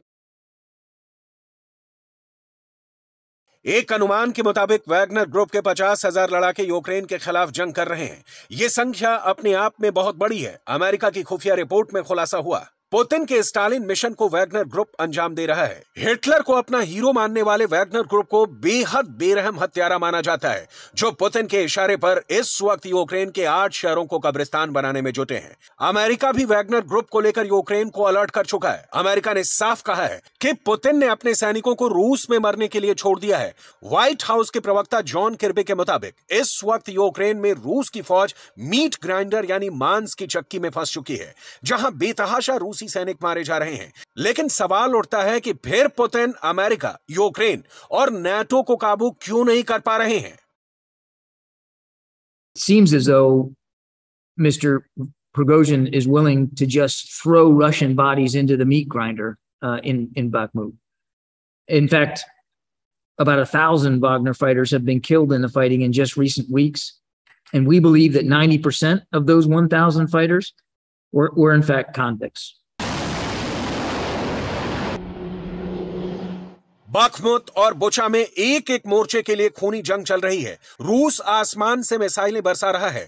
रूसी तोपखाने और रॉकेट आर्मी यूक्रेन पर यमराज बनकर टूट पड़ी है। लेकिन हैरानी की बात तो यह है कि यूक्रेन प्रोपेगेंडा कर रहा है। कि रूस की फौज मीट की चक्की में पिस रही है, जबकि हकीकत में यूक्रेन की फौज बुरी तरह से मारी जा रही है। आंकड़ों के मुताबिक एक लाख से ज़्यादा यूक्रेनी सैनिकों को रूसी फौज ने मार डाला है। इस वक्त रूसी फौज का पूरा फोकस खार्किव और दक्षिण खेरसोन पर है, जहाँ यूक्रेन के भीषण हमलों की वजह से रूस की फौज ने अपनी रणनीति बदल दी है। ये वही इलाका है, जहाँ यूक्रेन की फौज रूसी फौज पर ताबड़तोड़ हमले कर रही है। В Краснолиманском направлении вооруженными силами Украины произведено 11 минометных обстрелов российских позиций. На Солидарском, Авдеевском и Маринском направлениях противник 51 раз применил артиллерию по подразделениям российских войск. По жилым кварталам города Донецк украинскими войсками выпущено более 60 снарядов крупного калибра. А по населенному пункту Макеевка Донецкой Народной Республики нанесен удар अमेरिकी HIMARS multiple launch rocket system से भले ही यूक्रेन ने रूसी फौजियों को भारी संख्या में मार डाला हो, लेकिन पुतिन ने अब फौज को साफ़ आदेश दे दिया है कि या तो मरो या फिर जीतो। यही वजह है कि यूक्रेन के सशस्त्र बलों के कमांडर जनरल वालेरी जालूजनी ने दावा किया है कि रूस के लिए मांस की चक्की बन चुका यूक्रेन का बखमुत इस वक्त खून का मैदान बन चुका है। जनरल वालेरी जालूजनी दावा कर रहे हैं कि रूसी फौज जंग करते करते इतनी क्रूर हो चुकी है कि अपने साथी सैनिकों की लाशों को रौंदते हुए आगे बढ़ रही है। भयानक खून खराबा देखकर जेलेंस्की को अब ये लगने लगा है कि अगर पुतिन की तीन लाख नई फौज पूरी तरह से जंग में उतर गई तो फिर बखमुत जैसा हाल पूरे यूक्रेन का हो जाएगा। पुतिन अपने 10 जनरलों की मौत और 840 से ज़्यादा कैप्टन और सीनियर लेफ्टिनेंट के मारे जाने से बौखला चुके हैं।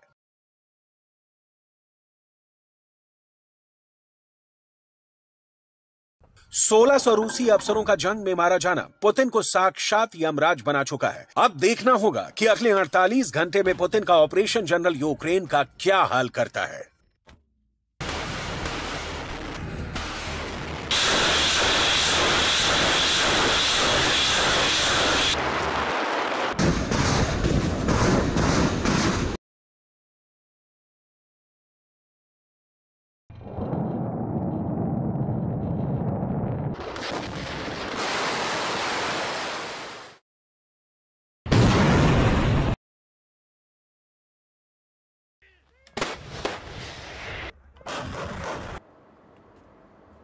रूस यूक्रेन जंग को 11 महीने होने वाले हैं, और अब पता चला है कि पुतिन यूक्रेन पर कब्जा करने के लिए इतना भयानक खून खराबा क्यों कर रहे हैं।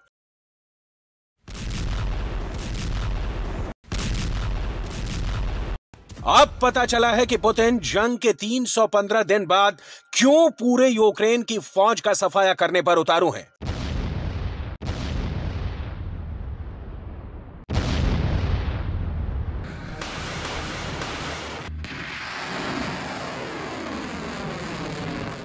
अब इस दावे के बारे में भी पता चल रहा है कि पुतिन कैसे अपने 10 जनरलों की मौत का बदला पूरे यूक्रेन से लेने जा रहे हैं।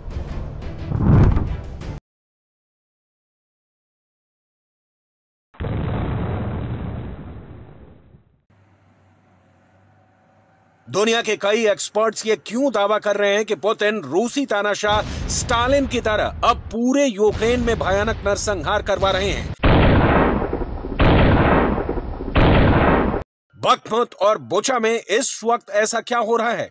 जिसे देखकर जेलेंस्की को लग रहा है कि बहुत जल्द राजधानी कीव में भयानक खून खराबा होने वाला है।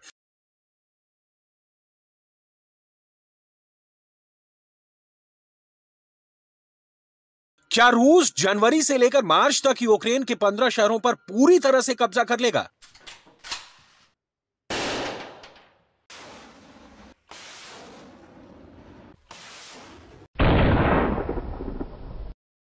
क्या अमेरिका, ब्रिटेन और जर्मनी से मिले घातक हथियारों का तोड़ रूस की फौज को यूक्रेन में ही मिल गया है।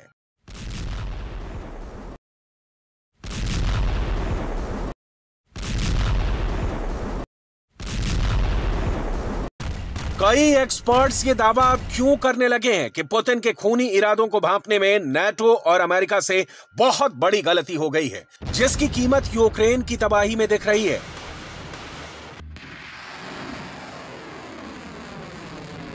आखिर अगले 48 घंटे में पुतिन की फौज ऐसा क्या करने जा रही है, जिसके बाद यूक्रेन में रूस को हराना मुश्किल नहीं, नामुमकिन हो जाएगा।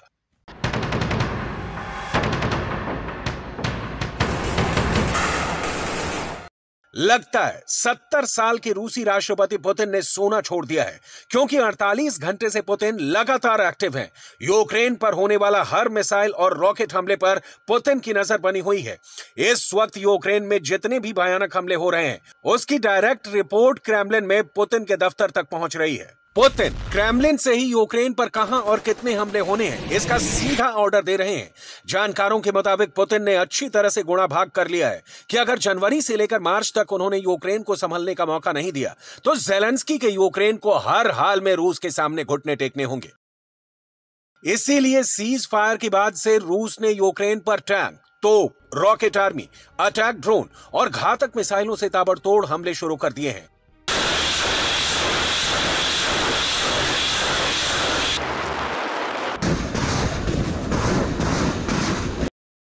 यूक्रेन के दोनेस्क प्रांत के गवर्नर पावलो किरिलेंको के मुताबिक रूस की फौज ने इलाके में नौ से ज़्यादा मिसाइल हमले किए हैं क्रमाटोरस जेपोरेसिया शहर में भयानक धमाकों की आवाज़ें सुनाई दी हैं। हम आपको बता दें कि दोनेस्क प्रांत के मकियुका में ही यूक्रेन ने अमेरिका के हाइमस से छह रॉकेट दागकर नवासी रूसी सैनिकों को मार डाला था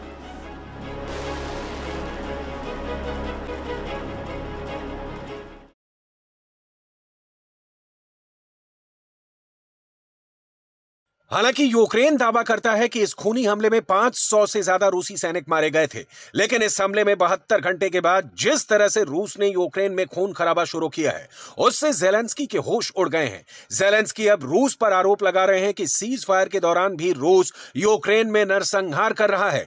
खासतौर से यूक्रेन के बखमुत का हाल देखकर जेलेंस्की की रूह काँप रही है।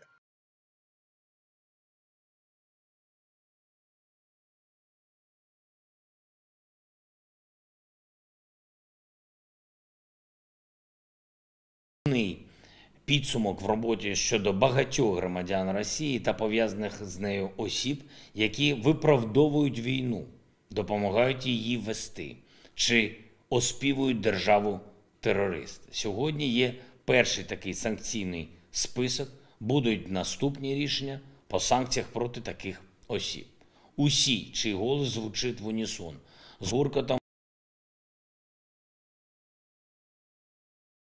कुछ रिपोर्ट्स के मुताबिक रूस की तीन लाख फौज अगले 48 घंटे में यूक्रेन पर धावा बोलने जा रही है।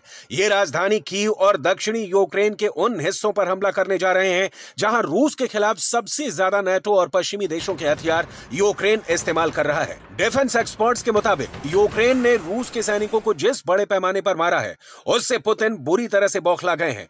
ओपन सोर्स की रिपोर्ट के मुताबिक 24 फरवरी 2022 से, जब से रूस और यूक्रेन के बीच जंग शुरू हुई है तब से यूक्रेन ने रूस सेना के अधिकारियों की टारगेट किलिंग की है। यूक्रेन की इस टारगेट किलिंग के बाद से रूस को बहुत बड़ी संख्या में अपने अधिकारियों की जान से हाथ धोना पड़ा है। यूक्रेन के टॉप कमांडर्स की तरफ़ से यहाँ तक दावा किया जा रहा है कि यूक्रेन पर हमला करने में शामिल रूसी सेना के आधे से ज़्यादा कमांडर यूक्रेन में मारे जा चुके हैं। हम आपको ओपन सोर्स के एक आंकड़े को दिखाते हैं, जो दावा करता है कि 10 महीने की जंग में रूस की फौज को भयानक नुकसान हुआ है।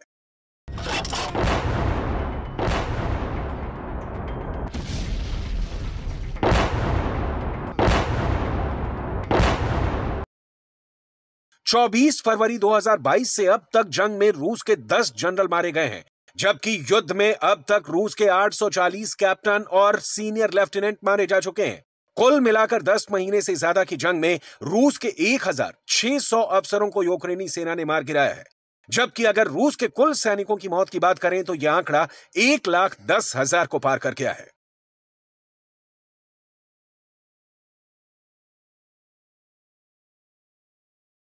इन आंकड़ों को देखकर साफ़ हो जाता है कि लगभग 11 महीने की जंग में रूस को भारी नुकसान हुआ है। हथियारों के साथ साथ लाखों की संख्या में मारे गए रूसियों की वजह से पुतिन बहुत ज़्यादा खूंखार हो गए हैं। और इसीलिए पुतिन ने प्राइवेट आर्मी वैगनर, कादिरव की चेचन सेना को बकमुत बोचा जैसे शहरों में उतार दिया है, जहाँ रूसी सेना के साथ मिलकर इस वक्त भयंकर नरसंहार हो रहा है। एक एक इमारत और बंकर को धमाकों से उड़ाया जा रहा है।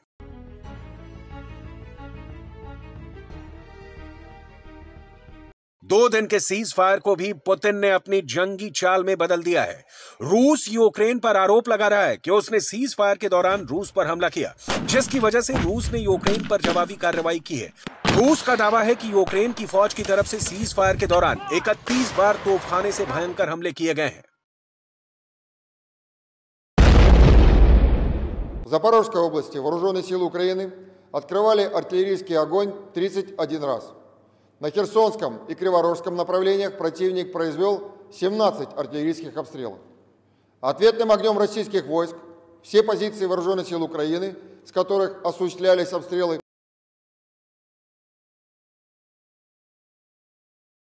अब सवाल उठता है कि जब यूक्रेन नेटो और अमेरिका के हथियारों से रूस पर भयानक हमले कर रहा है तो फिर रूस अब यूक्रेन में किस तरह से युद्ध कर रहा है? डिफेंस एक्सपर्ट्स के मुताबिक, अब पुतिन ने रूसी तानाशाह रहे स्टालिन की तरह यूक्रेन के शहरों और गाँवों का सफाया शुरू कर दिया है। पहला है, यूक्रेन सैनिकों को देखते ही जान से मार दो। दूसरा है, जो यूक्रेनी सैनिक रूसी फौज के मुखबिर लगे, उन्हें तुरंत गोला मार दो। तीसरा है हर उस इमारत को पूरी तरह नस्तो नाबूद कर दो जिसका फायदा यूक्रेन की फौज उठा सकती है इसीलिए अब पुतिन ने स्टालिन की तरह टारगेट किलिंग यूक्रेन में शुरू कर दी है वैगनर ग्रुप के लड़ाके बड़े पैमाने पर नरसंहार कर रहे हैं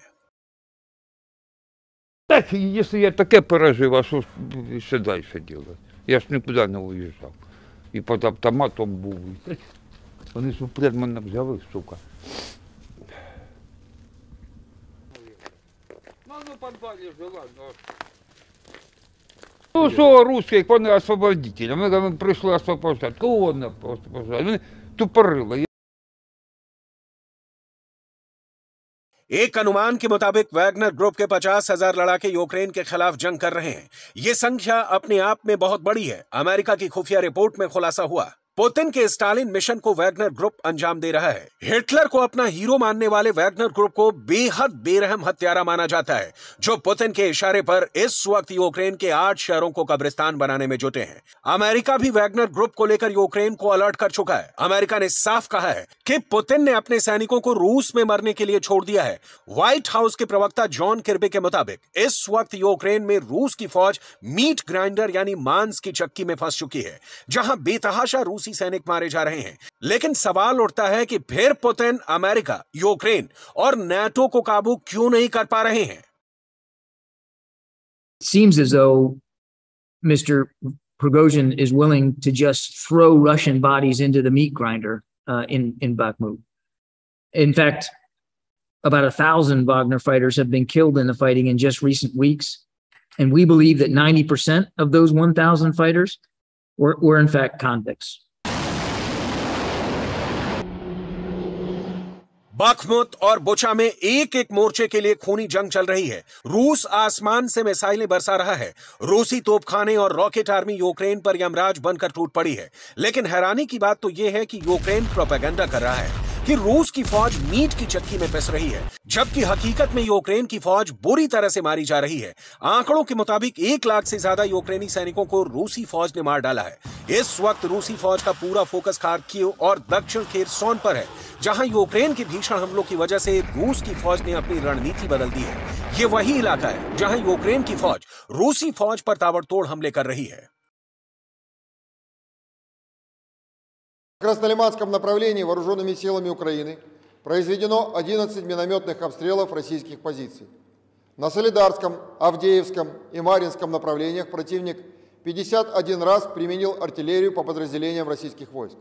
По жилым кварталам города Донецк украинскими войсками выпущено более 60 снарядов крупного калибра. А по населенному пункту Макеевка Донецкой Народной Республики нанесен удар अमेरिकी HIMARS multiple launch rocket system से भले ही यूक्रेन ने रूसी फौजियों को भारी संख्या में मार डाला हो, लेकिन पुतिन ने अब फौज को साफ़ आदेश दे दिया है कि या तो मरो या फिर जीतो। यही वजह है कि यूक्रेन के सशस्त्र बलों के कमांडर जनरल वालेरी जालूजनी ने दावा किया है कि रूस के लिए मांस की चक्की बन चुका यूक्रेन का बखमुत इस वक्त खून का मैदान बन चुका है। जनरल वालेरी जालूजनी दावा कर रहे हैं कि रूसी फौज जंग करते करते इतनी क्रूर हो चुकी है कि अपने साथी सैनिकों की लाशों को रौंदते हुए आगे बढ़ रही है। भयानक खून खराबा देखकर जेलेंस्की को अब ये लगने लगा है कि अगर पुतिन की तीन लाख नई फौज पूरी तरह से जंग में उतर गई तो फिर बखमुत जैसा हाल पूरे यूक्रेन का हो जाएगा। पुतिन अपने 10 जनरलों की मौत और 840 से ज़्यादा कैप्टन और सीनियर लेफ्टिनेंट के मारे जाने से बौखला चुके हैं।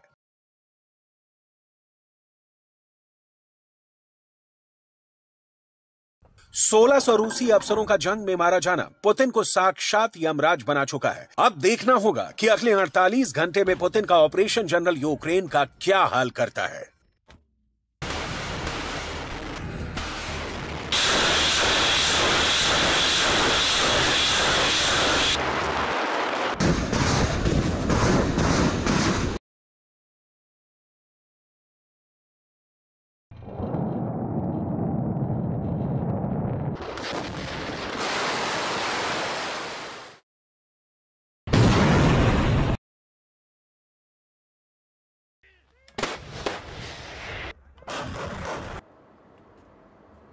रूस यूक्रेन जंग को 11 महीने होने वाले हैं, और अब पता चला है कि पुतिन यूक्रेन पर कब्जा करने के लिए इतना भयानक खून खराबा क्यों कर रहे हैं।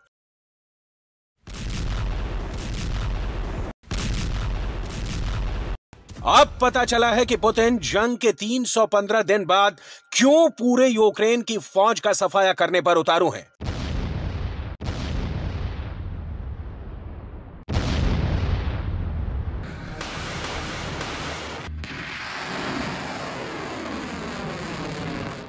अब इस दावे के बारे में भी पता चल रहा है कि पुतिन कैसे अपने 10 जनरलों की मौत का बदला पूरे यूक्रेन से लेने जा रहे हैं।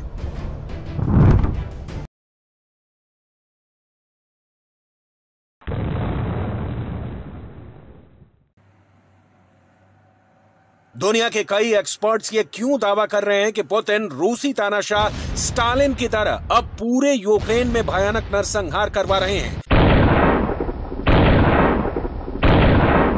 बखमुत और बोचा में इस वक्त ऐसा क्या हो रहा है? जिसे देखकर जेलेंस्की को लग रहा है कि बहुत जल्द राजधानी कीव में भयानक खून खराबा होने वाला है।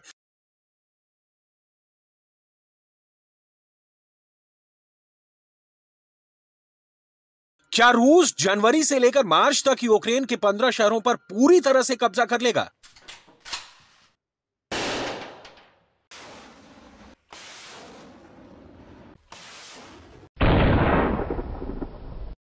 क्या अमेरिका, ब्रिटेन और जर्मनी से मिले घातक हथियारों का तोड़ रूस की फौज को यूक्रेन में ही मिल गया है?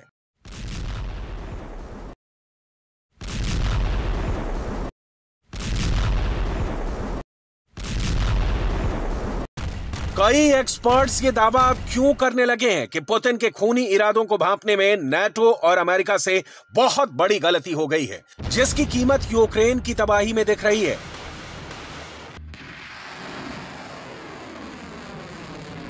आखिर अगले 48 घंटे में पुतिन की फौज ऐसा क्या करने जा रही है, जिसके बाद यूक्रेन में रूस को हराना मुश्किल नहीं, नामुमकिन हो जाएगा।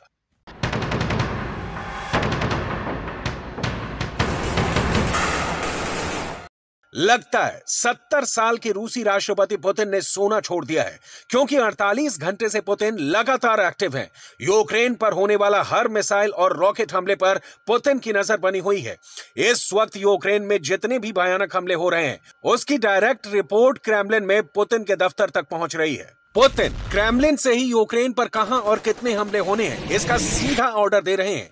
जानकारों के मुताबिक पुतिन ने अच्छी तरह से गुणा भाग कर लिया है कि अगर जनवरी से लेकर मार्च तक उन्होंने यूक्रेन को संभलने का मौका नहीं दिया तो जेलेंस्की के यूक्रेन को हर हाल में रूस के सामने घुटने टेकने होंगे। इसीलिए सीज फायर के बाद से रूस ने यूक्रेन पर टैंक तोप रॉकेट आर्मी अटैक ड्रोन और घातक मिसाइलों से ताबड़तोड़ हमले शुरू कर दिए हैं।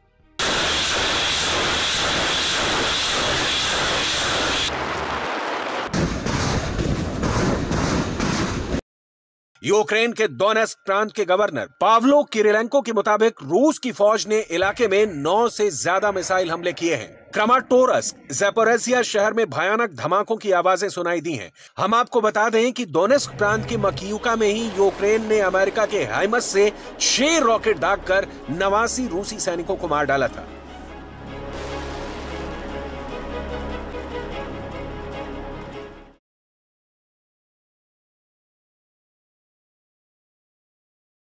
हालाँकि यूक्रेन दावा करता है कि इस खूनी हमले में 500 से ज़्यादा रूसी सैनिक मारे गए थे, लेकिन इस हमले में बहत्तर घंटे के बाद जिस तरह से रूस ने यूक्रेन में खून खराबा शुरू किया है, उससे जेलेंस्की के होश उड़ गए हैं। जेलेंस्की अब रूस पर आरोप लगा रहे हैं कि सीज फायर के दौरान भी रूस यूक्रेन में नरसंहार कर रहा है।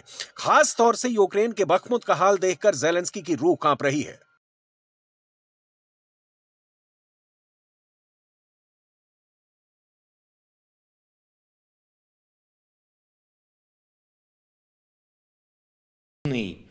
Підсумок в роботі щодо багатьох громадян Росії та пов'язаних з нею осіб, які виправдовують війну, допомагають її вести чи оспівують державу терорист. Сьогодні є перший такий санкційний список. Будуть наступні рішення по санкціях проти таких осіб. Усі, чий голос звучить в унісон, з гуркотом कुछ रिपोर्ट्स के मुताबिक रूस की तीन लाख फौज अगले 48 घंटे में यूक्रेन पर धावा बोलने जा रही है। ये राजधानी कीव और दक्षिणी यूक्रेन के उन हिस्सों पर हमला करने जा रहे हैं, जहाँ रूस के खिलाफ सबसे ज़्यादा नेटो और पश्चिमी देशों के हथियार यूक्रेन इस्तेमाल कर रहा है। डिफेंस एक्सपर्ट्स के मुताबिक, यूक्रेन ने रूस के सैनिकों को जिस बड़े पैमाने पर मारा है, उससे पुतिन बुरी तरह से बौखला गए हैं। ओपन सोर्स की रिपोर्ट के मुताबिक 24 फरवरी 2022 से, जब से रूस और यूक्रेन के बीच जंग शुरू हुई है तब से यूक्रेन ने रूस सेना के अधिकारियों की टारगेट किलिंग की है। यूक्रेन की इस टारगेट किलिंग के बाद से रूस को बहुत बड़ी संख्या में अपने अधिकारियों की जान से हाथ धोना पड़ा है। यूक्रेन के टॉप कमांडर्स की तरफ़ से यहाँ तक दावा किया जा रहा है कि यूक्रेन पर हमला करने में शामिल रूसी सेना के आधे से ज़्यादा कमांडर यूक्रेन में मारे जा चुके हैं। हम आपको ओपन सोर्स के एक आंकड़े को दिखाते हैं, जो दावा करता है कि 10 महीने की जंग में रूस की फौज को भयानक नुकसान हुआ है।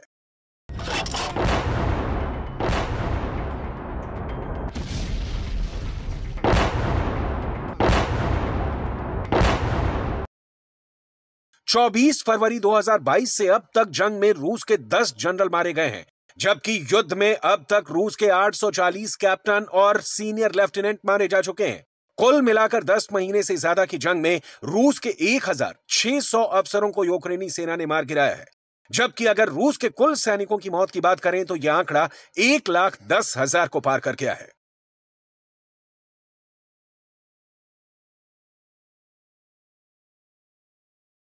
इन आंकड़ों को देखकर साफ़ हो जाता है कि लगभग 11 महीने की जंग में रूस को भारी नुकसान हुआ है। हथियारों के साथ साथ लाखों की संख्या में मारे गए रूसियों की वजह से पुतिन बहुत ज़्यादा खूंखार हो गए हैं।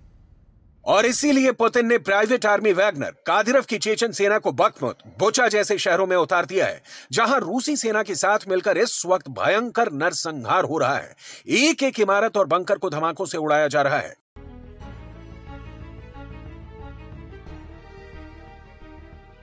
दो दिन के सीज फायर को भी पुतिन ने अपनी जंगी चाल में बदल दिया है रूस यूक्रेन पर आरोप लगा रहा है कि उसने सीज फायर के दौरान रूस पर हमला किया जिसकी वजह से रूस ने यूक्रेन पर जवाबी कार्रवाई की है रूस का दावा है कि यूक्रेन की फौज की तरफ से सीज फायर के दौरान 31 बार तोपखाने से भयंकर हमले किए गए हैं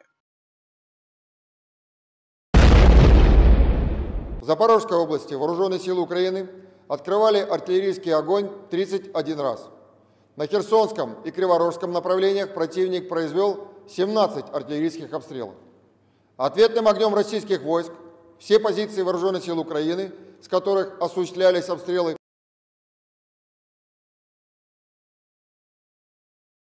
अब सवाल उठता है कि जब यूक्रेन नेटो और अमेरिका के हथियारों से रूस पर भयानक हमले कर रहा है तो फिर रूस अब यूक्रेन में किस तरह से युद्ध कर रहा है? डिफेंस एक्सपर्ट्स के मुताबिक, अब पुतिन ने रूसी तानाशाह रहे स्टालिन की तरह यूक्रेन के शहरों और गाँवों का सफाया शुरू कर दिया है। पहला है, यूक्रेन सैनिकों को देखते ही जान से मार दो। दूसरा है, जो यूक्रेनी सैनिक रूसी फौज के मुखबिर लगे, उन्हें तुरंत गोला मार दो। तीसरा है हर उस इमारत को पूरी तरह नेस्तो नाबूद कर दो जिसका फायदा यूक्रेन की फौज उठा सकती है इसीलिए अब पुतिन ने स्टालिन की तरह टारगेट किलिंग यूक्रेन में शुरू कर दी है वैगनर ग्रुप के लड़ाके बड़े पैमाने पर नरसंहार कर रहे हैं Так, если я таке пережив, а що ж ще далі делать? Я ж нікуди не уїжджав. І під автоматом був. І... Вони ж впред мене взяли, сука. Ну, ну, підвалі жила, ну. Ну, що русських, вони освободителі. Ми, ми прийшли освобождати. Кого не освобождати? Вони тупорили. एक अनुमान के मुताबिक वैगनर ग्रुप के पचास हजार लड़ाके यूक्रेन के खिलाफ जंग कर रहे हैं ये संख्या अपने आप में बहुत बड़ी है अमेरिका की खुफिया रिपोर्ट में खुलासा हुआ पुतिन के स्टालिन मिशन को वैगनर ग्रुप अंजाम दे रहा है। हिटलर को अपना हीरो मानने वाले वैगनर ग्रुप को बेहद बेरहम हत्यारा माना जाता है, जो पुतिन के इशारे पर इस वक्त यूक्रेन के आठ शहरों को कब्रिस्तान बनाने में जुटे हैं। अमेरिका भी वैगनर ग्रुप को लेकर यूक्रेन को अलर्ट कर चुका है। अमेरिका ने साफ़ कहा है कि पुतिन ने अपने सैनिकों को रूस में मरने के लिए छोड़ दिया है। व्हाइट हाउस के प्रवक्ता जॉन किर्बे के मुताबिक, इस वक्त यूक्रेन में रूस की फौज मीट ग्राइंडर यानी मांस की चक्की में फंस चुकी है, जहाँ बेतहाशा रूसी सैनिक मारे जा रहे हैं लेकिन सवाल उठता है कि फिर पुतिन अमेरिका यूक्रेन और नेटो को काबू क्यों नहीं कर पा रहे हैं seems as though Mr. Prigozhin is willing to just throw Russian bodies into the meat grinder uh, in in Bakhmut. In fact, about a thousand Wagner fighters have been killed in the fighting in just recent weeks, and we believe that ninety percent of those one thousand fighters were, were in fact convicts.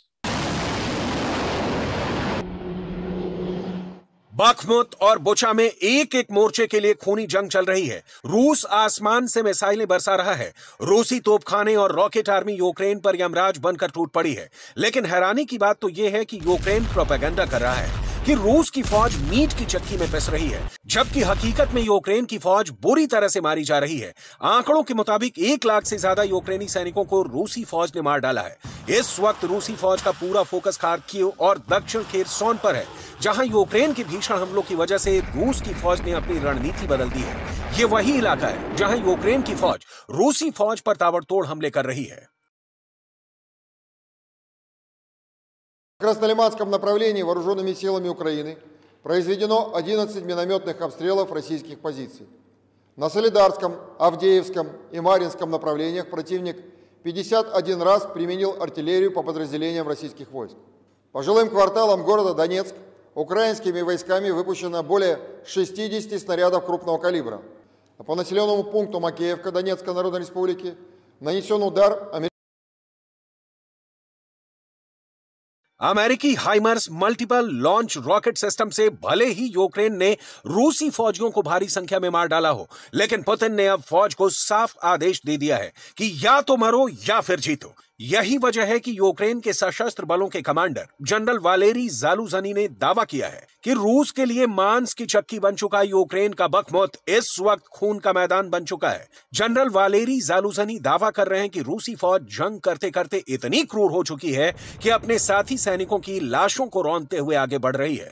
भयानक खून खराबा देखकर Zelensky को अब ये लगने लगा है कि अगर पुतिन की तीन लाख नई फौज पूरी तरह से जंग में उतर गई तो फिर बखमुत जैसा हाल पूरे यूक्रेन का हो जाएगा। पुतिन अपने 10 जनरलों की मौत और 840 से ज़्यादा कैप्टन और सीनियर लेफ्टिनेंट के मारे जाने से बौखला चुके हैं।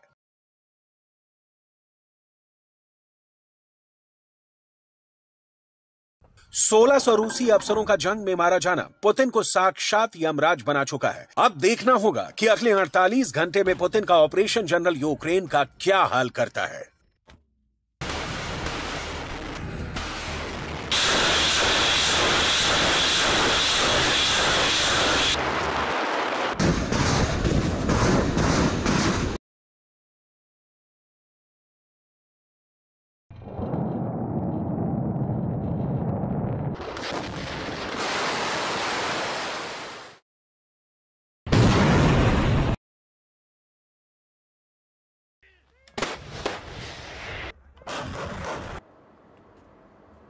रूस यूक्रेन जंग को 11 महीने होने वाले हैं, और अब पता चला है कि पुतिन यूक्रेन पर कब्जा करने के लिए इतना भयानक खून खराबा क्यों कर रहे हैं।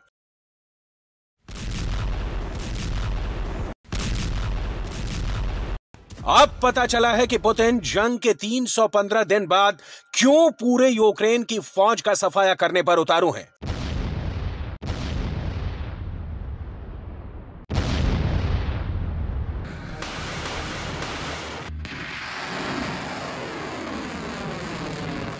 अब इस दावे के बारे में भी पता चल रहा है कि पुतिन कैसे अपने 10 जनरलों की मौत का बदला पूरे यूक्रेन से लेने जा रहे हैं।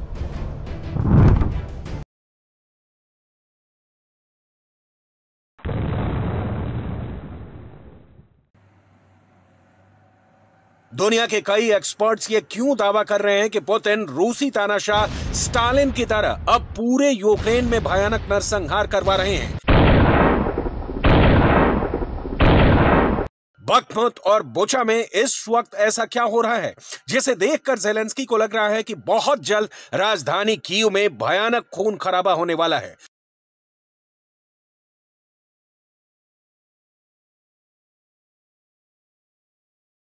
क्या रूस जनवरी से लेकर मार्च तक यूक्रेन के पंद्रह शहरों पर पूरी तरह से कब्जा कर लेगा?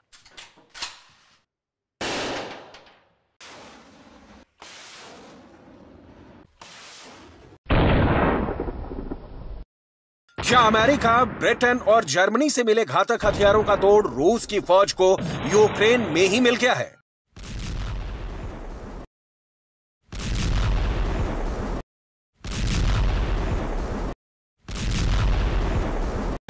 कई एक्सपर्ट्स ये दावा क्यों करने लगे हैं कि पुतिन के खूनी इरादों को भांपने में नेटो और अमेरिका से बहुत बड़ी गलती हो गई है, जिसकी कीमत यूक्रेन की तबाही में दिख रही है।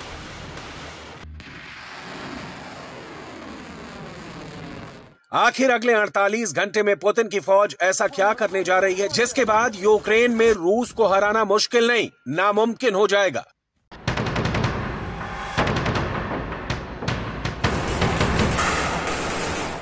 लगता है सत्तर साल के रूसी राष्ट्रपति पुतिन ने सोना छोड़ दिया है, क्योंकि 48 घंटे से पुतिन लगातार एक्टिव हैं। यूक्रेन पर होने वाला हर मिसाइल और रॉकेट हमले पर पुतिन की नज़र बनी हुई है इस वक्त यूक्रेन में जितने भी भयानक हमले हो रहे हैं, उसकी डायरेक्ट रिपोर्ट क्रेमलिन में पुतिन के दफ्तर तक पहुँच रही है पुतिन क्रेमलिन से ही यूक्रेन पर कहाँ और कितने हमले होने हैं, इसका सीधा ऑर्डर दे रहे हैं। जानकारों के मुताबिक पुतिन ने अच्छी तरह से गुणा भाग कर लिया है कि अगर जनवरी से लेकर मार्च तक उन्होंने यूक्रेन को संभलने का मौका नहीं दिया तो जेलेंस्की के यूक्रेन को हर हाल में रूस के सामने घुटने टेकने होंगे। इसीलिए सीज फायर के बाद से रूस ने यूक्रेन पर टैंक तोप रॉकेट आर्मी अटैक ड्रोन और घातक मिसाइलों से ताबड़तोड़ हमले शुरू कर दिए हैं।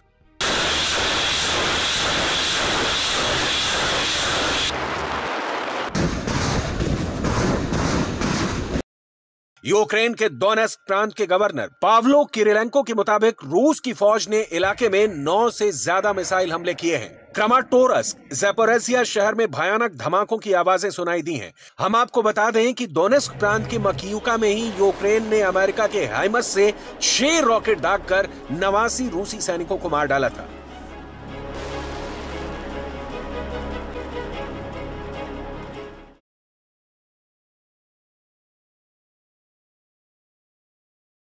हालाँकि यूक्रेन दावा करता है कि इस खूनी हमले में 500 से ज़्यादा रूसी सैनिक मारे गए थे, लेकिन इस हमले में बहत्तर घंटे के बाद जिस तरह से रूस ने यूक्रेन में खून खराबा शुरू किया है, उससे जेलेंस्की के होश उड़ गए हैं। जेलेंस्की अब रूस पर आरोप लगा रहे हैं कि सीज फायर के दौरान भी रूस यूक्रेन में नरसंहार कर रहा है। खासतौर से यूक्रेन के बखमुत का हाल देखकर जेलेंस्की की रूह काँप रही है।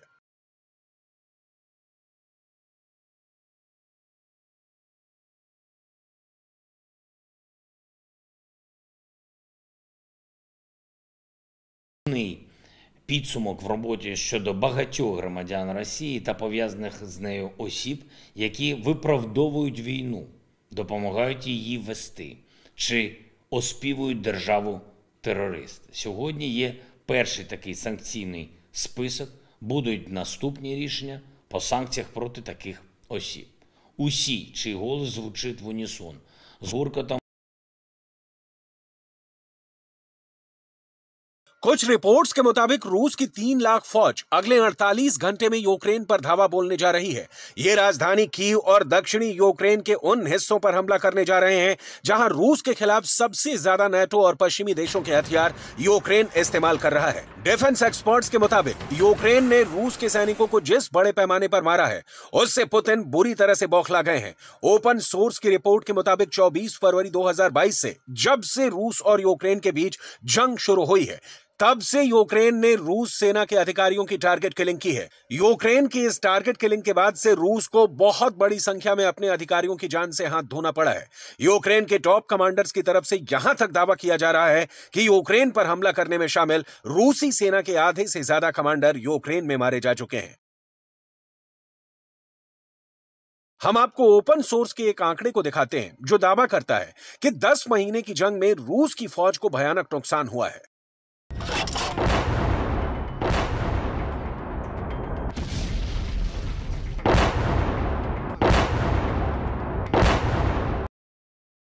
चौबीस फरवरी 2022 से अब तक जंग में रूस के 10 जनरल मारे गए हैं, जबकि युद्ध में अब तक रूस के 840 कैप्टन और सीनियर लेफ्टिनेंट मारे जा चुके हैं। कुल मिलाकर 10 महीने से ज़्यादा की जंग में रूस के 1600 अफसरों को यूक्रेनी सेना ने मार गिराया है। जबकि अगर रूस के कुल सैनिकों की मौत की बात करें तो यह आंकड़ा एक लाख दस हज़ार को पार कर गया है।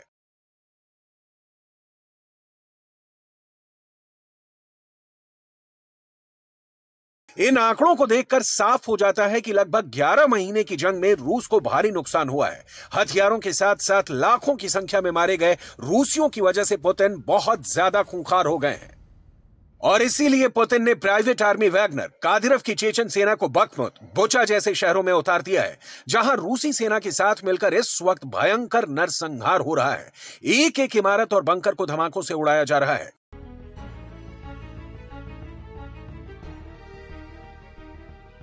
दो दिन के सीज फायर को भी पुतिन ने अपनी जंगी चाल में बदल दिया है रूस यूक्रेन पर आरोप लगा रहा है कि उसने सीज फायर के दौरान रूस पर हमला किया जिसकी वजह से रूस ने यूक्रेन पर जवाबी कार्रवाई की है रूस का दावा है कि यूक्रेन की फौज की तरफ से सीज फायर के दौरान 31 बार तोपखाने से भयंकर हमले किए गए हैं В Запорожской области вооруженные силы Украины открывали артиллерийский огонь 31 раз. На Херсонском и Криворожском направлениях противник произвел 17 артиллерийских обстрелов. Ответным огнем российских войск все позиции вооруженных сил Украины, с которых осуществлялись обстрелы,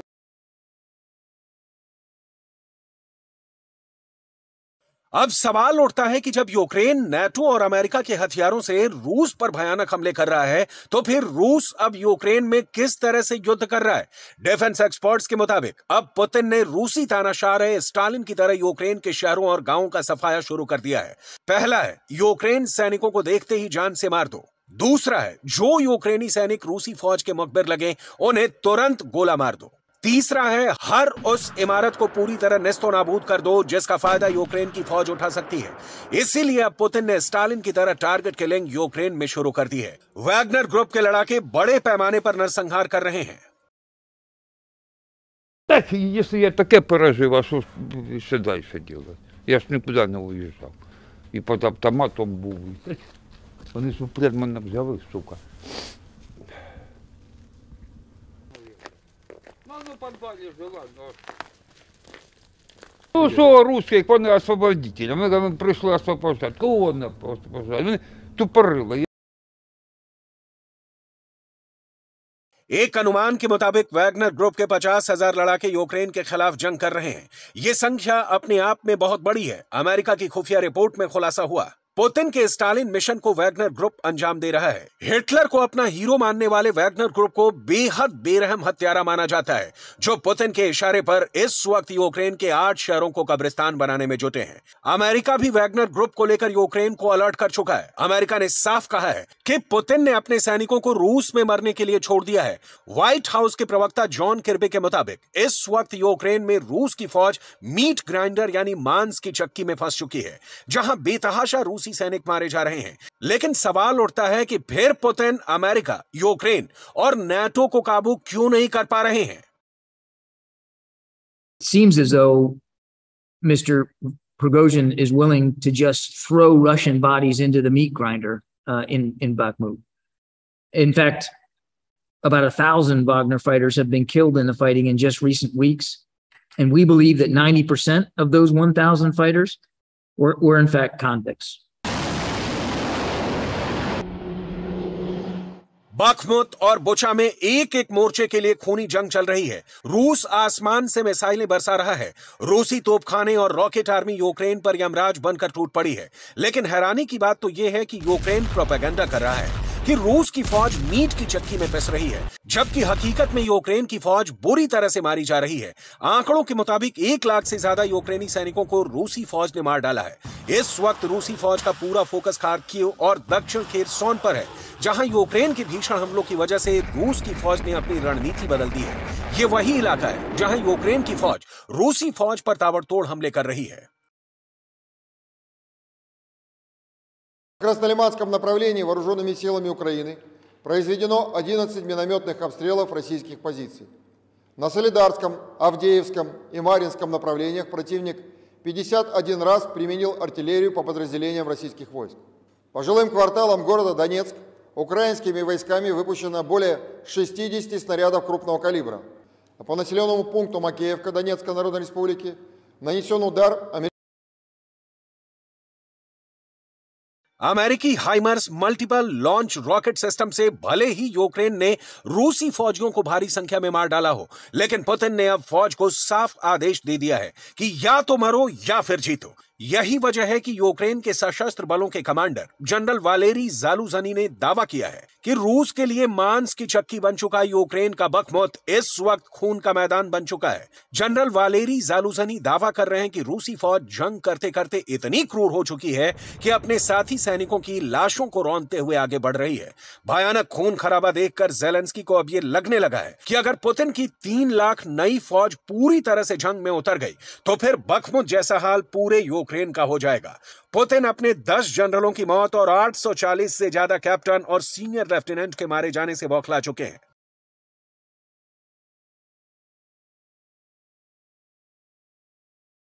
सोलह सौ रूसी अफसरों का जंग में मारा जाना पुतिन को साक्षात यमराज बना चुका है। अब देखना होगा कि अगले 48 घंटे में पुतिन का ऑपरेशन जनरल यूक्रेन का क्या हाल करता है।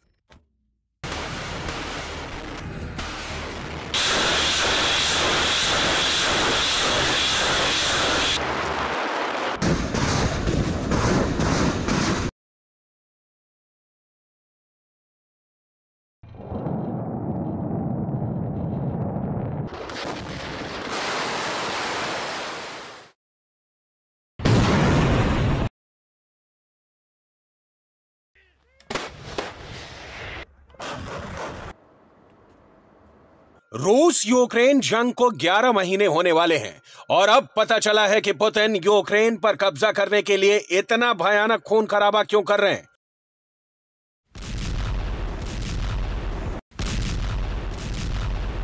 अब पता चला है कि पुतिन जंग के 315 दिन बाद क्यों पूरे यूक्रेन की फौज का सफाया करने पर उतारू हैं।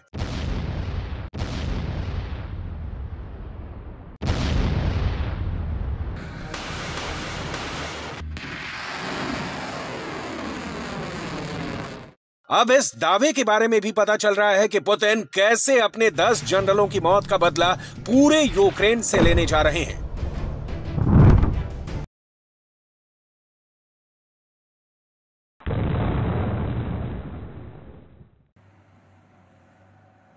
दुनिया के कई एक्सपर्ट्स ये क्यों दावा कर रहे हैं कि पुतिन रूसी तानाशाह स्टालिन की तरह अब पूरे यूक्रेन में भयानक नरसंहार करवा रहे हैं। बकमुत और बोचा में इस वक्त ऐसा क्या हो रहा है? जिसे देखकर जेलेंस्की को लग रहा है कि बहुत जल्द राजधानी कीव में भयानक खून खराबा होने वाला है।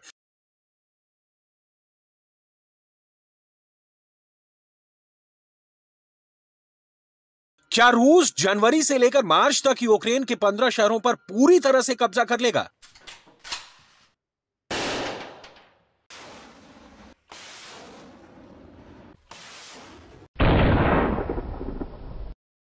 क्या अमेरिका, ब्रिटेन और जर्मनी से मिले घातक हथियारों का तोड़ रूस की फौज को यूक्रेन में ही मिल गया है।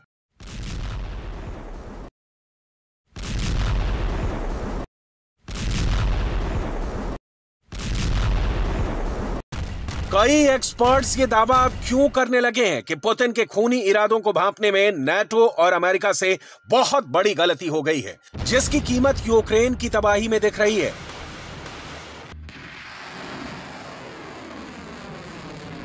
आखिर अगले 48 घंटे में पुतिन की फौज ऐसा क्या करने जा रही है, जिसके बाद यूक्रेन में रूस को हराना मुश्किल नहीं, नामुमकिन हो जाएगा।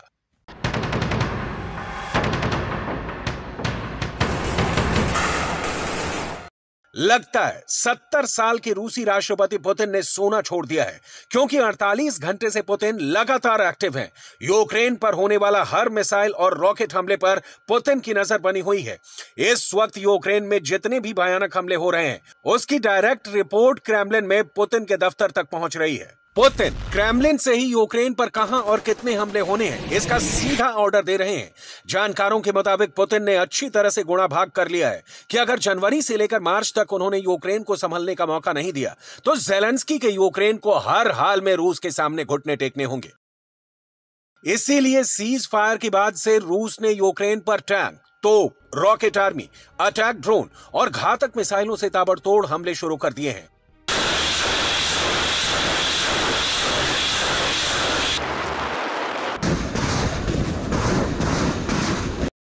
यूक्रेन के दोनेस्क प्रांत के गवर्नर पावलो किरिलेंको के मुताबिक रूस की फौज ने इलाके में नौ से ज़्यादा मिसाइल हमले किए हैं क्रमाटोरस जेपोरेसिया शहर में भयानक धमाकों की आवाज़ें सुनाई दी हैं। हम आपको बता दें कि दोनेस्क प्रांत की मकियुका में ही यूक्रेन ने अमेरिका के हाइमस से छह रॉकेट दागकर नवासी रूसी सैनिकों को मार डाला था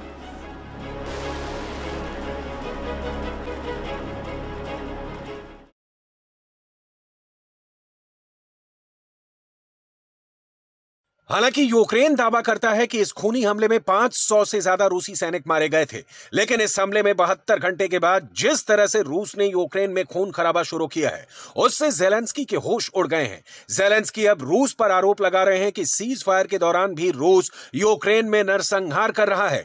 खासतौर से यूक्रेन के बखमुत का हाल देखकर जेलेंस्की की रूह काँप रही है।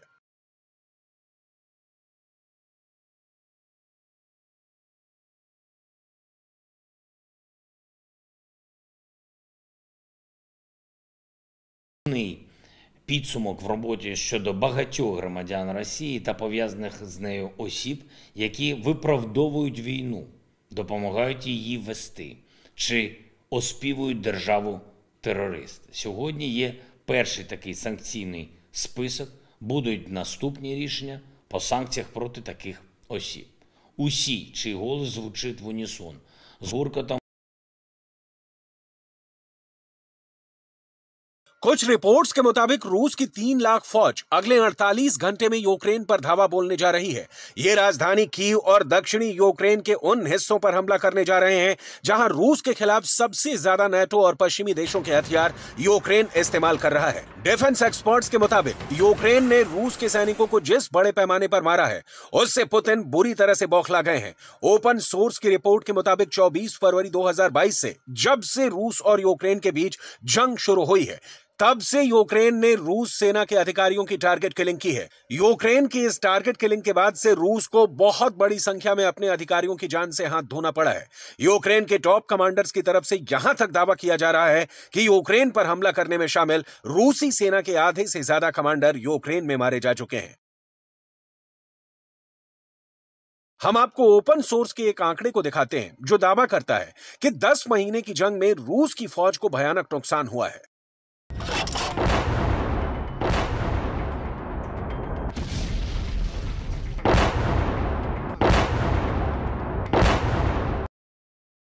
चौबीस फरवरी 2022 से अब तक जंग में रूस के 10 जनरल मारे गए हैं, जबकि युद्ध में अब तक रूस के 840 कैप्टन और सीनियर लेफ्टिनेंट मारे जा चुके हैं।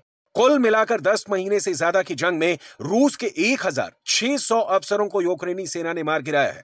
जबकि अगर रूस के कुल सैनिकों की मौत की बात करें तो यह आंकड़ा एक लाख दस हज़ार को पार कर गया है।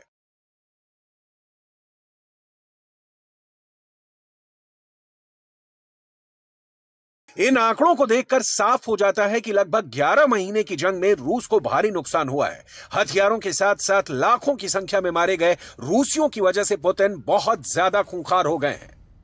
और इसीलिए पुतिन ने प्राइवेट आर्मी वैगनर, कादिरव की चेचन सेना को बकमुत बोचा जैसे शहरों में उतार दिया है, जहाँ रूसी सेना के साथ मिलकर इस वक्त भयंकर नरसंहार हो रहा है। एक एक इमारत और बंकर को धमाकों से उड़ाया जा रहा है।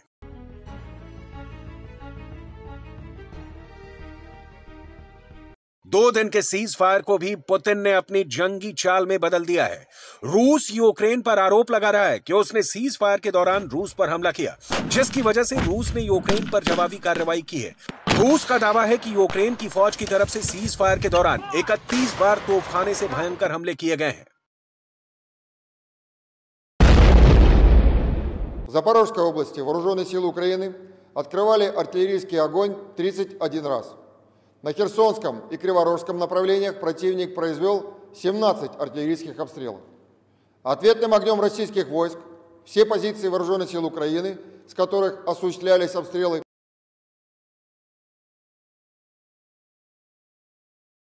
अब सवाल उठता है कि जब यूक्रेन नेटो और अमेरिका के हथियारों से रूस पर भयानक हमले कर रहा है तो फिर रूस अब यूक्रेन में किस तरह से युद्ध कर रहा है? डिफेंस एक्सपर्ट्स के मुताबिक, अब पुतिन ने रूसी तानाशाह रहे स्टालिन की तरह यूक्रेन के शहरों और गाँवों का सफाया शुरू कर दिया है। पहला है, यूक्रेन सैनिकों को देखते ही जान से मार दो। दूसरा है, जो यूक्रेनी सैनिक रूसी फौज के मुखबिर लगे, उन्हें तुरंत गोला मार दो। तीसरा है हर उस इमारत को पूरी तरह नस्तो नाबूद कर दो जिसका फायदा यूक्रेन की फौज उठा सकती है इसीलिए अब पुतिन ने स्टालिन की तरह टारगेट किलिंग यूक्रेन में शुरू कर दी है वैगनर ग्रुप के लड़ाके बड़े पैमाने पर नरसंहार कर रहे हैं Так, если я таке пережив, а що ж ще далі делать? Я ж нікуди не уїжджав. І під автоматом був. і- Вони ж впред мене взяли, сука. Ну, ну, подвалі жила, ну. Ну, що русські, вони освободителі. Ми говоримо, прийшли освобождати. Кого не освобождати? Вони тупорили. एक अनुमान के मुताबिक वैगनर ग्रुप के पचास हजार लड़ाके यूक्रेन के खिलाफ जंग कर रहे हैं ये संख्या अपने आप में बहुत बड़ी है अमेरिका की खुफिया रिपोर्ट में खुलासा हुआ पुतिन के स्टालिन मिशन को वैगनर ग्रुप अंजाम दे रहा है। हिटलर को अपना हीरो मानने वाले वैगनर ग्रुप को बेहद बेरहम हत्यारा माना जाता है, जो पुतिन के इशारे पर इस वक्त यूक्रेन के आठ शहरों को कब्रिस्तान बनाने में जुटे हैं। अमेरिका भी वैगनर ग्रुप को लेकर यूक्रेन को अलर्ट कर चुका है। अमेरिका ने साफ़ कहा है कि पुतिन ने अपने सैनिकों को रूस में मरने के लिए छोड़ दिया है। व्हाइट हाउस के प्रवक्ता जॉन किर्बे के मुताबिक, इस वक्त यूक्रेन में रूस की फौज मीट ग्राइंडर यानी मांस की चक्की में फंस चुकी है, जहाँ बेतहाशा रूसी सैनिक मारे जा रहे हैं लेकिन सवाल उठता है कि फिर पुतिन अमेरिका यूक्रेन और नेटो को काबू क्यों नहीं कर पा रहे हैं It seems as though Mr. Prigozhin is willing to just throw Russian bodies into the meat grinder uh, in in Bakhmut. In fact, about a thousand Wagner fighters have been killed in the fighting in just recent weeks, and we believe that ninety percent of those one thousand fighters were, were in fact convicts. Bakhmut और Bucha में एक एक मोर्चे के लिए खूनी जंग चल रही है। रूस आसमान से मिसाइलें बरसा रहा है। रूसी तोपखाने और रॉकेट आर्मी यूक्रेन पर यमराज बनकर टूट पड़ी है। लेकिन हैरानी की बात तो यह है कि यूक्रेन प्रोपेगेंडा कर रहा है। कि रूस की फौज मीट की चक्की में पिस रही है, जबकि हकीकत में यूक्रेन की फौज बुरी तरह से मारी जा रही है। आंकड़ों के मुताबिक एक लाख से ज़्यादा यूक्रेनी सैनिकों को रूसी फौज ने मार डाला है। इस वक्त रूसी फौज का पूरा फोकस खार्किव और दक्षिण खेरसोन पर है, जहाँ यूक्रेन के भीषण हमलों की वजह से रूस की फौज ने अपनी रणनीति बदल दी है। ये वही इलाका है, जहाँ यूक्रेन की फौज रूसी फौज पर ताबड़तोड़ हमले कर रही है। В Краснолиманском направлении вооруженными силами Украины произведено 11 минометных обстрелов российских позиций. На Солидарском, Авдеевском и Маринском направлениях противник 51 раз применил артиллерию по подразделениям российских войск. По жилым кварталам города Донецк украинскими войсками выпущено более 60 снарядов крупного калибра. А по населенному пункту Макеевка Донецкой Народной Республики нанесен удар американским अमेरिकी HIMARS multiple launch rocket system से भले ही यूक्रेन ने रूसी फौजियों को भारी संख्या में मार डाला हो, लेकिन पुतिन ने अब फौज को साफ़ आदेश दे दिया है कि या तो मरो या फिर जीतो। यही वजह है कि यूक्रेन के सशस्त्र बलों के कमांडर जनरल वालेरी जालूजनी ने दावा किया है कि रूस के लिए मांस की चक्की बन चुका यूक्रेन का बखमुत इस वक्त खून का मैदान बन चुका है। जनरल वालेरी जालूजनी दावा कर रहे हैं कि रूसी फौज जंग करते करते इतनी क्रूर हो चुकी है कि अपने साथी सैनिकों की लाशों को रौंदते हुए आगे बढ़ रही है। भयानक खून खराबा देखकर जेलेंस्की को अब ये लगने लगा है कि अगर पुतिन की तीन लाख नई फौज पूरी तरह से जंग में उतर गई तो फिर बखमुत जैसा हाल पूरे यूक्रेन का हो जाएगा। पुतिन अपने 10 जनरलों की मौत और 840 से ज़्यादा कैप्टन और सीनियर लेफ्टिनेंट के मारे जाने से बौखला चुके हैं।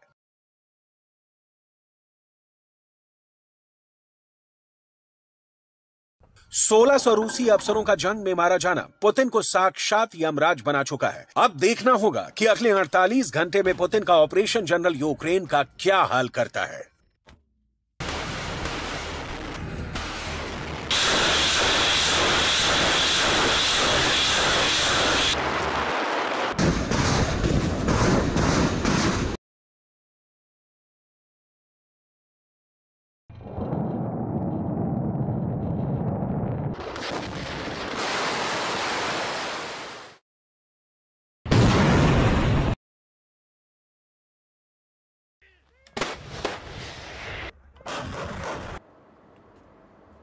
रूस यूक्रेन जंग को 11 महीने होने वाले हैं, और अब पता चला है कि पुतिन यूक्रेन पर कब्जा करने के लिए इतना भयानक खून खराबा क्यों कर रहे हैं।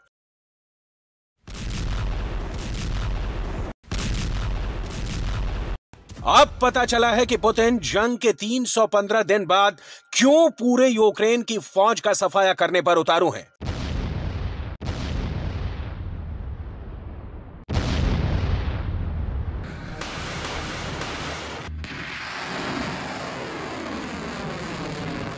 अब इस दावे के बारे में भी पता चल रहा है कि पुतिन कैसे अपने 10 जनरलों की मौत का बदला पूरे यूक्रेन से लेने जा रहे हैं।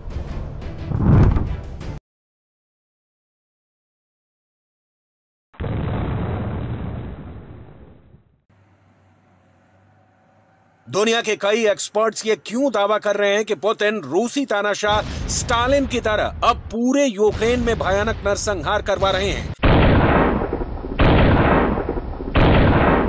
बखमुत और बोचा में इस वक्त ऐसा क्या हो रहा है? जिसे देखकर जेलेंस्की को लग रहा है कि बहुत जल्द राजधानी कीव में भयानक खून खराबा होने वाला है।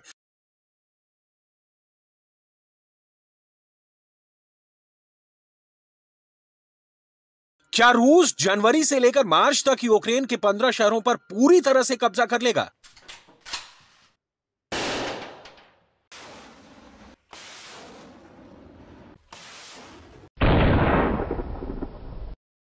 क्या अमेरिका, ब्रिटेन और जर्मनी से मिले घातक हथियारों का तोड़ रूस की फौज को यूक्रेन में ही मिल गया है?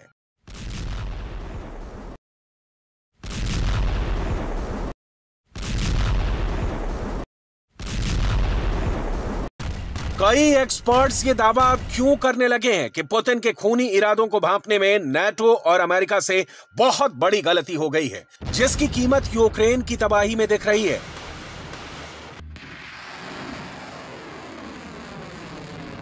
आखिर अगले 48 घंटे में पुतिन की फौज ऐसा क्या करने जा रही है, जिसके बाद यूक्रेन में रूस को हराना मुश्किल नहीं, नामुमकिन हो जाएगा।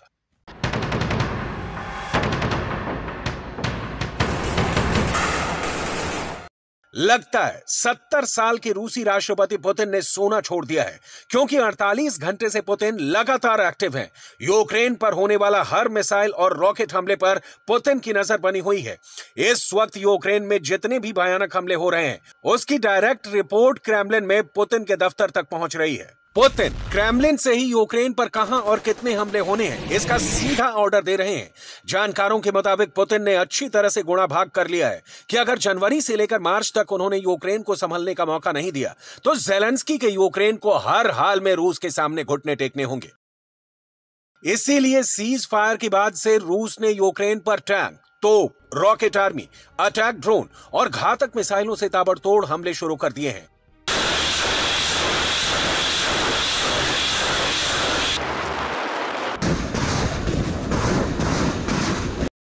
यूक्रेन के दोनेस्क प्रांत के गवर्नर पावलो किरिलेंको के मुताबिक रूस की फौज ने इलाके में नौ से ज़्यादा मिसाइल हमले किए हैं क्रमाटोरस जेपोरेसिया शहर में भयानक धमाकों की आवाज़ें सुनाई दी हैं। हम आपको बता दें कि दोनेस्क प्रांत के मकियुका में ही यूक्रेन ने अमेरिका के हाइमस से छह रॉकेट दागकर नवासी रूसी सैनिकों को मार डाला था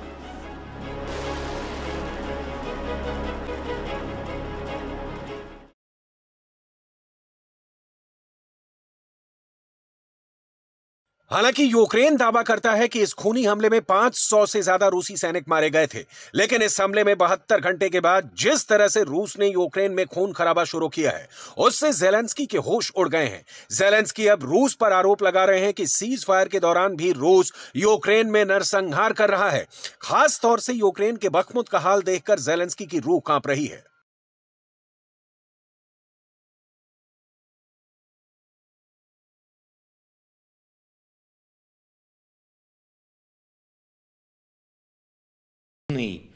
Підсумок в роботі щодо багатьох громадян Росії та пов'язаних з нею осіб, які виправдовують війну, допомагають її вести чи оспівують державу терорист. Сьогодні є перший такий санкційний список.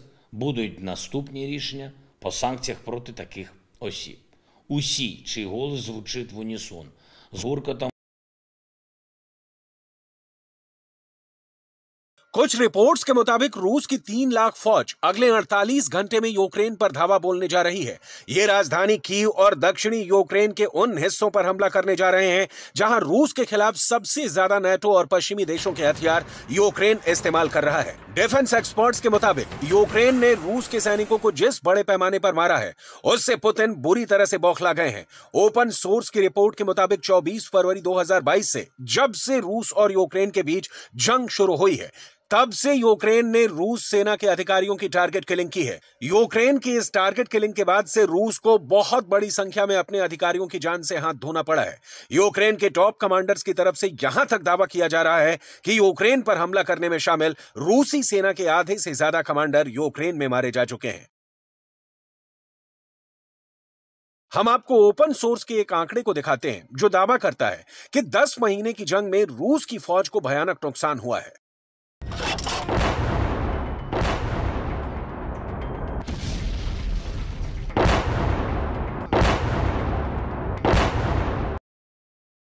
चौबीस फरवरी 2022 से अब तक जंग में रूस के 10 जनरल मारे गए हैं, जबकि युद्ध में अब तक रूस के 840 कैप्टन और सीनियर लेफ्टिनेंट मारे जा चुके हैं।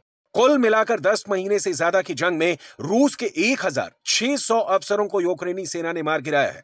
जबकि अगर रूस के कुल सैनिकों की मौत की बात करें तो यह आंकड़ा एक लाख दस हज़ार को पार कर गया है।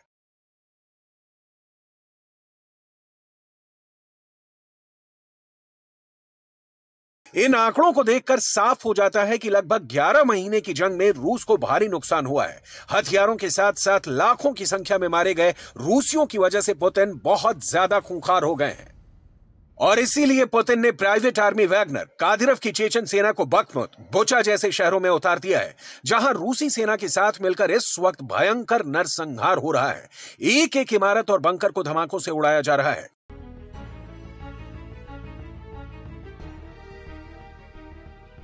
दो दिन के सीज फायर को भी पुतिन ने अपनी जंगी चाल में बदल दिया है रूस यूक्रेन पर आरोप लगा रहा है कि उसने सीज फायर के दौरान रूस पर हमला किया जिसकी वजह से रूस ने यूक्रेन पर जवाबी कार्रवाई की है रूस का दावा है कि यूक्रेन की फौज की तरफ से सीज फायर के दौरान इकतीस बार तोपखाने से भयंकर हमले किए गए हैं В Запорожской области вооруженные силы Украины открывали артиллерийский огонь 31 раз. На Херсонском и Криворожском направлениях противник произвел 17 артиллерийских обстрелов. Ответным огнем российских войск все позиции вооруженных сил Украины, с которых осуществлялись обстрелы,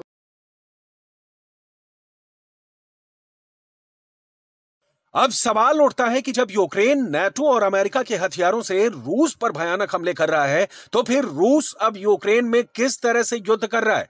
डिफेंस एक्सपर्ट्स के मुताबिक, अब पुतिन ने रूसी तानाशाह रहे स्टालिन की तरह यूक्रेन के शहरों और गाँवों का सफाया शुरू कर दिया है। पहला है, यूक्रेन सैनिकों को देखते ही जान से मार दो। दूसरा है, जो यूक्रेनी सैनिक रूसी फौज के मुखबिर लगे, उन्हें तुरंत गोला मार दो। तीसरा है, हर उस इमारत को पूरी तरह नस्तो नाबूद कर दो, जिसका फ़ायदा यूक्रेन की फौज उठा सकती है। इसीलिए अब पुतिन ने स्टालिन की तरह टारगेट किलिंग यूक्रेन में शुरू कर दी है। वैगनर ग्रुप के लड़ाके बड़े पैमाने पर नरसंहार कर रहे हैं।